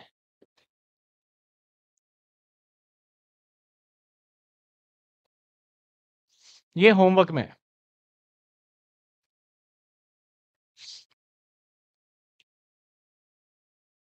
अब क्या सीखने वाले हैं?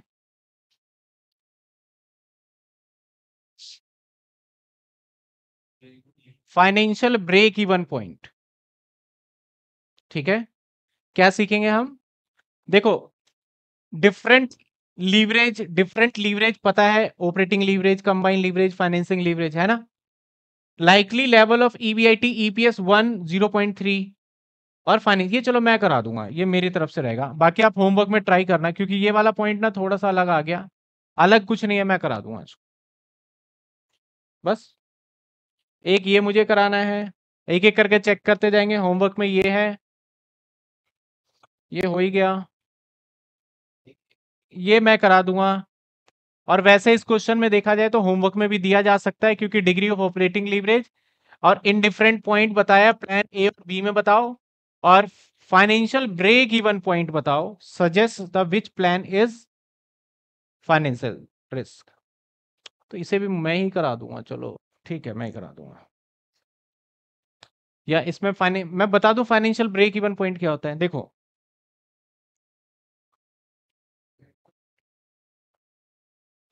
सबसे पहले बताओ ब्रेक इवन पॉइंट क्या होता है? हिंट दे रहा हूँ, नहीं तो मैं अगली क्लास में दोबारा करा दूँगा इसको। हिंट दे रहा हूँ, ब्रेक इवन पॉइंट क्या होता है? जहाँ पे sales is equal to TC आ जाए मतलब मेरा नुकसान ना हो। और फाइनेंशियल का मतलब इंटरेस्ट होता है। तो फाइनेंशियल ब्रेक इवन पॉइंट क्या होगा? जहाँ पे interest is equal to EBIT आ जाए। मतलब फाइनेंस ब्रेक इवन का तो मतलब है ना नो प्रॉफिट नो लॉस और जब फाइनेंशियल आ गया तो ब्याज मतलब हम ब्याज पेमेंट करने के बाद भी हम ज़ीरो पे खड़े हों, कम से कम। माइनस में ना जाए। ठीक है ना? जैसे मान लो आपका ईबीआईटी है पाँच लाख और आपका इंटरेस्ट कितना है पाँच लाख तो आपका प्रॉफिट कितना आ गया ज़ीरो तो ये फाइनेंशियल ब्रेक इवन पॉइंट है। तो इसका मतलब कह सकते हैं, जहाँ पे ईबीआईटी और इंटरेस्ट बराबर होगा, उसे क्या बोलेंगे? फाइनेंशियल ब्रेक इवन पॉइंट तो फाइनेंशियल ब्रेक इवन पॉइंट हमेशा क्या होगा सर? इंटरेस्ट होगा। यानी financial break even point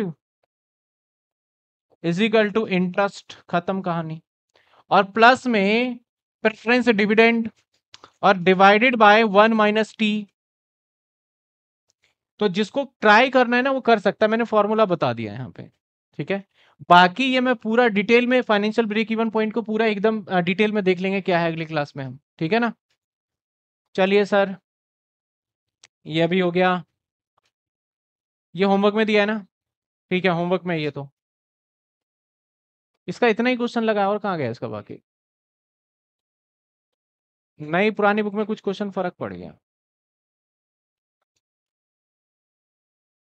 यह भी हो गया।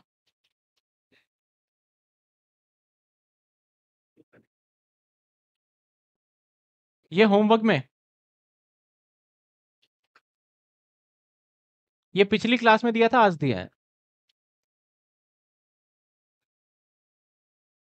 कह रहे बच्चे, नेटवर्क चले गया, नेटवर्क कहाँ गया मेरे में तो आ रहा है?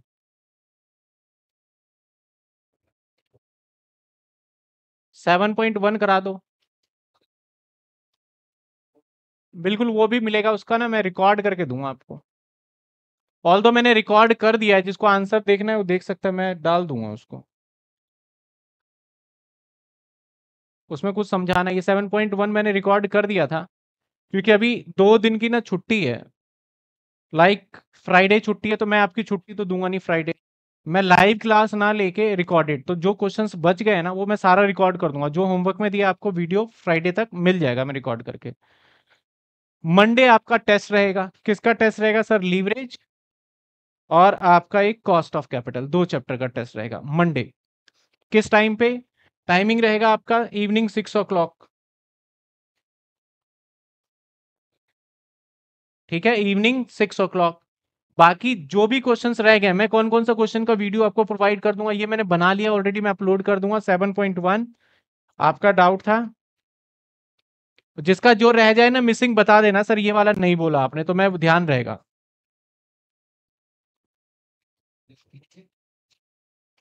एक 7.4 का भी करा दूँगा मैं वीडियो प्रोवाइड हालाँकि होमवर्क में दे दिया है, फिर भी मैं इसका वीडियो रिकॉर्ड कर लूँगा।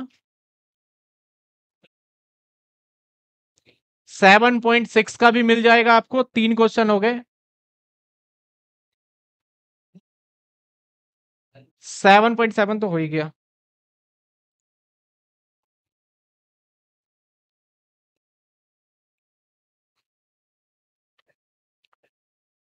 सेवन पॉइंट ट्वेल्व यानी चार क्वेश्चन वीडियो। वन फोर पाँच क्वेश्चन। और एक ये छह क्वेश्चन ये मैं क्लास में करा लाइव में कराना चाहता हूँ मैं इसको। वैसे मैं दे दूँगा। तो छह से सात क्वेश्चन मुझे कराने टोटल बिल्कुल वीडियो कंटेंट में मिल जाएगा। कुछ एक क्वेश्चन तो ऑलरेडी मैंने रिकॉर्ड कर ली भी लिया है। बस उसको रेंडरिंग वगैरह करके अपलोड करना रह जाएगा, वो हो जाएगा। आपको फ्राइडे वाली क्लास तक आपको वीडियो मिल जाएगी। तो फ्राइडे क्लास नहीं होगा। और उस दिन रिकॉर्डिंग मिलेगा आपको क्लास और रही बात, कौन से दिन की बात करें? मंडे आपका टेस्ट है। अब देख लेते हैं, जिसका जो भी पॉइंट नोट करना है, वो कर सकते हैं।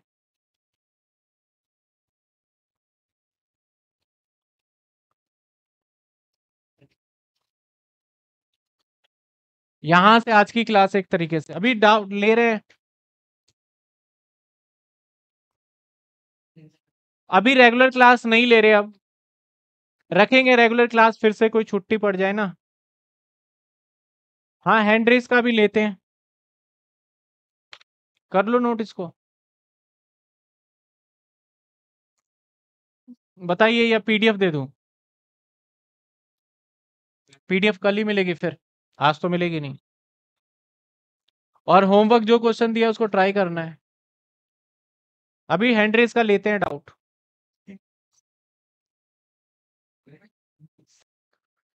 आ, तो एक क्वेश्चन कर लेते हैं। पेंडिंग था हमारा ये क्वेश्चन ठीक है?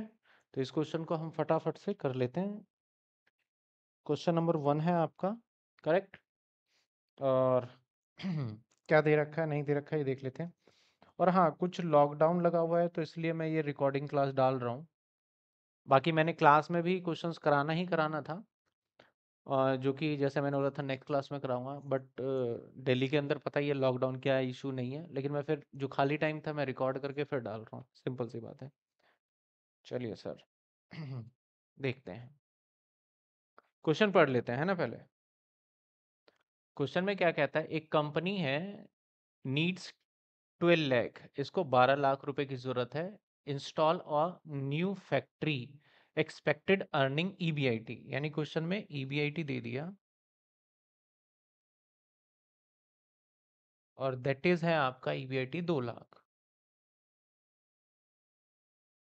ठीक है? और the company has object maximize the earning per share यानी चाहती है कंपनी कि हमारा जो ईपीएस आए वो सबसे ज़्यादा ज़्यादा आए। और उसके लिए फिर प्लान बताएगी। It consider possibility issue equity share plus raising डेप्ट अब कहता है कि भैया इसके पास ऑप्शन है कि वो इक्विटी शेयर और प्लस डेप्ट कर ले, ठीक है ना? It considering that possibility of issue equity share plus remaining dept of दो लाख. यानी पहली बात कहता है? आपको ज़रूरत कितने की है? बारह लाख. और रिमेनिंग डेप्ट ऑफ़ दो लाख का मतलब हो गया, पहला प्लान में दो लाख रुपए का डेट हो गया तो सर इक्विटी कितने हो गए सर? दस लाख हो गया, ये प्लान वन हो गया। या फिर छह लाख वाला कर लो तो दूसरा प्लान क्या हो गया सर? कि आपका छह लाख का तो डेट हो गया, है ना? और एक चलिए, आपका एक क्वेश्चन ये पेंडिंग रह गया था, वो भी देख लेते हैं, इसके अंदर ईपीएस ईबीआईटी वाला था। तो आपको ना एक बैलेंस शीट गिवन है, सिंपल सी बात है, जहाँ पे इक्विटी गिवन है, दस रुपए का, रिटेन अर्निंग गिवन है, डेट गिवन है, करंट लाइबिलिटी, एसेट्स का कोई रोल होता नहीं इतना। The company total assets turnover ratio three time. Company का total asset turnover ratio three time है। फिक्स ऑपरेटिंग कॉस्ट आपका दे रखा है। यानी ऑपरेटिंग कॉस्ट जो है वो एक पचास है। It's variable operating cost fifty percent. यानी फिक्स कॉस्ट है, वेरिएबल कॉस्ट दे रखा है फिफ्टी परसेंट। आगे दे रखा है income tax rate 50 percent. You are compute. आप तो एक तो डिफरेंट टाइप ऑफ़ लीवरेज निकालना है। ऑपरेटिंग लीवरेज फाइनेंसिंग लीवरेज और कंबाइन लीवरेज डिफरेंट टाइप की लीवरेजेस निकालने हैं आपको, ठीक है यहाँ पे? तो चलिए सबसे पहले हम लीवरेज निकाल लेते हैं फ़र्स्ट पार्ट को कंप्लीट करते हैं, फिर आएँगे सेकेंड पार्ट में और इसके लिए ज़्यादा बड़ी जगह भी नहीं चाहिए हमें बेसिकली एक पॉइंट में ही निकाल लेंगे तीनों, एक ही क्योंकि केस तो एक ही है ये। यही निकल जाएगा सारा, है ना?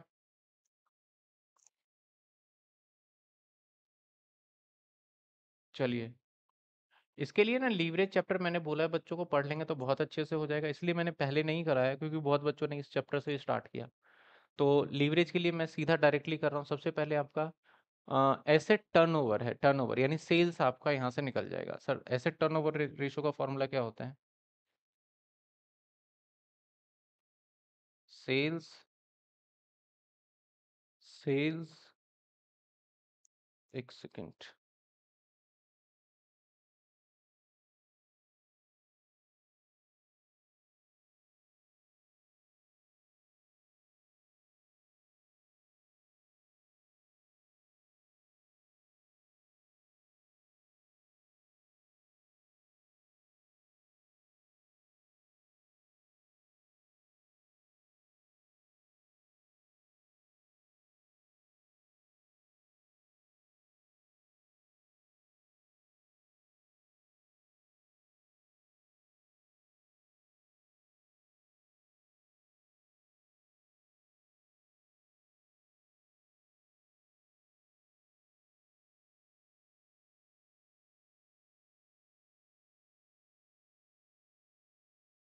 चलिए, सॉरी वो एक चलिए, एक और क्वेश्चन है आपके सामने। हालाँकि इस टाइप का क्वेश्चन करा हुआ है, लेकिन आपने अगर कर लिया है तो बहुत अच्छी बात है। प्रैक्टिस में अगर नहीं हुआ है इसका आंसर आपका तो मैं आपके लिए कर देता हूँ, ठीक है?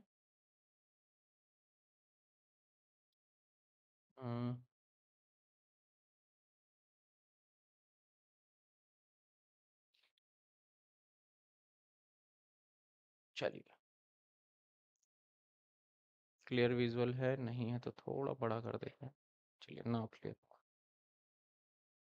आ जाते हैं सर। तीन प्लान दे रखा है तो ऑलरेडी हम तीन कॉलम तो ड्रॉ कर ले, फिर क्वेश्चन पढ़ लेंगे। और ऑल ये इस टाइप का क्वेश्चन हमने किया है है ना? आप देखोगे ना तो इस टाइप का हमने क्वेश्चन किया हुआ है।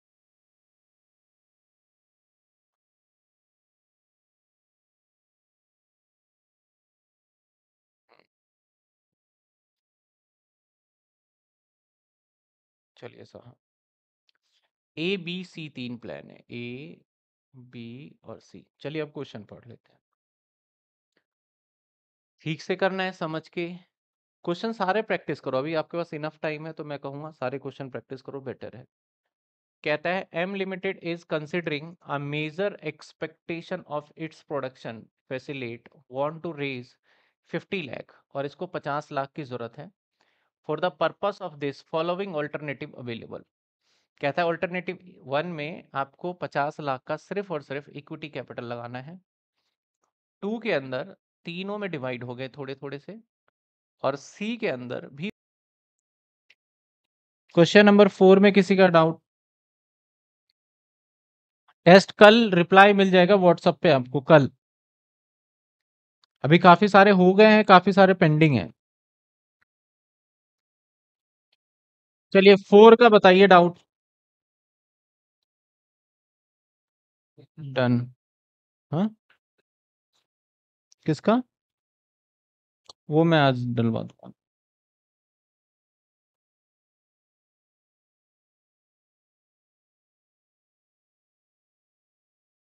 आज डलवा दूँगा आपका। फ़र्स्ट मैंने करा दिया था वैसे। क्योंकि उन दिनों रिकॉर्ड कर लिया था। फाइव हो गया। सिक्स में किसी बच्चे का डाउट है सिक्स में देखिए आपके सामने क्वेश्चन है। हालाँकि बहुत पहले दिया था अगर डाउट थोड़ा भी हो तो बोल देना मैं पूरा कर दूँगा क्योंकि आ, आज हम ना पूरा चैप्टर कंप्लीट करने वाले हैं ये। Done done no doubt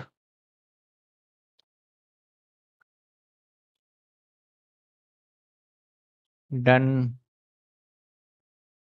आज न्यू चैप्टर नहीं होगा, आज जो इस चैप्टर को खत्म कर लें नेक्स्ट क्लास में हमारा चैप्टर होगा वैल्यू ऑफ़ फॉर्म बड़ा छोटा सा चैप्टर है। इस यूनिट का लास्ट चैप्टर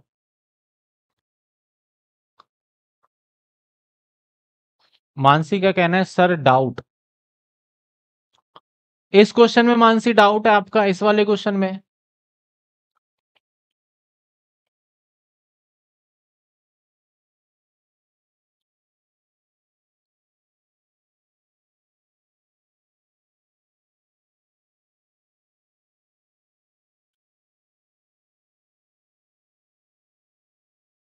सर, ये कौन सा चैप्टर है? न्यू एनरोल है। कशिश, ये ना अभी ईबीआईटी ईपीएस चल रहा है तो जितने बच्चे न्यू एनरोल है, उनको सबसे पहले लीवरेज देखना चाहिए और फिर उसके बाद ईबीआईटी और कॉस्ट ऑफ़ कैपिटल, सीक्वेंस में चलेंगे वो। ठीक है ना? मैं एक वीडियो भी, क्योंकि डेली बेसिस पे बच्चे एनरोल होते हैं, फिर वो कंफ्यूज होते हैं तो मैं एक ना वीडियो भी बना दूँगा कि भाई आपको ये ये चैप्टर देख लेना चाहिए। मानसिका यस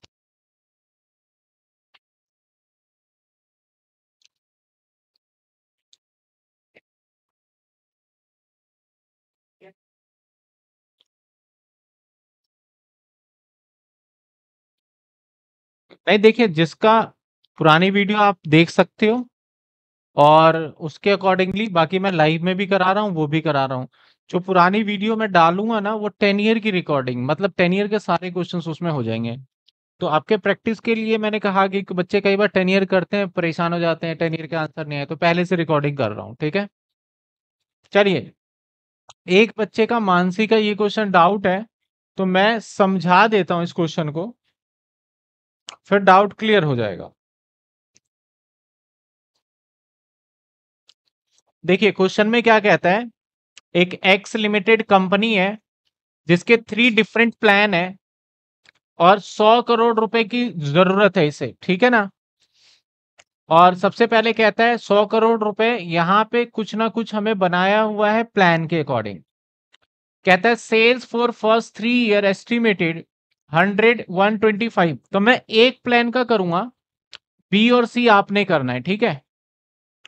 तो year one, year two, year three, मैं एक का कर देता हूँ। कौन सा कर रहा हूँ मैं? ए प्लान का कर रहा हूँ। तो बी और सी वैसे ही हो जाना है। चलिए।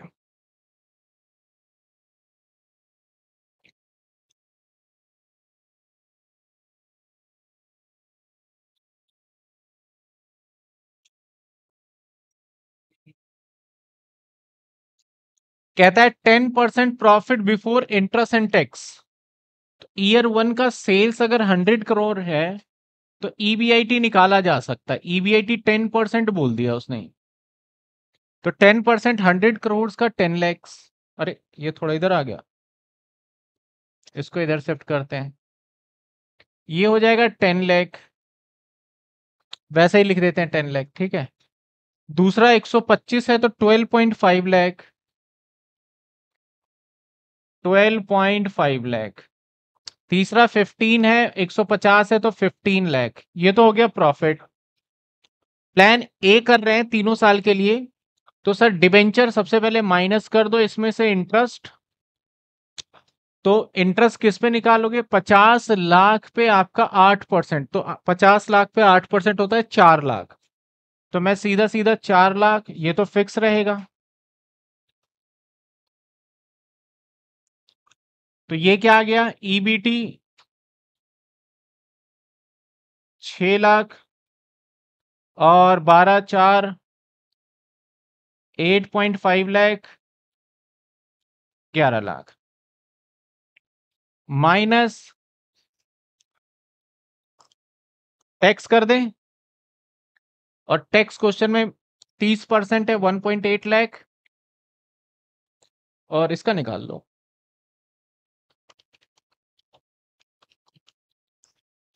two point five five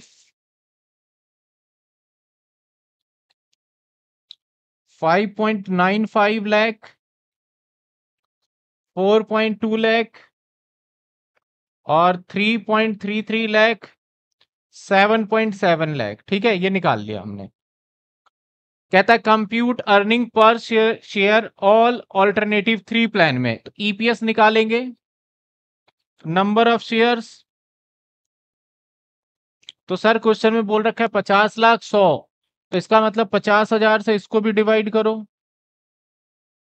इसको भी पचास हज़ार से डिवाइड करो और इसको भी पचास हज़ार से डिवाइड करो। चलिए। 8.4 EPS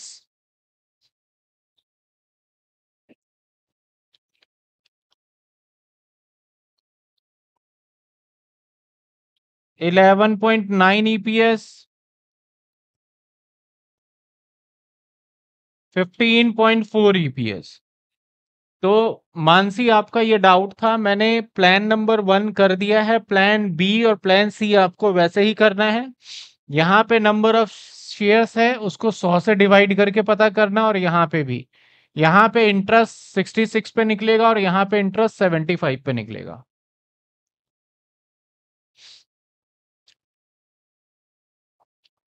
क्लियर चलिए। आगे बढ़ते हैं। ये भी हो गया। इंडिफरेंस पॉइंट कर लिया था हमने। ये तो पूरा क्वेश्चन है। इस क्वेश्चन को होमवर्क में दिया था किसी बच्चे का डाउट 2009 में पूछा गया क्वेश्चन है।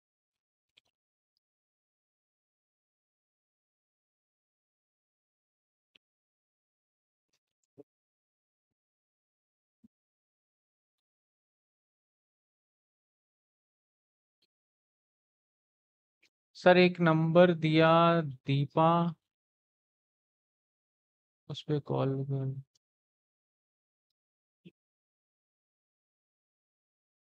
अच्छा किसी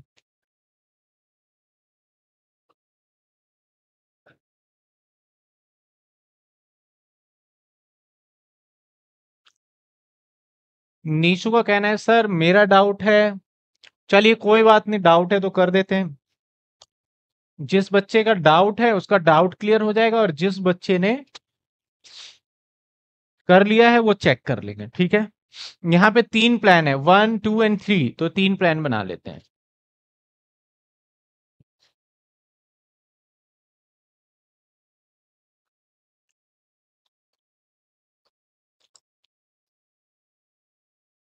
दो प्लान और भाई रिज़ल्ट भी आ गया है रेगुलर वाले बच्चों का सेकेंड सेमेस्टर का। और डेट शीट भी आपका आ चुका है। और मैंने एक वीडियो भी डाला है आप सभी के कमेंट में। सिर्फ़ आपके पास हंड्रेड डेज़ हैं टोटल एग्ज़ाम तक के। और आप डेली दो से ढाई घंटे अभी भी पढ़ो ना तो आपका कोई प्रॉब्लम ही नहीं होगा।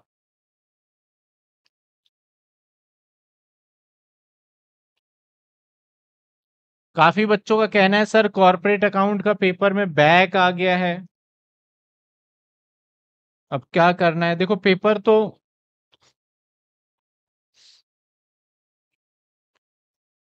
डेट शीट मैंने आप कमेंट में चेक करिएगा। आपका जो चैट होता है ना, उसमें ऑलरेडी मैंने पीडीएफ शेयर कर दिया डेट शीट का। आपके पेपर 18 19 दिसंबर से हैं पेपर हर किसी का अलग अलग है।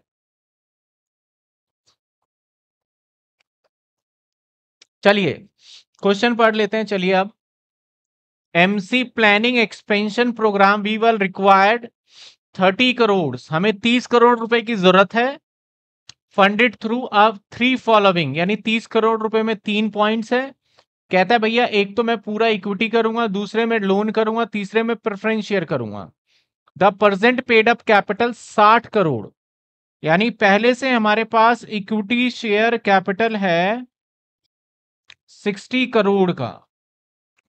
और एक शेयर की वैल्यू सौ है दैट मीन्स छह लाख इक्विटी शेयर है। नंबर पहले बता दू, पहले से ही नंबर ऑफ़ इक्विटी शेयर कितने हमारे?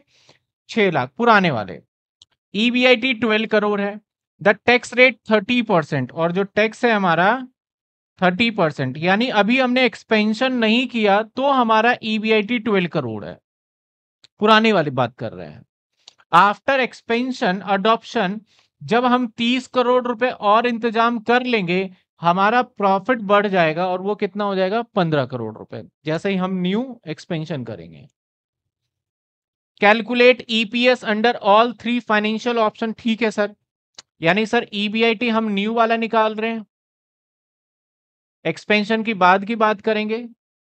तो जो ईबीआईटी है, वो है फिफ्टीन लैख नहीं सॉरी फिफ्टीन करोड़। तो मैं फिफ्टीन करोड़ को ना मैं लैख में लिख लेता हूँ, डेढ़ सौ लाख, ठीक है? क्योंकि डेढ़ सौ लैख में समझ में आता है। माइनस कर देते हैं इंटरेस्ट। सर, पहले प्लान में तो इंटरेस्ट है ही नहीं। दूसरे प्लान में तीस करोड़ पे। प्लान नंबर टू में तीस करोड़ पे, यानी तीन सौ लाख पे आपको कितने परसेंट इंटरेस्ट लेना है? सर, पंद्रह परसेंट। तो तीन सौ लाख पे पंद्रह परसेंट कितने होंगे? पैंतालीस लाख। तीसरे में है नहीं। सर, ये डेढ़ सौ आ गया। एक सौ पाँच लाख आ गया। ये डेढ़ सौ लाख रह गया। That is E B T minus कर दो फटाफट से क्या टैक्स? और कितने परसेंट है? Thirty percent. तो फोर्टी फाइव लैख। और ये कितने आ जाएँगे? एक सौ पाँच का thirty one point five lakh, forty five lakh. ये आ गया E A T that is one zero five lakh. और ये आ गया seventy three point five lakh, और ये आ गया एक सौ पाँच लाख। अब अब क्या माइनस करना है? अगर प्रेफरेंस डिविडेंड है तो कर दो। सर प्रेफरेंस डिविडेंड ध्यान से देखो तो तीसरे प्लान में है। यहाँ पे नहीं है, यहाँ पे नहीं है, तीसरे प्लान में। बारह परसेंट किस पे? तीन सौ लाख पे। तो प्रेफरेंस शेयर डिविडेंड कितने लाख पे? 300 लाख पे 12 परसेंट। तो दैट इज़ 36 लाख सर, ये प्रॉफिट आ गया। जो कि सारा का सारा किसके हिस्से में जाएगा? पता है? सारा का सारा जाएगा सर। 105 ये जाएगा इक्विटी शेयर होल्डर के खाते में।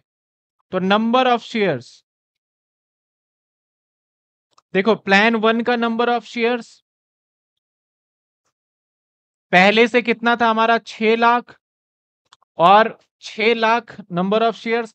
अब हमने तीस करोड़ का इंतज़ाम किया है। तो तीस करोड़ तीन सौ लाख डिवाइडेड बाय तो तीन लाख और तो टोटल कितने हो गए? नौ लाख। समझ रहे हो? टोटल कितने हो गए? नौ lakh.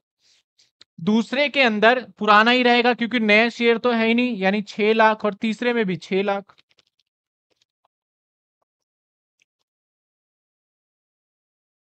Eleven point six six six EPS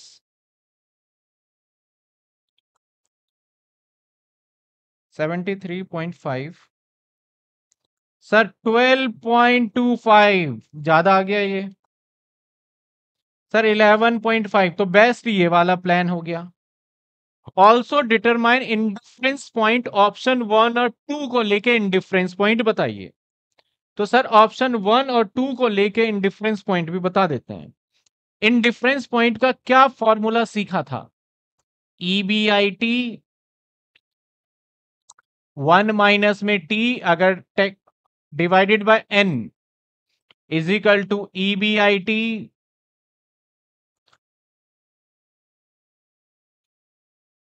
minus interest और फिर करेंगे one minus T divided by N. तो सर ईबीआईटी तो हमें पता ही नहीं है। डिफरेंस पॉइंट में क्या आपको ईबीआईटी पता होता है? नहीं, यही तो निकालना होता है। तो छोड़ देते हैं। एन पता है हमें। सर एन कितना है? पहले ऑप्शन में नौ लाख। और sir EBIT one minus T T कितना है? Zero point three. सर, यहाँ पे भी आ जाएगा ईबीआईटी माइनस इंटरेस्ट इंटरेस्ट कितना था सर? याद करो, दूसरे प्लान के अंदर इंटरेस्ट पैंतालीस लाख रुपए फोर्टी फाइव लैख। अब माइनस करके फिर कर देंगे one minus zero point three. अब यहाँ पे शेयर्स दैट इज़ आपका छ लाख। अब इस ज़ीरो से इस ज़ीरो को काट दिया जाए। अब बच गया हमारा क्या? Zero point seven EBIT divided by nine, और भी कट सकता है ये। अब इसको सॉल्व कर लेते हैं। तो zero point seven E B I T minus में पॉइंट सेवन से फोर्टी फाइव को इंटू करो। Point seven into forty five, इकतीस पॉइंट फाइव लैक्स में है ये। Divided by six, cross multiply. Four point two EBIT multiply करो। Six point three EBIT minus इकतीस पॉइंट पाँच। Thirty one point five into में nine. Two eighty three point five lakh अब इससे इधर लेके आ जाओ। तो 6.3 माइनस फोर पॉइंट टू तो 2.1 ईबीआईटी मैंने माइनस कर दिया है। 283.5 लाख अब ईबीआईटी निकल जाएगा।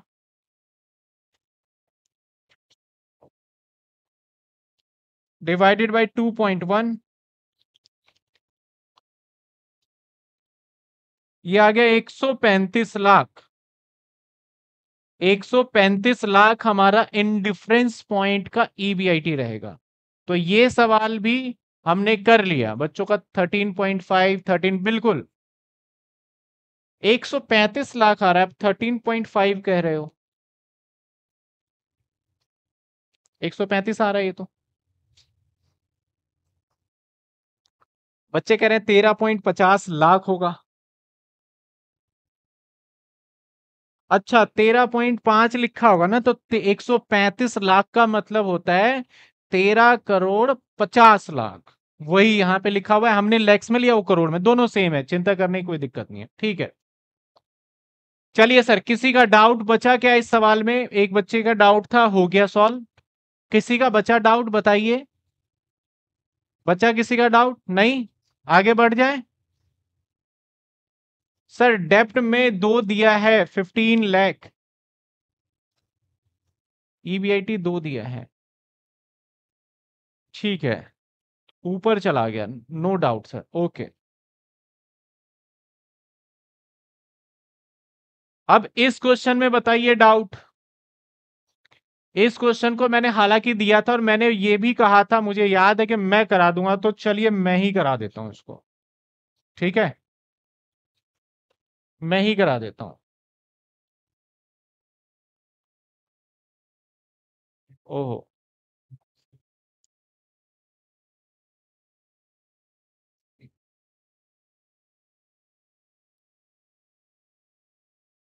बहुत जोड़ जोड़ के क्वेश्चन करना पड़ता है।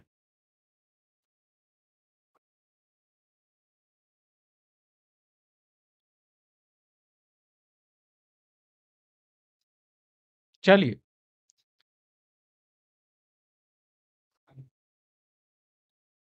देखते हैं क्वेश्चन। कहता है P Q R limited installed a capacity. अब कैपेसिटी का मतलब क्या होता है कि हमारा काम करने का कितना कैपेसिटी जैसे जहाँ मैं पढ़ा रहा हूँ, यहाँ पे ऑफलाइन बच्चे बैठने की अगर 50 की स्ट्रेंथ है तो इसको बोलेंगे फिफ्टी की कैपेसिटी है। लेकिन जितने की कैपेसिटी है, ज़रूरी नहीं है कि उतने ही बच्चे बैठे, उससे कम भी हो सकता है। पर नॉर्मल लाइफ में हम तो ज़्यादा कर लेते हैं, लेकिन नॉर्मल बिज़नेस के केस में ज़्यादा बहुत रेयर होता है। लेकिन हमने कितने का माल बनाया है? सिर्फ़ एक लाख यूनिट। तो सारी की सारी कैलकुलेशन हमें एक लाख यूनिट पे करना पड़ेगा, ना कि हमें एक लाख पचास हज़ार। यानी एक लाख पचास हज़ार कुछ है ही नहीं, कोई रेलेवेंट नहीं है इस क्वेश्चन के लिए। कहता है, भैया, एक यूनिट हम एक रुपए में बेचेंगे जिसपे पचास पैसे का खर्चा आएगा, फिक्स कॉस्ट आ जाएगा अड़तीस, और फंड रिक्वायर्ड हमें एक लाख रुपए का है। एक लाख रुपए हमें ज़रूरत है। तो सबसे पहले क्वेश्चंस के अंदर तीन प्लान है। प्लान ए बोलता है, भैया, जो भी पैसा रिक्वायरमेंट होगा, यहाँ पे हम 60 परसेंट इक्विटी में इनपुट डालेंगे 40 डेट में। यहाँ पे 40 इक्विटी 60 डेट यहाँ पे 35 35 डिस्ट्रीब्यूट कर दिया। मज़े की बात क्या है? शेयर जो इशू होगा, वो होगा किस पे? सर, प्रीमियम पे। और ये 2012 में दिल्ली यूनिवर्सिटी में 15 नंबर का सवाल पूछा भी गया ऐसा। तो यहाँ पे प्रीमियम पे है। चलिए, कोई बात नहीं। कहता है degree of operating leverage financing leverage combine leverage यानी लीवरेज से रिलेटेड पॉइंट पूछ लिया है। तो ये लीवरेज जिस बच्चे को आता है, समझ में आ गया होगा। Indifference point plan A और बी यानी इन दोनों के बीच में इनडिफरेंस पॉइंट निकाल के दिखा दो बस। कई बार सिर्फ़ बोल देना इनडिफरेंस पॉइंट निकालिए, और ये ना बताए कि प्लान वन में निकालना ए में निकालना है बी में। तब पता है क्या करना पड़ेगा आपको? ए और बी में निकालना पड़ेगा ए और सी में निकालना पड़ेगा। और बी और सी में निकालना पड़ेगा। यानी जितने मैक्सिमम आपका पॉसिबिलिटी बन सकता है, उतने इंडिफरेंस पॉइंट निकालने पड़ेंगे आपको। अगर क्वेश्चन कहता है सिर्फ़ इंडिफरेंस पॉइंट निकाल दो, तब एक तो ए और बी बन जाएगा, ए और सी बन जाएगा, और सी और बी बन बी बन जाएगा, सी और ए बन जाएगा इस सिचुएशन में। यहाँ तक समझ में आ रहा है पूरा का पूरा? और लास्ट कहता है फाइनेंशियल ब्रेक इवन पॉइंट, ये तो आज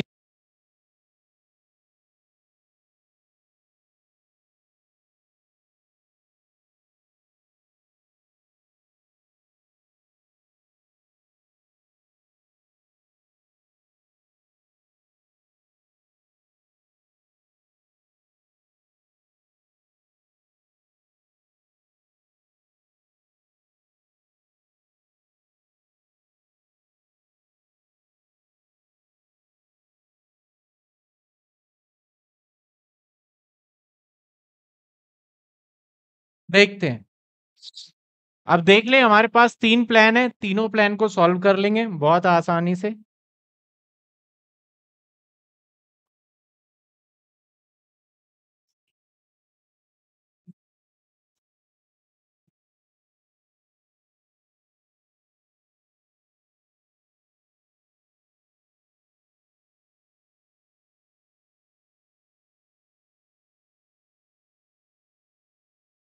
कुछ हमें पिछले पेज पे भी जाना पड़ेगा।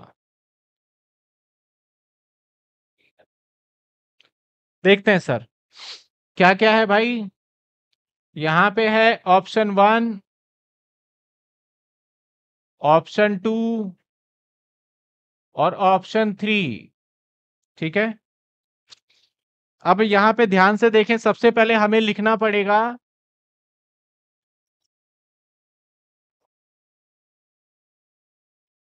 ईबीआईटी तो सर ईबीआईटी पीछे पेज पे निकाल लेते हैं। देखो, आपको सेल्स दे रखा है सर। एक लाख यूनिट और एक बेचोगे, एक रुपए में मतलब सेल्स हो गया आपका एक लाख का। वेरिएबल कॉस्ट कहता है पचास पैसे का होगा। एक lakh unit zero point five यानी पचास हज़ार रुपए का। आपका कंट्रीब्यूशन निकल के आ जाता है यहाँ। और कंट्रीब्यूशन क्या है? चलो मैं यहीं पे नहीं निकाल लू। यही निकाल लेते हैं, पीछे क्या निकालेंगे? डायरेक्टली क्योंकि ऑपरेटिंग लीवरेज भी पूछा है तो काम ही आ जाएगा, यही निकल जाएगा। सबसे पहले लिख लेता हूँ मैं सेल्स सर, एक लाख इंटू में one that is one lakh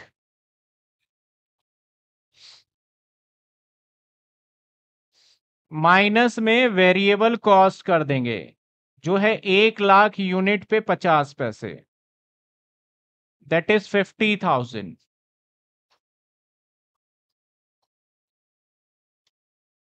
चलिए, इसको माइनस करेंगे तो क्या आएगा? कंट्रीब्यूशन इसको माइनस करेंगे तो क्या आएगा? कंट्रीब्यूशन कितने आ गए? पचास हज़ार। पचास हज़ार। पचास हज़ार। अब इसमें से क्या माइनस करना है? Fix cost. Sir, fix cost सवाल में खुद ही कह रहा है थर्टी एट।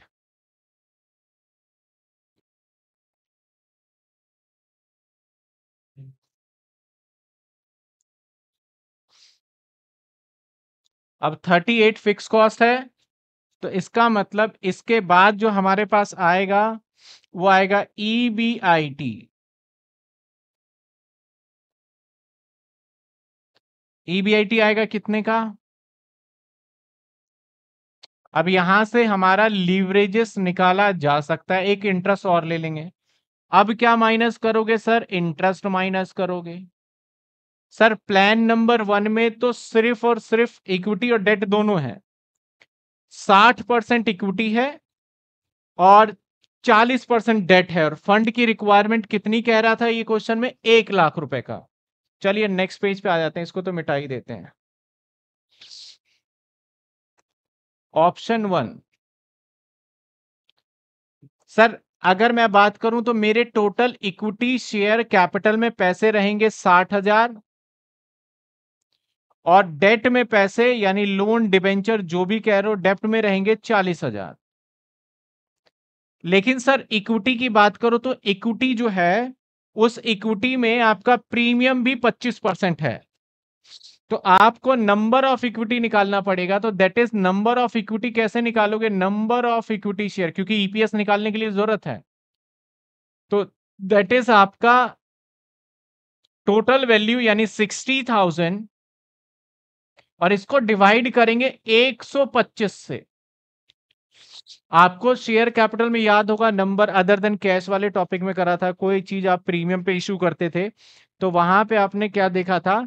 अगर एक लाख दस हज़ार की मशीनरी है और दस परसेंट प्रीमियम पे होता था तो 110 से डिवाइड कर देते थे। तो सेम यहाँ 125 से तो नंबर क्या आ गया? कितने? 480 यानी नंबर ऑफ़ शेयर्स जो आएगा इस केस में वो 480 रहेगा। सबसे बड़ा कैच यही है, हर क्वेश्चन में नंबर ऑफ़ शेयर्स एक्यूरेट निकालना। कुछ बच्चे कहेंगे, सौ रुपए का है, पच्चीस परसेंट प्रीमियम है तो अलग से पच्चीस परसेंट होगा, ऐसा नहीं। सिक्सटी परसेंट पैसा यहाँ से आ जाएगा। यानी अगर चार सौ अस्सी रुपए आप शेयर्स इशू करोगे और एक शेयर होल्डर से कितने ले लोगे? अब एक चीज़ मैंने मिस्टेक कर दिया, एक सौ पच्चीस ले लिया शेयर्स का प्राइस नहीं पता, यहाँ पे मैं ट्वेल्व पॉइंट फाइव ले लेता हूँ, ठीक है? सौ का भी ठीक था, और ये अड़तालीस सौ कर देते हैं। थोड़ा अच्छा लगेगा नंबर अड़तालीस सौ इसलिए। मैंने शेयर्स का फेस वैल्यू पिछले बार जो किया था अभी, उसके अंदर कितने ले लिए थे? सर, हमने उसके अंदर ले लिए थे सौ रुपए। लेकिन जनरली शेयर्स का फेस वैल्यू जो होता है, दस होता है। हालाँकि क्वेश्चन में कहा है, अरे, क्वेश्चन में कह रखा था। फिर तो पहले सही थे। कह रखा था भाई, फिर तो कोई दिक्कत नहीं है। एक ज़ीरो हटा दो। ठीक है सर 480 इसका मतलब सर 480 शेयर इशू करेंगे और एक शेयर से, होल्डर से हम 125 रुपए लेंगे, तब जाके हमें साठ हज़ार रुपए मिल पाएगा। आप कर सकते हो क्रॉस चेक भी। डेट कितने परसेंट है सर? डेट 15 परसेंट है तो इसका मतलब आपका 15 परसेंट डेट है। तो प्लान जो वन है, उसके अंदर जो इंटरेस्ट होगा, इस चालीस हज़ार पे पंद्रह परसेंट होगा, दैट इज़ आपका कितने होंगे? छ हज़ार। प्लान टू की बात करते हैं। यानी ऑप्शन नंबर टू की बात कर लो सर ऑप्शन नंबर टू में कहता है रेशियो 40 और 60 हो जाएगा, उल्टा हो जाएगा। इक्विटी शेयर कैपिटल हो जाएगा 40 का और आपका 15 परसेंट डेट हो जाएगा 60 का। लेकिन मुद्दे की बात नंबर निकालना है यहाँ। तो चालीस हज़ार डिवाइडेड बाई कितना करोगे? 125 तो कितने आ जाएँगे? हाँ? थ्री ट्वेंटी शेयर्स ठीक है? यानी दूसरे वाले का डिबेंचर निकाले तो पंद्रह को छह से इंटू करोगे तो कितना आ जाएगा? नौ हज़ार। कितने आ जाएँगे? नौ हज़ार। तो यहाँ आ गया लो जी, लो नौ हज़ार। तीसरे ऑप्शन की बात कर लेते हैं। Option number three sir ratio क्या दे रखा है? रेशियो कहता है पैंतीस, पचास और पंद्रह। इसका मतलब सर इक्विटी शेयर कैपिटल पैंतीस हज़ार। फिफ्टीन परसेंट डिबेंचर आपका पंद्रह हज़ार। और आपका प्रेफरेंस शेयर कैपिटल होगा पैंतीस हज़ार। कुछ ये है, पैंतीस ही है ना? नहीं, पचास और पंद्रह है। ये पचास है। पचास और ये पंद्रह। प्रेफरेंस शेयर कितने परसेंट वाला है? सर प्रेफरेंस शेयर है हमारा दस परसेंट सौ रुपए का ये, कोई बात नहीं। तो सर, अब नंबर निकालना है। तो डिवाइडेड बाय 125 तो 280 आ गया, है ना? और सर इंटरेस्ट कितना आएगा? पचास हज़ार पे पंद्रह परसेंट साढ़े सात हज़ार। इस पे साढ़े सात हज़ार। यहाँ तक आपको क्लियर है जो मैंने इंटरेस्ट निकाला है। अब माइनस कर देंगे दैट इज़ छ हज़ार। माइनस करेंगे तीन हज़ार। और माइनस कर दोगे तो आ जाएगा फोर्टी फाइव हंड्रेड ये हो गया earning before tax minus tax को कर दीजिए, जो कि सवाल में है हमारे। टैक्स दे रखा है। टैक्स नहीं दिया। कहा है? मुझे क्यों नहीं दिख रहा? कहा है? अच्छा अज्यूम कर लिया। आपको एग्ज़ाम में टैक्स ना दे, आप नहीं करोगे तब भी ठीक है। बाकी अज्यूम भी कर सकते हो वहाँ पे। सर, अगर आपसे लीवरेज सिर्फ़ पूछा जाए तो लीवरेज में टैक्स का काम ही नहीं है। लीवरेज यहाँ से ऊपर तक के ही कैलकुलेशन में होता है। क्योंकि ऑपरेटिंग लीवरेज का फॉर्मूला कंट्रीब्यूशन ईबीआईटी है हमारे पास। फाइनेंसिंग का ईबीआईटी ईबीटी वो भी है कंबाइन का भी हमारे पास है ही है। ईपीएस निकालने का फंडा या फाइनेंशियल ब्रेक इवन पॉइंट निकालने का फंडा है या इंडिफरेंस पॉइंट निकालने का ये प्रॉब्लम है। तीसरा पॉइंट क्या बोल रहा है? फाइनेंशियल ब्रेक इवन पॉइंट उसके लिए भी देख लेंगे। थर्टी परसेंट टैक्स अगर मान लेते हो तो अठारह सो और थर्टी परसेंट तीन नौ सौ और थर्टी परसेंट पैंतालीस सौ का। आपकी मर्ज़ी आप मानिए या ना मानिए। इकतीस पचास, इक्कीस सौ और ये आ जाएगा बयालीस सौ। ये हो गया ई ए टी अब माइनस क्या करिए? पीडी सर, यहाँ यहाँ पीडी है नहीं। पीडी सिर्फ़ इसमें था, पंद्रह हज़ार, वो भी दस परसेंट, यानी पंद्रह सौ रुपए। तो पंद्रह सौ का होगा तो दैट इज़ आपका आ जाएगा यहाँ पंद्रह सौ। अब इक्विटी शेयर की बात कर लेते हैं। तो बयालीस सौ इक्विटी शेयर होल्डर को, इक्कीस सौ यहाँ पे और इकतीस पचास माइनस में पंद्रह सो, सोलह पचास। हालाँकि क्वेश्चन में ईपीएस की कोई डिमांड है नहीं। आपको अगर ईपीएस पूछ लिया जाता है इस सवाल में तो आप क्या करते सर? इस सभी को नंबर ऑफ़ शेयर से डिवाइड कर देते हो हर किसी का नंबर ऑफ़ शेयर हमने डिफरेंट डिफरेंट निकाल लिया। चार सौ अस्सी, तीन सौ बीस और दो सौ अस्सी, ठीक है?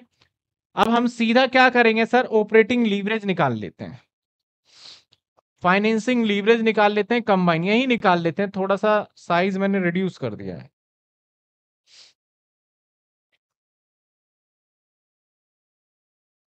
चलिए सर। डीओएल डीएफएल दो निकल जाएँगे तो मल्टीप्लाई कर लेंगे। मैं प्लान ए का निकाल रहा हूँ, आप प्लान बी का निकालिए। पचास हज़ार डिवाइडेड बाई बारह हज़ार। फोर पॉइंट वन सिक्स सबका सेम क्या बात कर रहे हो? अच्छा यहाँ तक तो सबका सेम रहेगा। अब डीएफएल बदल जाएगा।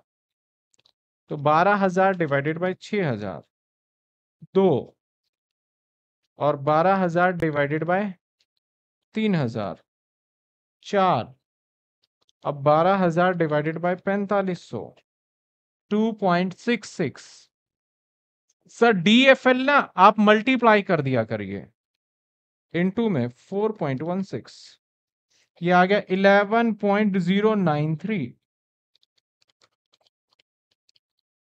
ये सिक्सटीन पॉइंट सिक्स फोर ये एट पॉइंट थ्री टू अब इसमें कंक्लूजन पूछा जाए, कौन सा बढ़िया है? तो भाई बढ़िया तो अभी तक ये लग रहा है। क्योंकि यहाँ पे मान लेते ऑपरेटिंग लीवरेज में तो नहीं कह सकते कौन सा बेस्ट है। फाइनेंसिंग में सबसे कम यहाँ, जिसका सबसे कम, वो सबसे बेस्ट माना जाता है। तो ये बेस्ट है यहाँ। ठीक है?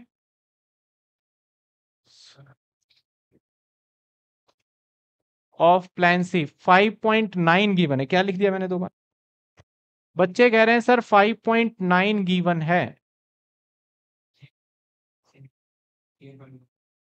नाइन मैंने गलत निकाल दिया।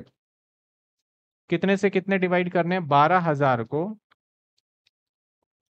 पैंतालीस सौ। इंटरेस्ट किया तो है मैंने।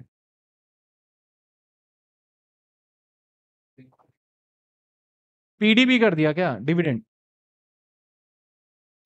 प्रेफरेंस डिविडेंड ना? एक मिनट।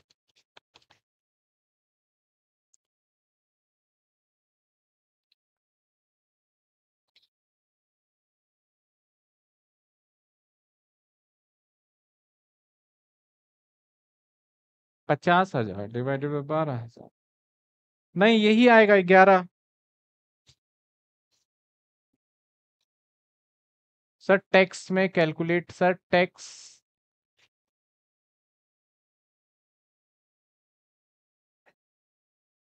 टैक्स सही कैलकुलेट नहीं है क्या? पैंतालीस सौ पे। बच्चे कह रहे हैं, अलग आ रहा है।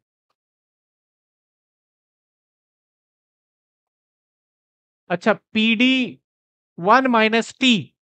आप समझिए बात को। कोई बात नहीं, कोई बात नहीं, मैं समझ गया।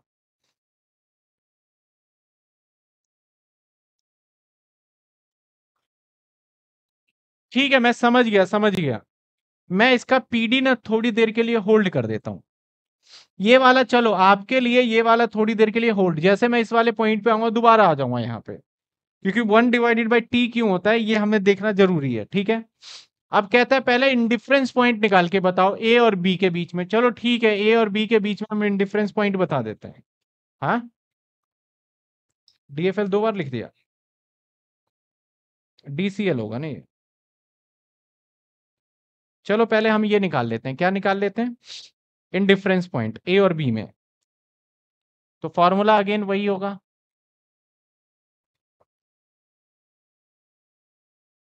अब यहाँ पे देखोगे तो पहले प्लान में भी इंटरेस्ट है तो यहाँ पे आई माइनस होगा और वन माइनस टी माइनस होगा। Divided by N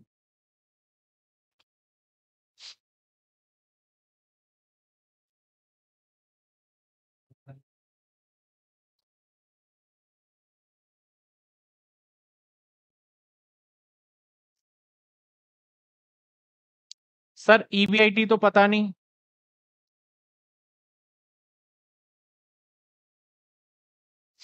ईबीआईटी तो पता नहीं है। इंटरेस्ट पता है, पहले केस का। पहले केस का इंटरेस्ट है हमारा छह हज़ार और इसका नौ हज़ार। छ हज़ार और शेयर आया था हमारा कितना? पहले केस में 480 अब आपको पता चल रहा होगा इसका इंपॉर्टेंस अब ईबीआईटी माइनस नौ हज़ार और one minus T zero point three है।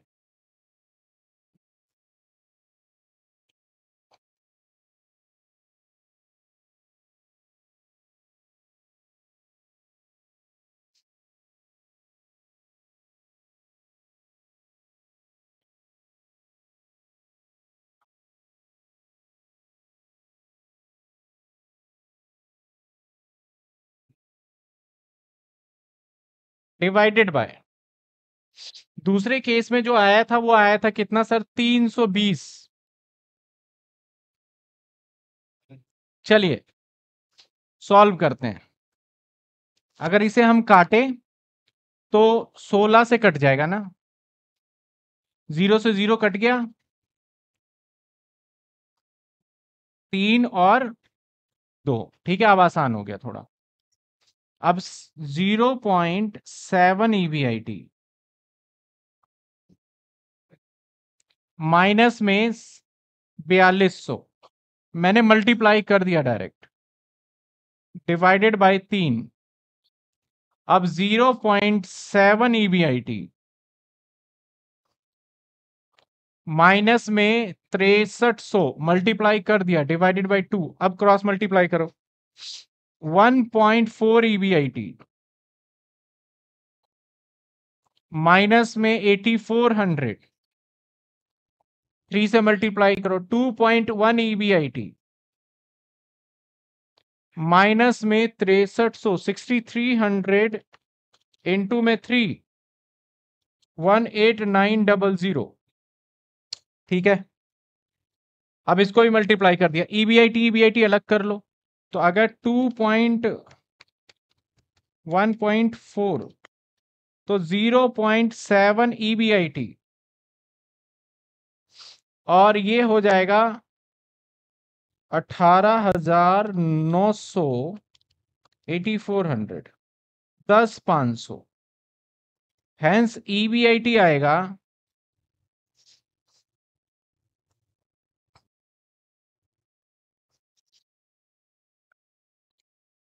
दैट इज़ पंद्रह हज़ार। ईबीआईटी कितने आ गए? पंद्रह हज़ार, ठीक है? बच्चों ने निकाल भी दिया था, ये तो हो गया सवाल नंबर दो का जवाब। पहले का भी हो गया, सवाल नंबर दो का भी जवाब हो गया। अब indifference point financial break even की बात करेंगे।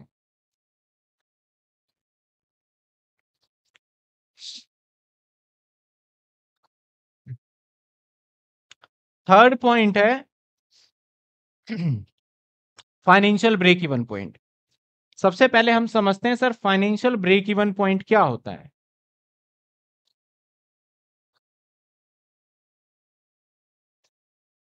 फाइनेंशियल ब्रेक इवन पॉइंट क्या होता है?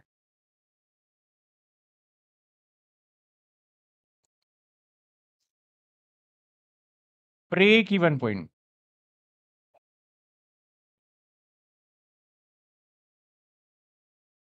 sir break even point क्या होता है? समझिएगा। सर ब्रेक इवन पॉइंट वो है जहाँ पे हमारा कोई लॉस ना हो और जहाँ पे हमारा कोई प्रॉफिट भी ना हो।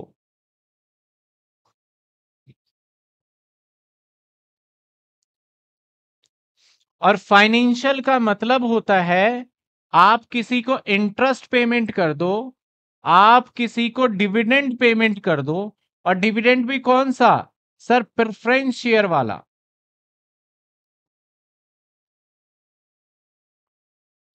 डिविडेंड भी कौन सा? प्रेफरेंस शेयर वाला। आप किसी को इंटरेस्ट पेमेंट कर दो, आप किसी को प्रेफरेंस इसको फाइनेंशियल बोलते हैं। तो sir financial break even point का मतलब क्या हुआ? देखिए, मान लेते हैं अज्यूम हमारा सेल्स ध्यान देना, दो को पॉइंट करूँगा मैं।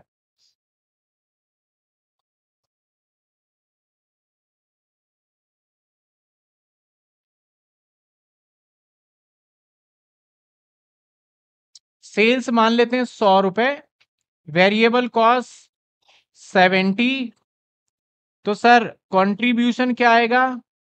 थर्टी एफ़ सी क्या आएगा? फिक्स कॉस्ट मान लेते हैं टेन तो ये क्या आ गया हमारा? ट्वेंटी।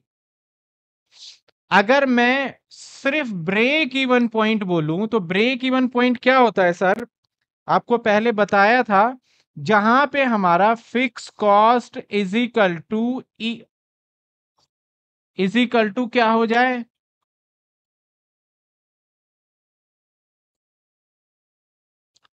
जहाँ पे फिक्स कॉस्ट कंट्रीब्यूशन के बराबर हो जाता है, उसे ब्रेक इवन पॉइंट बोलते हैं।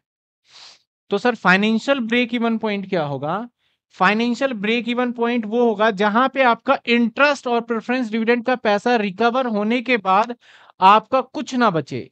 यानी पहले मैं इंटरेस्ट को पकड़ लेता हूँ। अगर इंटरेस्ट की बात करें तो जहाँ पे इंटरेस्ट अगर मैं माइनस कर दूँ, जैसे ये कितना है? बीस है। अगर मैं इंटरेस्ट माइनस कर दूँ बीस रुपए तो मेरा प्रॉफिट कितना बचा? ज़ीरो। तो ये फाइनेंशियल ब्रेक इवन पॉइंट हो गया हमारा। फाइनेंशियल ब्रेक इवन पॉइंट क्या हो गया, सर? जहाँ पे ईबीआईटी इज़ इक्वल टू क्या हो जाता है? इंटरेस्ट इसका मतलब फाइनेंशियल ब्रेक इवन पॉइंट का मतलब है इंटरेस्ट ठीक है? सिर्फ़ इंटरेस्ट का पैसा ले लो, वही क्या माना जाएगा? फाइनेंशियल ब्रेक इवन पॉइंट माना जाएगा। समझ में आ रही है बात यहाँ, इस वाले पॉइंट से? अब मान लेते हैं एक और एग्ज़ाम्पल आपके लिए। मान लो सौ रुपए का ये है, दूसरा एग्ज़ाम्पल ले लेते हैं, और चालीस रुपए का ये है, साठ रुपए है, दस रुपए, और पचास रुपए है, और इंटरेस्ट मान लेते हैं बीस रुपए ही है तो बचे कितने? तीस। अब इसमें क्या होगा? ये ई बी टी माइनस क्या करोगे? टैक्स यहाँ पे टैक्स तो कुछ नहीं आ रहा है। यहाँ पे अगर मान लेते हैं पचास परसेंट है तो पंद्रह। तो अब जो आएगा वो क्या आएगा? ई एटी दैट इज़ पंद्रह। अब माइनस क्या करोगे? पीडी पीडी मान लो दस रुपए है। अब प्रेफरेंस डिविडेंड कितना है आपका? दस रुपए।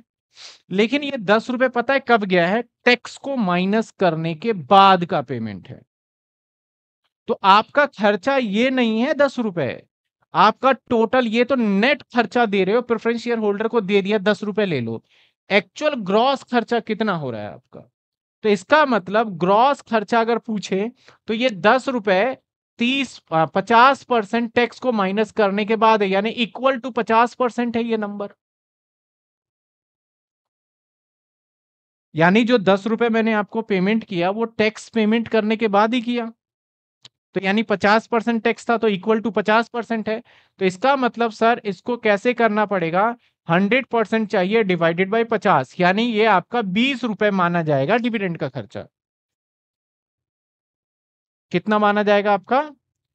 इसी को एक फॉर्मूले से बता दिया गया है कि प्रेफरेंस डिविडेंड कैसा होगा? Dividend divided by one minus में टी अब इसी क्वेश्चन को इस फॉर्मूले में पुट करो, डिविडेंड कितना था? दस। वन माइनस में टी कितना है? Zero point five. अब इसको सॉल्व करोगे तो क्या आएगा? पॉइंट फाइव डिवाइड करो दस से। क्या आ रहा है? दस डिवाइडेड बाय पॉइंट फाइव तो बीस आ गया। ठीक है? यानी अगर मैं फाइनेंशियल ब्रेक इवन पॉइंट पूछता हूँ आपसे तो सिंपल सी बात है फाइनेंशियल ब्रेक इवन पॉइंट का मतलब होगा प्लस कर दो सर, इसमें प्रेफरेंस शेयर का डिविडेंड लेकिन इंटरेस्ट तो आपको सीधा सीधा मिल जाता है बिफोर टैक्स होता है तो सीधा लिख लेते हो। लेकिन प्रेफरेंस शेयर डिविडेंड कैसे निकाला जाएगा? प्रेफरेंस शेयर डिविडेंड निकाला जाएगा आपका dividend divided by one minus में टी कि आपका आफ्टर टैक्स है आपको बिफोर टैक्स डिविडेंड कैलकुलेट करना है। दैट इज़ आपका ये डिविडेंड कौन सा है सर बिफोर टैक्स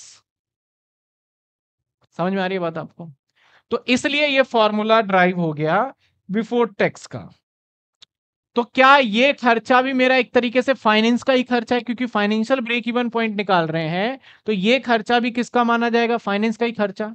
अगर कोई मुझसे फाइनेंशियल ब्रेक इवन पॉइंट पूछेगा तो मैं इंटरेस्ट बता दूँगा और क्या बता दूँगा? प्रेफरेंशियल डिविडेंड बता दूँगा। दोनों को ऐड करके बता दूँगा। लेकिन इंटरेस्ट सीधा ले लूँगा और डिविडेंड को हमें बिफोर टैक्स बना के इस फॉर्मूले के पॉइंट से हमें बताना होगा। समझ में आया यहाँ तक?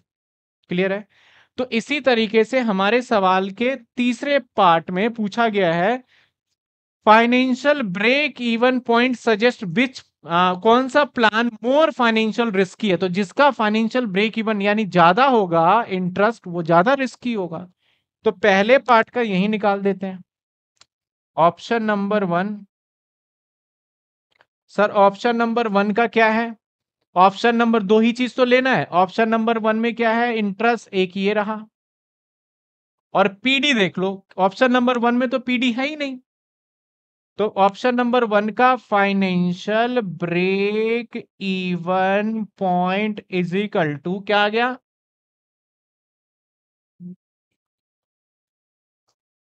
अब बताओ ऑप्शन नंबर टू का फाइनेंशियल ब्रेक इवन पॉइंट क्योंकि दूसरे में भी नहीं है तो कितने आ जाएँगे?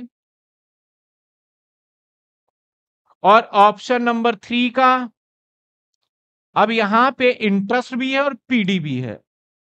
तो इंटरेस्ट की बात करें तो इंटरेस्ट तो सेवेंटी फाइव हंड्रेड है सर और पीडी अब हमें निकालना पड़ेगा। कैसे निकालेंगे? पीडी था हमारा 1500 कितने थे भाई?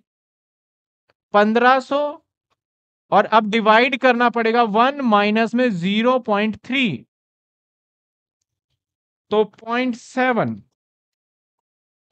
ये 2142 आ गया प्लस पिछहत्तर सो, ये आ गया छियानवे सो बयालीस। Nine six four two.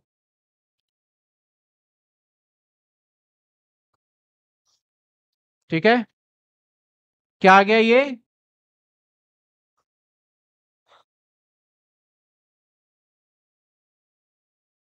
Plan C is risky yes plan C risky है क्योंकि यहाँ पे ज़्यादा है हमारा।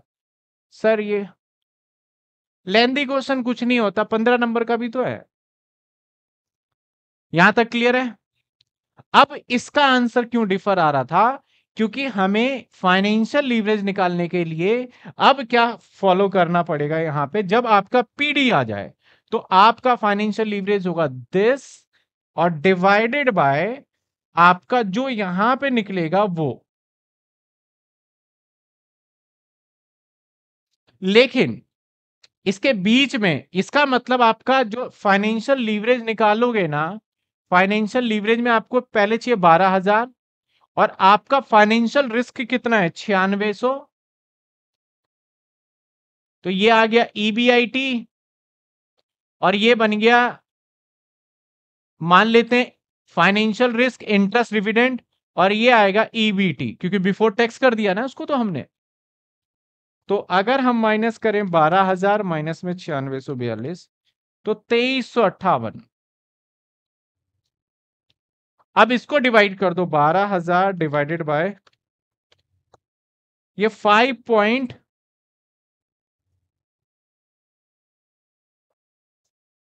zero eight nine ठीक है? अब डीसीएल निकाल दो 4.16 ये 21 पॉइंट आ गया।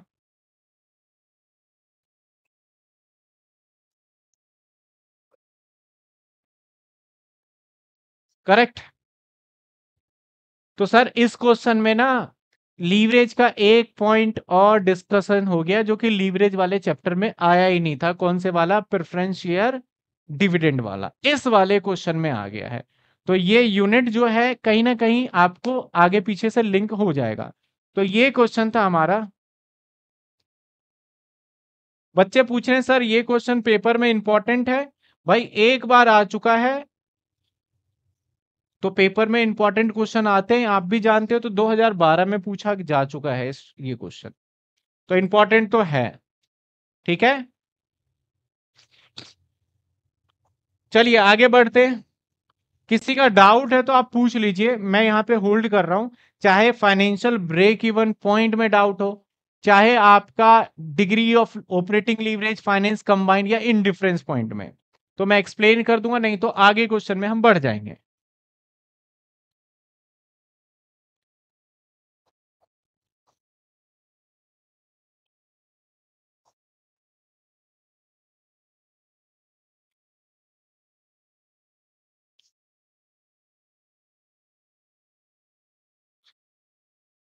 डीएफएल में। मानसी का कहना है, सर डीएफएल कौन से? Plan one two three plan one two का तो बेसिक सा है। प्लान थ्री के अंदर प्रेफरेंस शेयर को और ऐड कर लिया हमने। यानी क्या कहता है? फाइनेंशियल का मतलब क्या होता है? इंटरेस्ट या फाइनेंस इंटरेस्ट और प्रेफरेंस डिविडेंड दोनों मिला के खर्चा आपका माना जाता है। तो इंटरेस्ट तो साफ़ साफ़ और वो भी बिफोर टैक्स वाला। तो इंटरेस्ट तो साफ़ साफ़ आपको गिवन था पिछहत्तर सौ। लेकिन डिविडेंड आफ्टर टैक्स आपको 1500 पता था। बिफोर टैक्स हमने बना लिया, जो बन गया ये। इन दोनों को जोड़ दिया सॉरी बिफोर टैक्स बनाया तो क्या बना हमारा ये? सॉल्व करके यहाँ पे आ गया था, लिखा नहीं मैंने 2100 समथिंग आ गया था। टोटल खर्चा प्लान सी का ये आया फाइनेंशियल तो इस ईबीआईटी में से माइनस किया तो अब ईबीटी आया, इसको डिवाइड करके हमने निकाल दिया।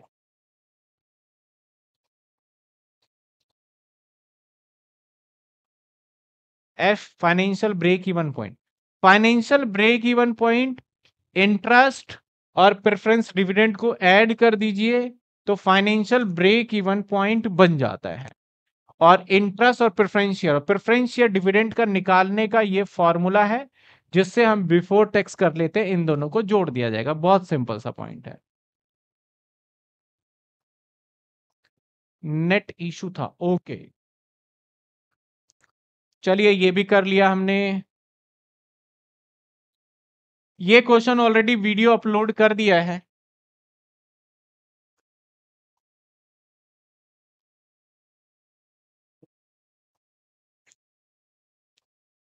ये भी कर दिया ना शायद?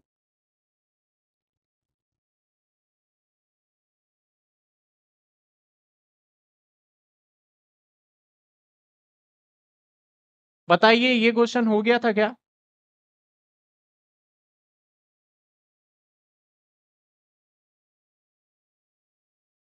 सत्रह। लास्ट क्वेश्चन है ये। हाँ? वो आगे पीछे होगा ना, और भी इसके अलावा देखना। इसके अलावा और भी क्वेश्चन है, देखो। हाँ? दिखाना बुक इसके अलावा और भी क्वेश्चन है क्या?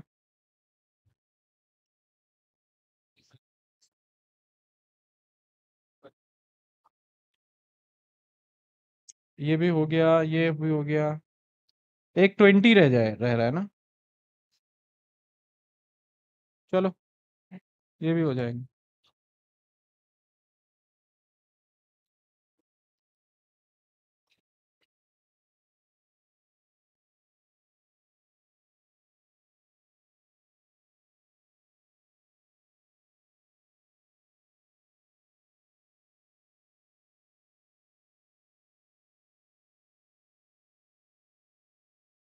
सेवनटीन पॉइंट सिक्स अपलोड नहीं हुआ है। ये अपलोड हो गया है, मैं दोबारा इसको अरेंज करके कल करवा दूँगा। हाँ सेवन पॉइंट वन वन देखना क्या क्वेश्चन है, पहले मैं इसको पूछ लू। अब इस क्वेश्चन को एक बार समझा देते हैं। पहले लास्ट क्वेश्चन है। और एक क्वेश्चन और होगा आपके बुक में। मेरे पास पुरानी बुक है तो मेरे पास नहीं है। चलिए, क्या कहता है following balance sheet ML equipment का है? बैलेंस शीट से क्या मतलब है सर हमें इक्विटी उठाना है बैलेंस शीट से? हमें डेट लेना है बैलेंस शीट से? दो ही काम तो यूज़ करते हैं बैलेंस शीट से। The fix asset turnover ratio four fix asset turnover ratio तो ये ना आपका रेशो का पार्ट है।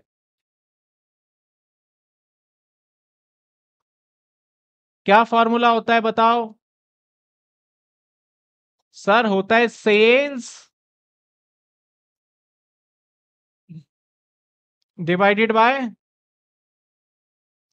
fix assets. ठीक है? अगर टोटल एसेट टर्नओवर रेशियो होता तो sales divided by total assets हो जाता। ठीक है? The fix operating cost of the firm. Fix operating cost यानी फिक्स कॉस्ट दे दिया। And the variable cost 40 percent तो जितना सेल निकलेगा, उसका 40 परसेंट हो जाएगा। टैक्स रेट थर्टी परसेंट ये तो पता ही है ईपीएस निकालने के लिए काम आता है, सबसे लास्ट में माइनस करते हैं। कहता है different leverage of the firm तो मैं आपको एक पूरा टेबल बना देता हूँ। तो सबसे पहले यहाँ पे फॉर्मूला यूज़ करते हैं, चार है आपका ये। ये कितने हैं? फोर इजिकल टू सेल्स नहीं पता। लेकिन सर एफ़ ए तो पता है फिक्स एसेट्स कितने हैं? तो सर सेल्स निकाल लिया। कितने आ गए सेल्स छ लाख। माइनस वेरिएबल कॉस्ट कर दो, कितने परसेंट है? तो दो चालीस। तो कितने बच गए? That is contribution minus F C कर दो क्वेश्चन में कितने दे रखे हैं? कितने बच गए? माइनस कर दो, ये बन गया ईबीआईटी माइनस कर दो आप इंटरेस्ट तो इंटरेस्ट कैसे निकालोगे सर? दस परसेंट अस्सी हज़ार पे। आठ हज़ार, बहुत कम है इंटरेस्ट। नहीं तो अस्सी हज़ार का दस परसेंट तो आठ ही हज़ार होगा ना। चलो। माइनस करोगे तो क्या आ जाएगा? टू फिफ्टी टू, ये आ गया ईबीटी अब तो सब कुछ हो गया, लीवरेज सारा निकल जाएगा इससे। अब आगे की बात करें likely level of EBIT EBIT बताइए, अगर ईपीएस हमारा वन हो ईपीएस क्या हो हमारा वन और ईपीएस क्या हो थ्री हो। चलो इसको तो अभी बता देंगे, पहले फाइनेंशियल ब्रेक इवन पॉइंट बता दो तो फाइनेंशियल ब्रेक इवन पॉइंट क्या होता है? आपका ओनली क्या? इंटरेस्ट तो फाइनेंशियल ब्रेक इवन पॉइंट सिर्फ़ इंटरेस्ट होता है दैट इज़ इंटरेस्ट कितने हैं? खत्म। ठीक है? अब बात आ गया ईपीएस निकालो, एक रुपए पे ईबीआईटी कितना होगा? अगर आपका ईपीएस एक रुपए है तो ईबीआईटी कितना होगा? बहुत सिंपल इसको भी कर लेते हैं। अब देखो, मैं ईपीएस का फॉर्मूला बताऊँ। क्या होता है? ईबीआईटी उसमें से माइनस इंटरेस्ट करते हो? फिर आप उसमें से क्या माइनस करते हो? वन माइनस टी और उसको डिवाइड कर देते हो एन से। नंबर ऑफ़ यही तो होता है ईपीएस आपको ईपीएस पता है एक रुपए? ईबीआईटी सवाल में पता था आपको? कितने होंगे ईबीआईटी दो साठ?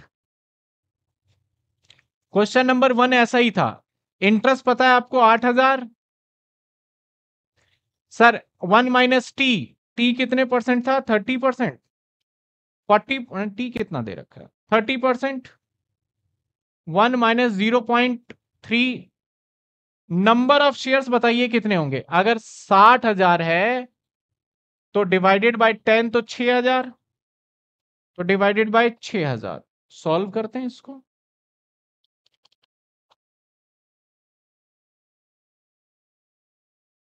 ये आ गया one seventy six four hundred. अरे, एक मिनट ईबीआईटी e पूछा गया था, मैंने गलती से ना ईबीआईटी e अपना ले लिया। ईबीआईटी e तो पूछा गया है महाराज। तो ईबीआईटी के जगह तो क्या रखना है? क्योंकि फॉर्मूले में कुछ मिसिंग ही नहीं है तो क्या निकालेंगे आप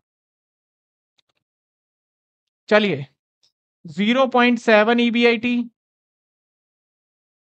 minus fifty six hundred divided by छ हज़ार इज़ इक्वल टू वन अब क्रॉस मल्टीप्लाई कर दें।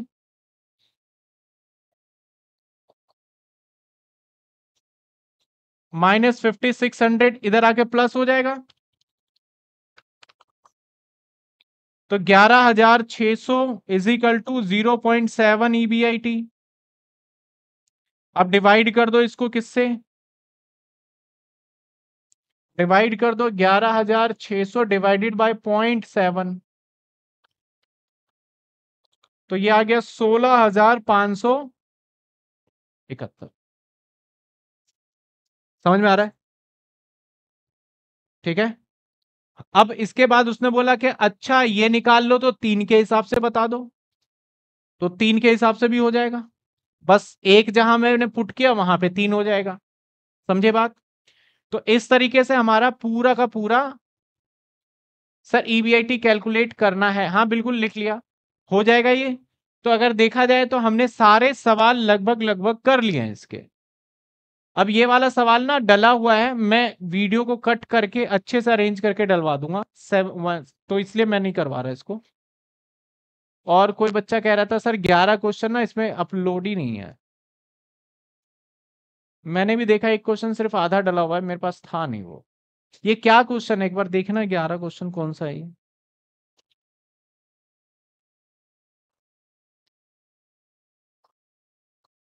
ग्यारह क्वेश्चन क्या है ये?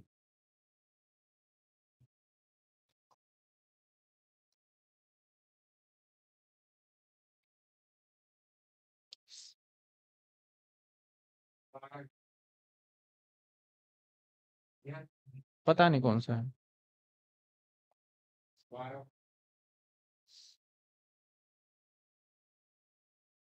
मैं पढ़ देता हूँ, क्वेश्चन है और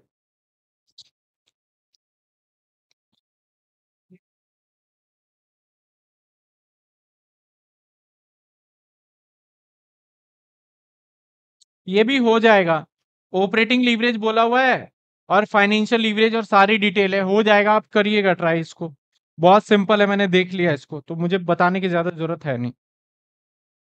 तो इस चैप्टर को करते हैं, पूरी तरीके से खत्म। नेक्स्ट क्लास के अंदर हम जो चैप्टर करेंगे दैट इज़ हमारा चैप्टर होगा value of firm third unit का बिल्कुल लास्ट चैप्टर होगा वो। उसके बाद हमारा थर्ड यूनिट पूरी तरीके से क्या हो जाएगा कंप्लीट फिर हम जाएँगे फोर्थ यूनिट। फोर्थ यूनिट बड़ा छोटा सा है। मान के चलो आप आ, बहुत छोटा सा डिविडेंड वाला है तो उसके भी सारे क्वेश्चन कर लेंगे फोर्थ यूनिट। और फिर हम उठाएँगे फ़र्स्ट यूनिट का TVM time value of money और उसके बाद कैपिटल बजटिंग। अगर कोई बच्चा बोलेगा सर पहले कैपिटल बजटिंग करा दो तो वो करा देंगे कोई दिक्कत नहीं है।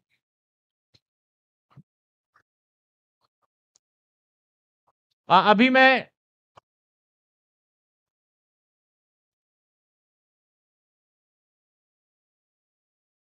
गुनगुन, आज आपको कॉल भी किया गया था, आपने पिक ही नहीं किया कॉल आज। आज कॉल किया था, मैसेज भी किया, बट उस टाइम पे फ़ोन ही किया था आपके डाउट के लिए। बिल्कुल कर देंगे इसका।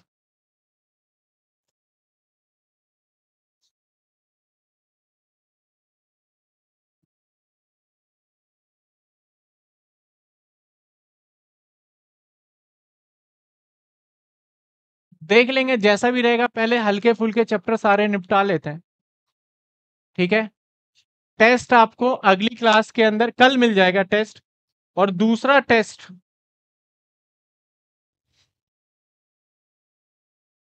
सेकंड टेस्ट आपका होगा, सर, जैसे ही हमारा तीन चैप्टर खत्म हो गए हैं। इसका मतलब लीवरेज, कॉस्ट ऑफ़ कैपिटल और एक ईबीआईटी e ये तीनों चैप्टर का टेस्ट होने वाला है और ये टेस्ट लेंगे हम वेडनेसडे। देखो डेट शीट आ चुका है, आपका डेट शीट देखा जाए तो दिसंबर में एग्ज़ाम है। और मेरे ख्याल 26 दिसंबर को है रेगुलर वालों का और जैन में दे रखा है आपका, ऑनर्स वालों का, एसओएल का। तो टाइम है अभी तो मैं ये नहीं चाहता कि पहले सारा सिलेबस फिर बाद टेस्ट साथ के साथ हम टेस्ट लेते जाएँगे, ठीक है ना? फोर्थ यूनिट स्टार्ट कर देंगे मंडे तक लगभग लगभग fifty percent part fourth unit का खत्म कर लेंगे। वेडनेसडे यानी नेक्स्ट वीक में, यानी नेक्स्ट वीक कब आएगा, आपका अभी क्या चल रहा है? मान लो थर्टीन थर्टीन सेवन ट्वेंटी तक हम एक यूनिट और कंप्लीट कर चुके होंगे ट्वेंटी तक। यानी इस महीने में हमारे दो यूनिट पूरे पूरे कंप्लीट हो जाएँगे। उसके बाद एक यूनिट नंबर पाँच है, मैं दोबारा रिवीजन में भी करा दूँगा, और वो ऑलरेडी हमने कर भी रखा है, पूरा सिस्टमेटिक वो भी हो गया। बस सबसे बड़ा यूनिट जो है, जिसके लिए हम एक महीने का टाइम लेंगे, जो कि मैं पूरा अक्टूबर उसको लेना चाहता हूँ दैट इज़ आपका है कैपिटल बजटिंग जिसको आराम से करेंगे अक्टूबर के मंथ में, ठीक है? नवंबर पंद्रह तक यानी एग्ज़ाम से दस पंद्रह दिन पहले हम सारी चीज़ें खत्म कर लेंगे। दस पंद्रह नहीं, एक महीने पहले। सारा का सारा सिलेबस खत्म हो जाएगा इसका।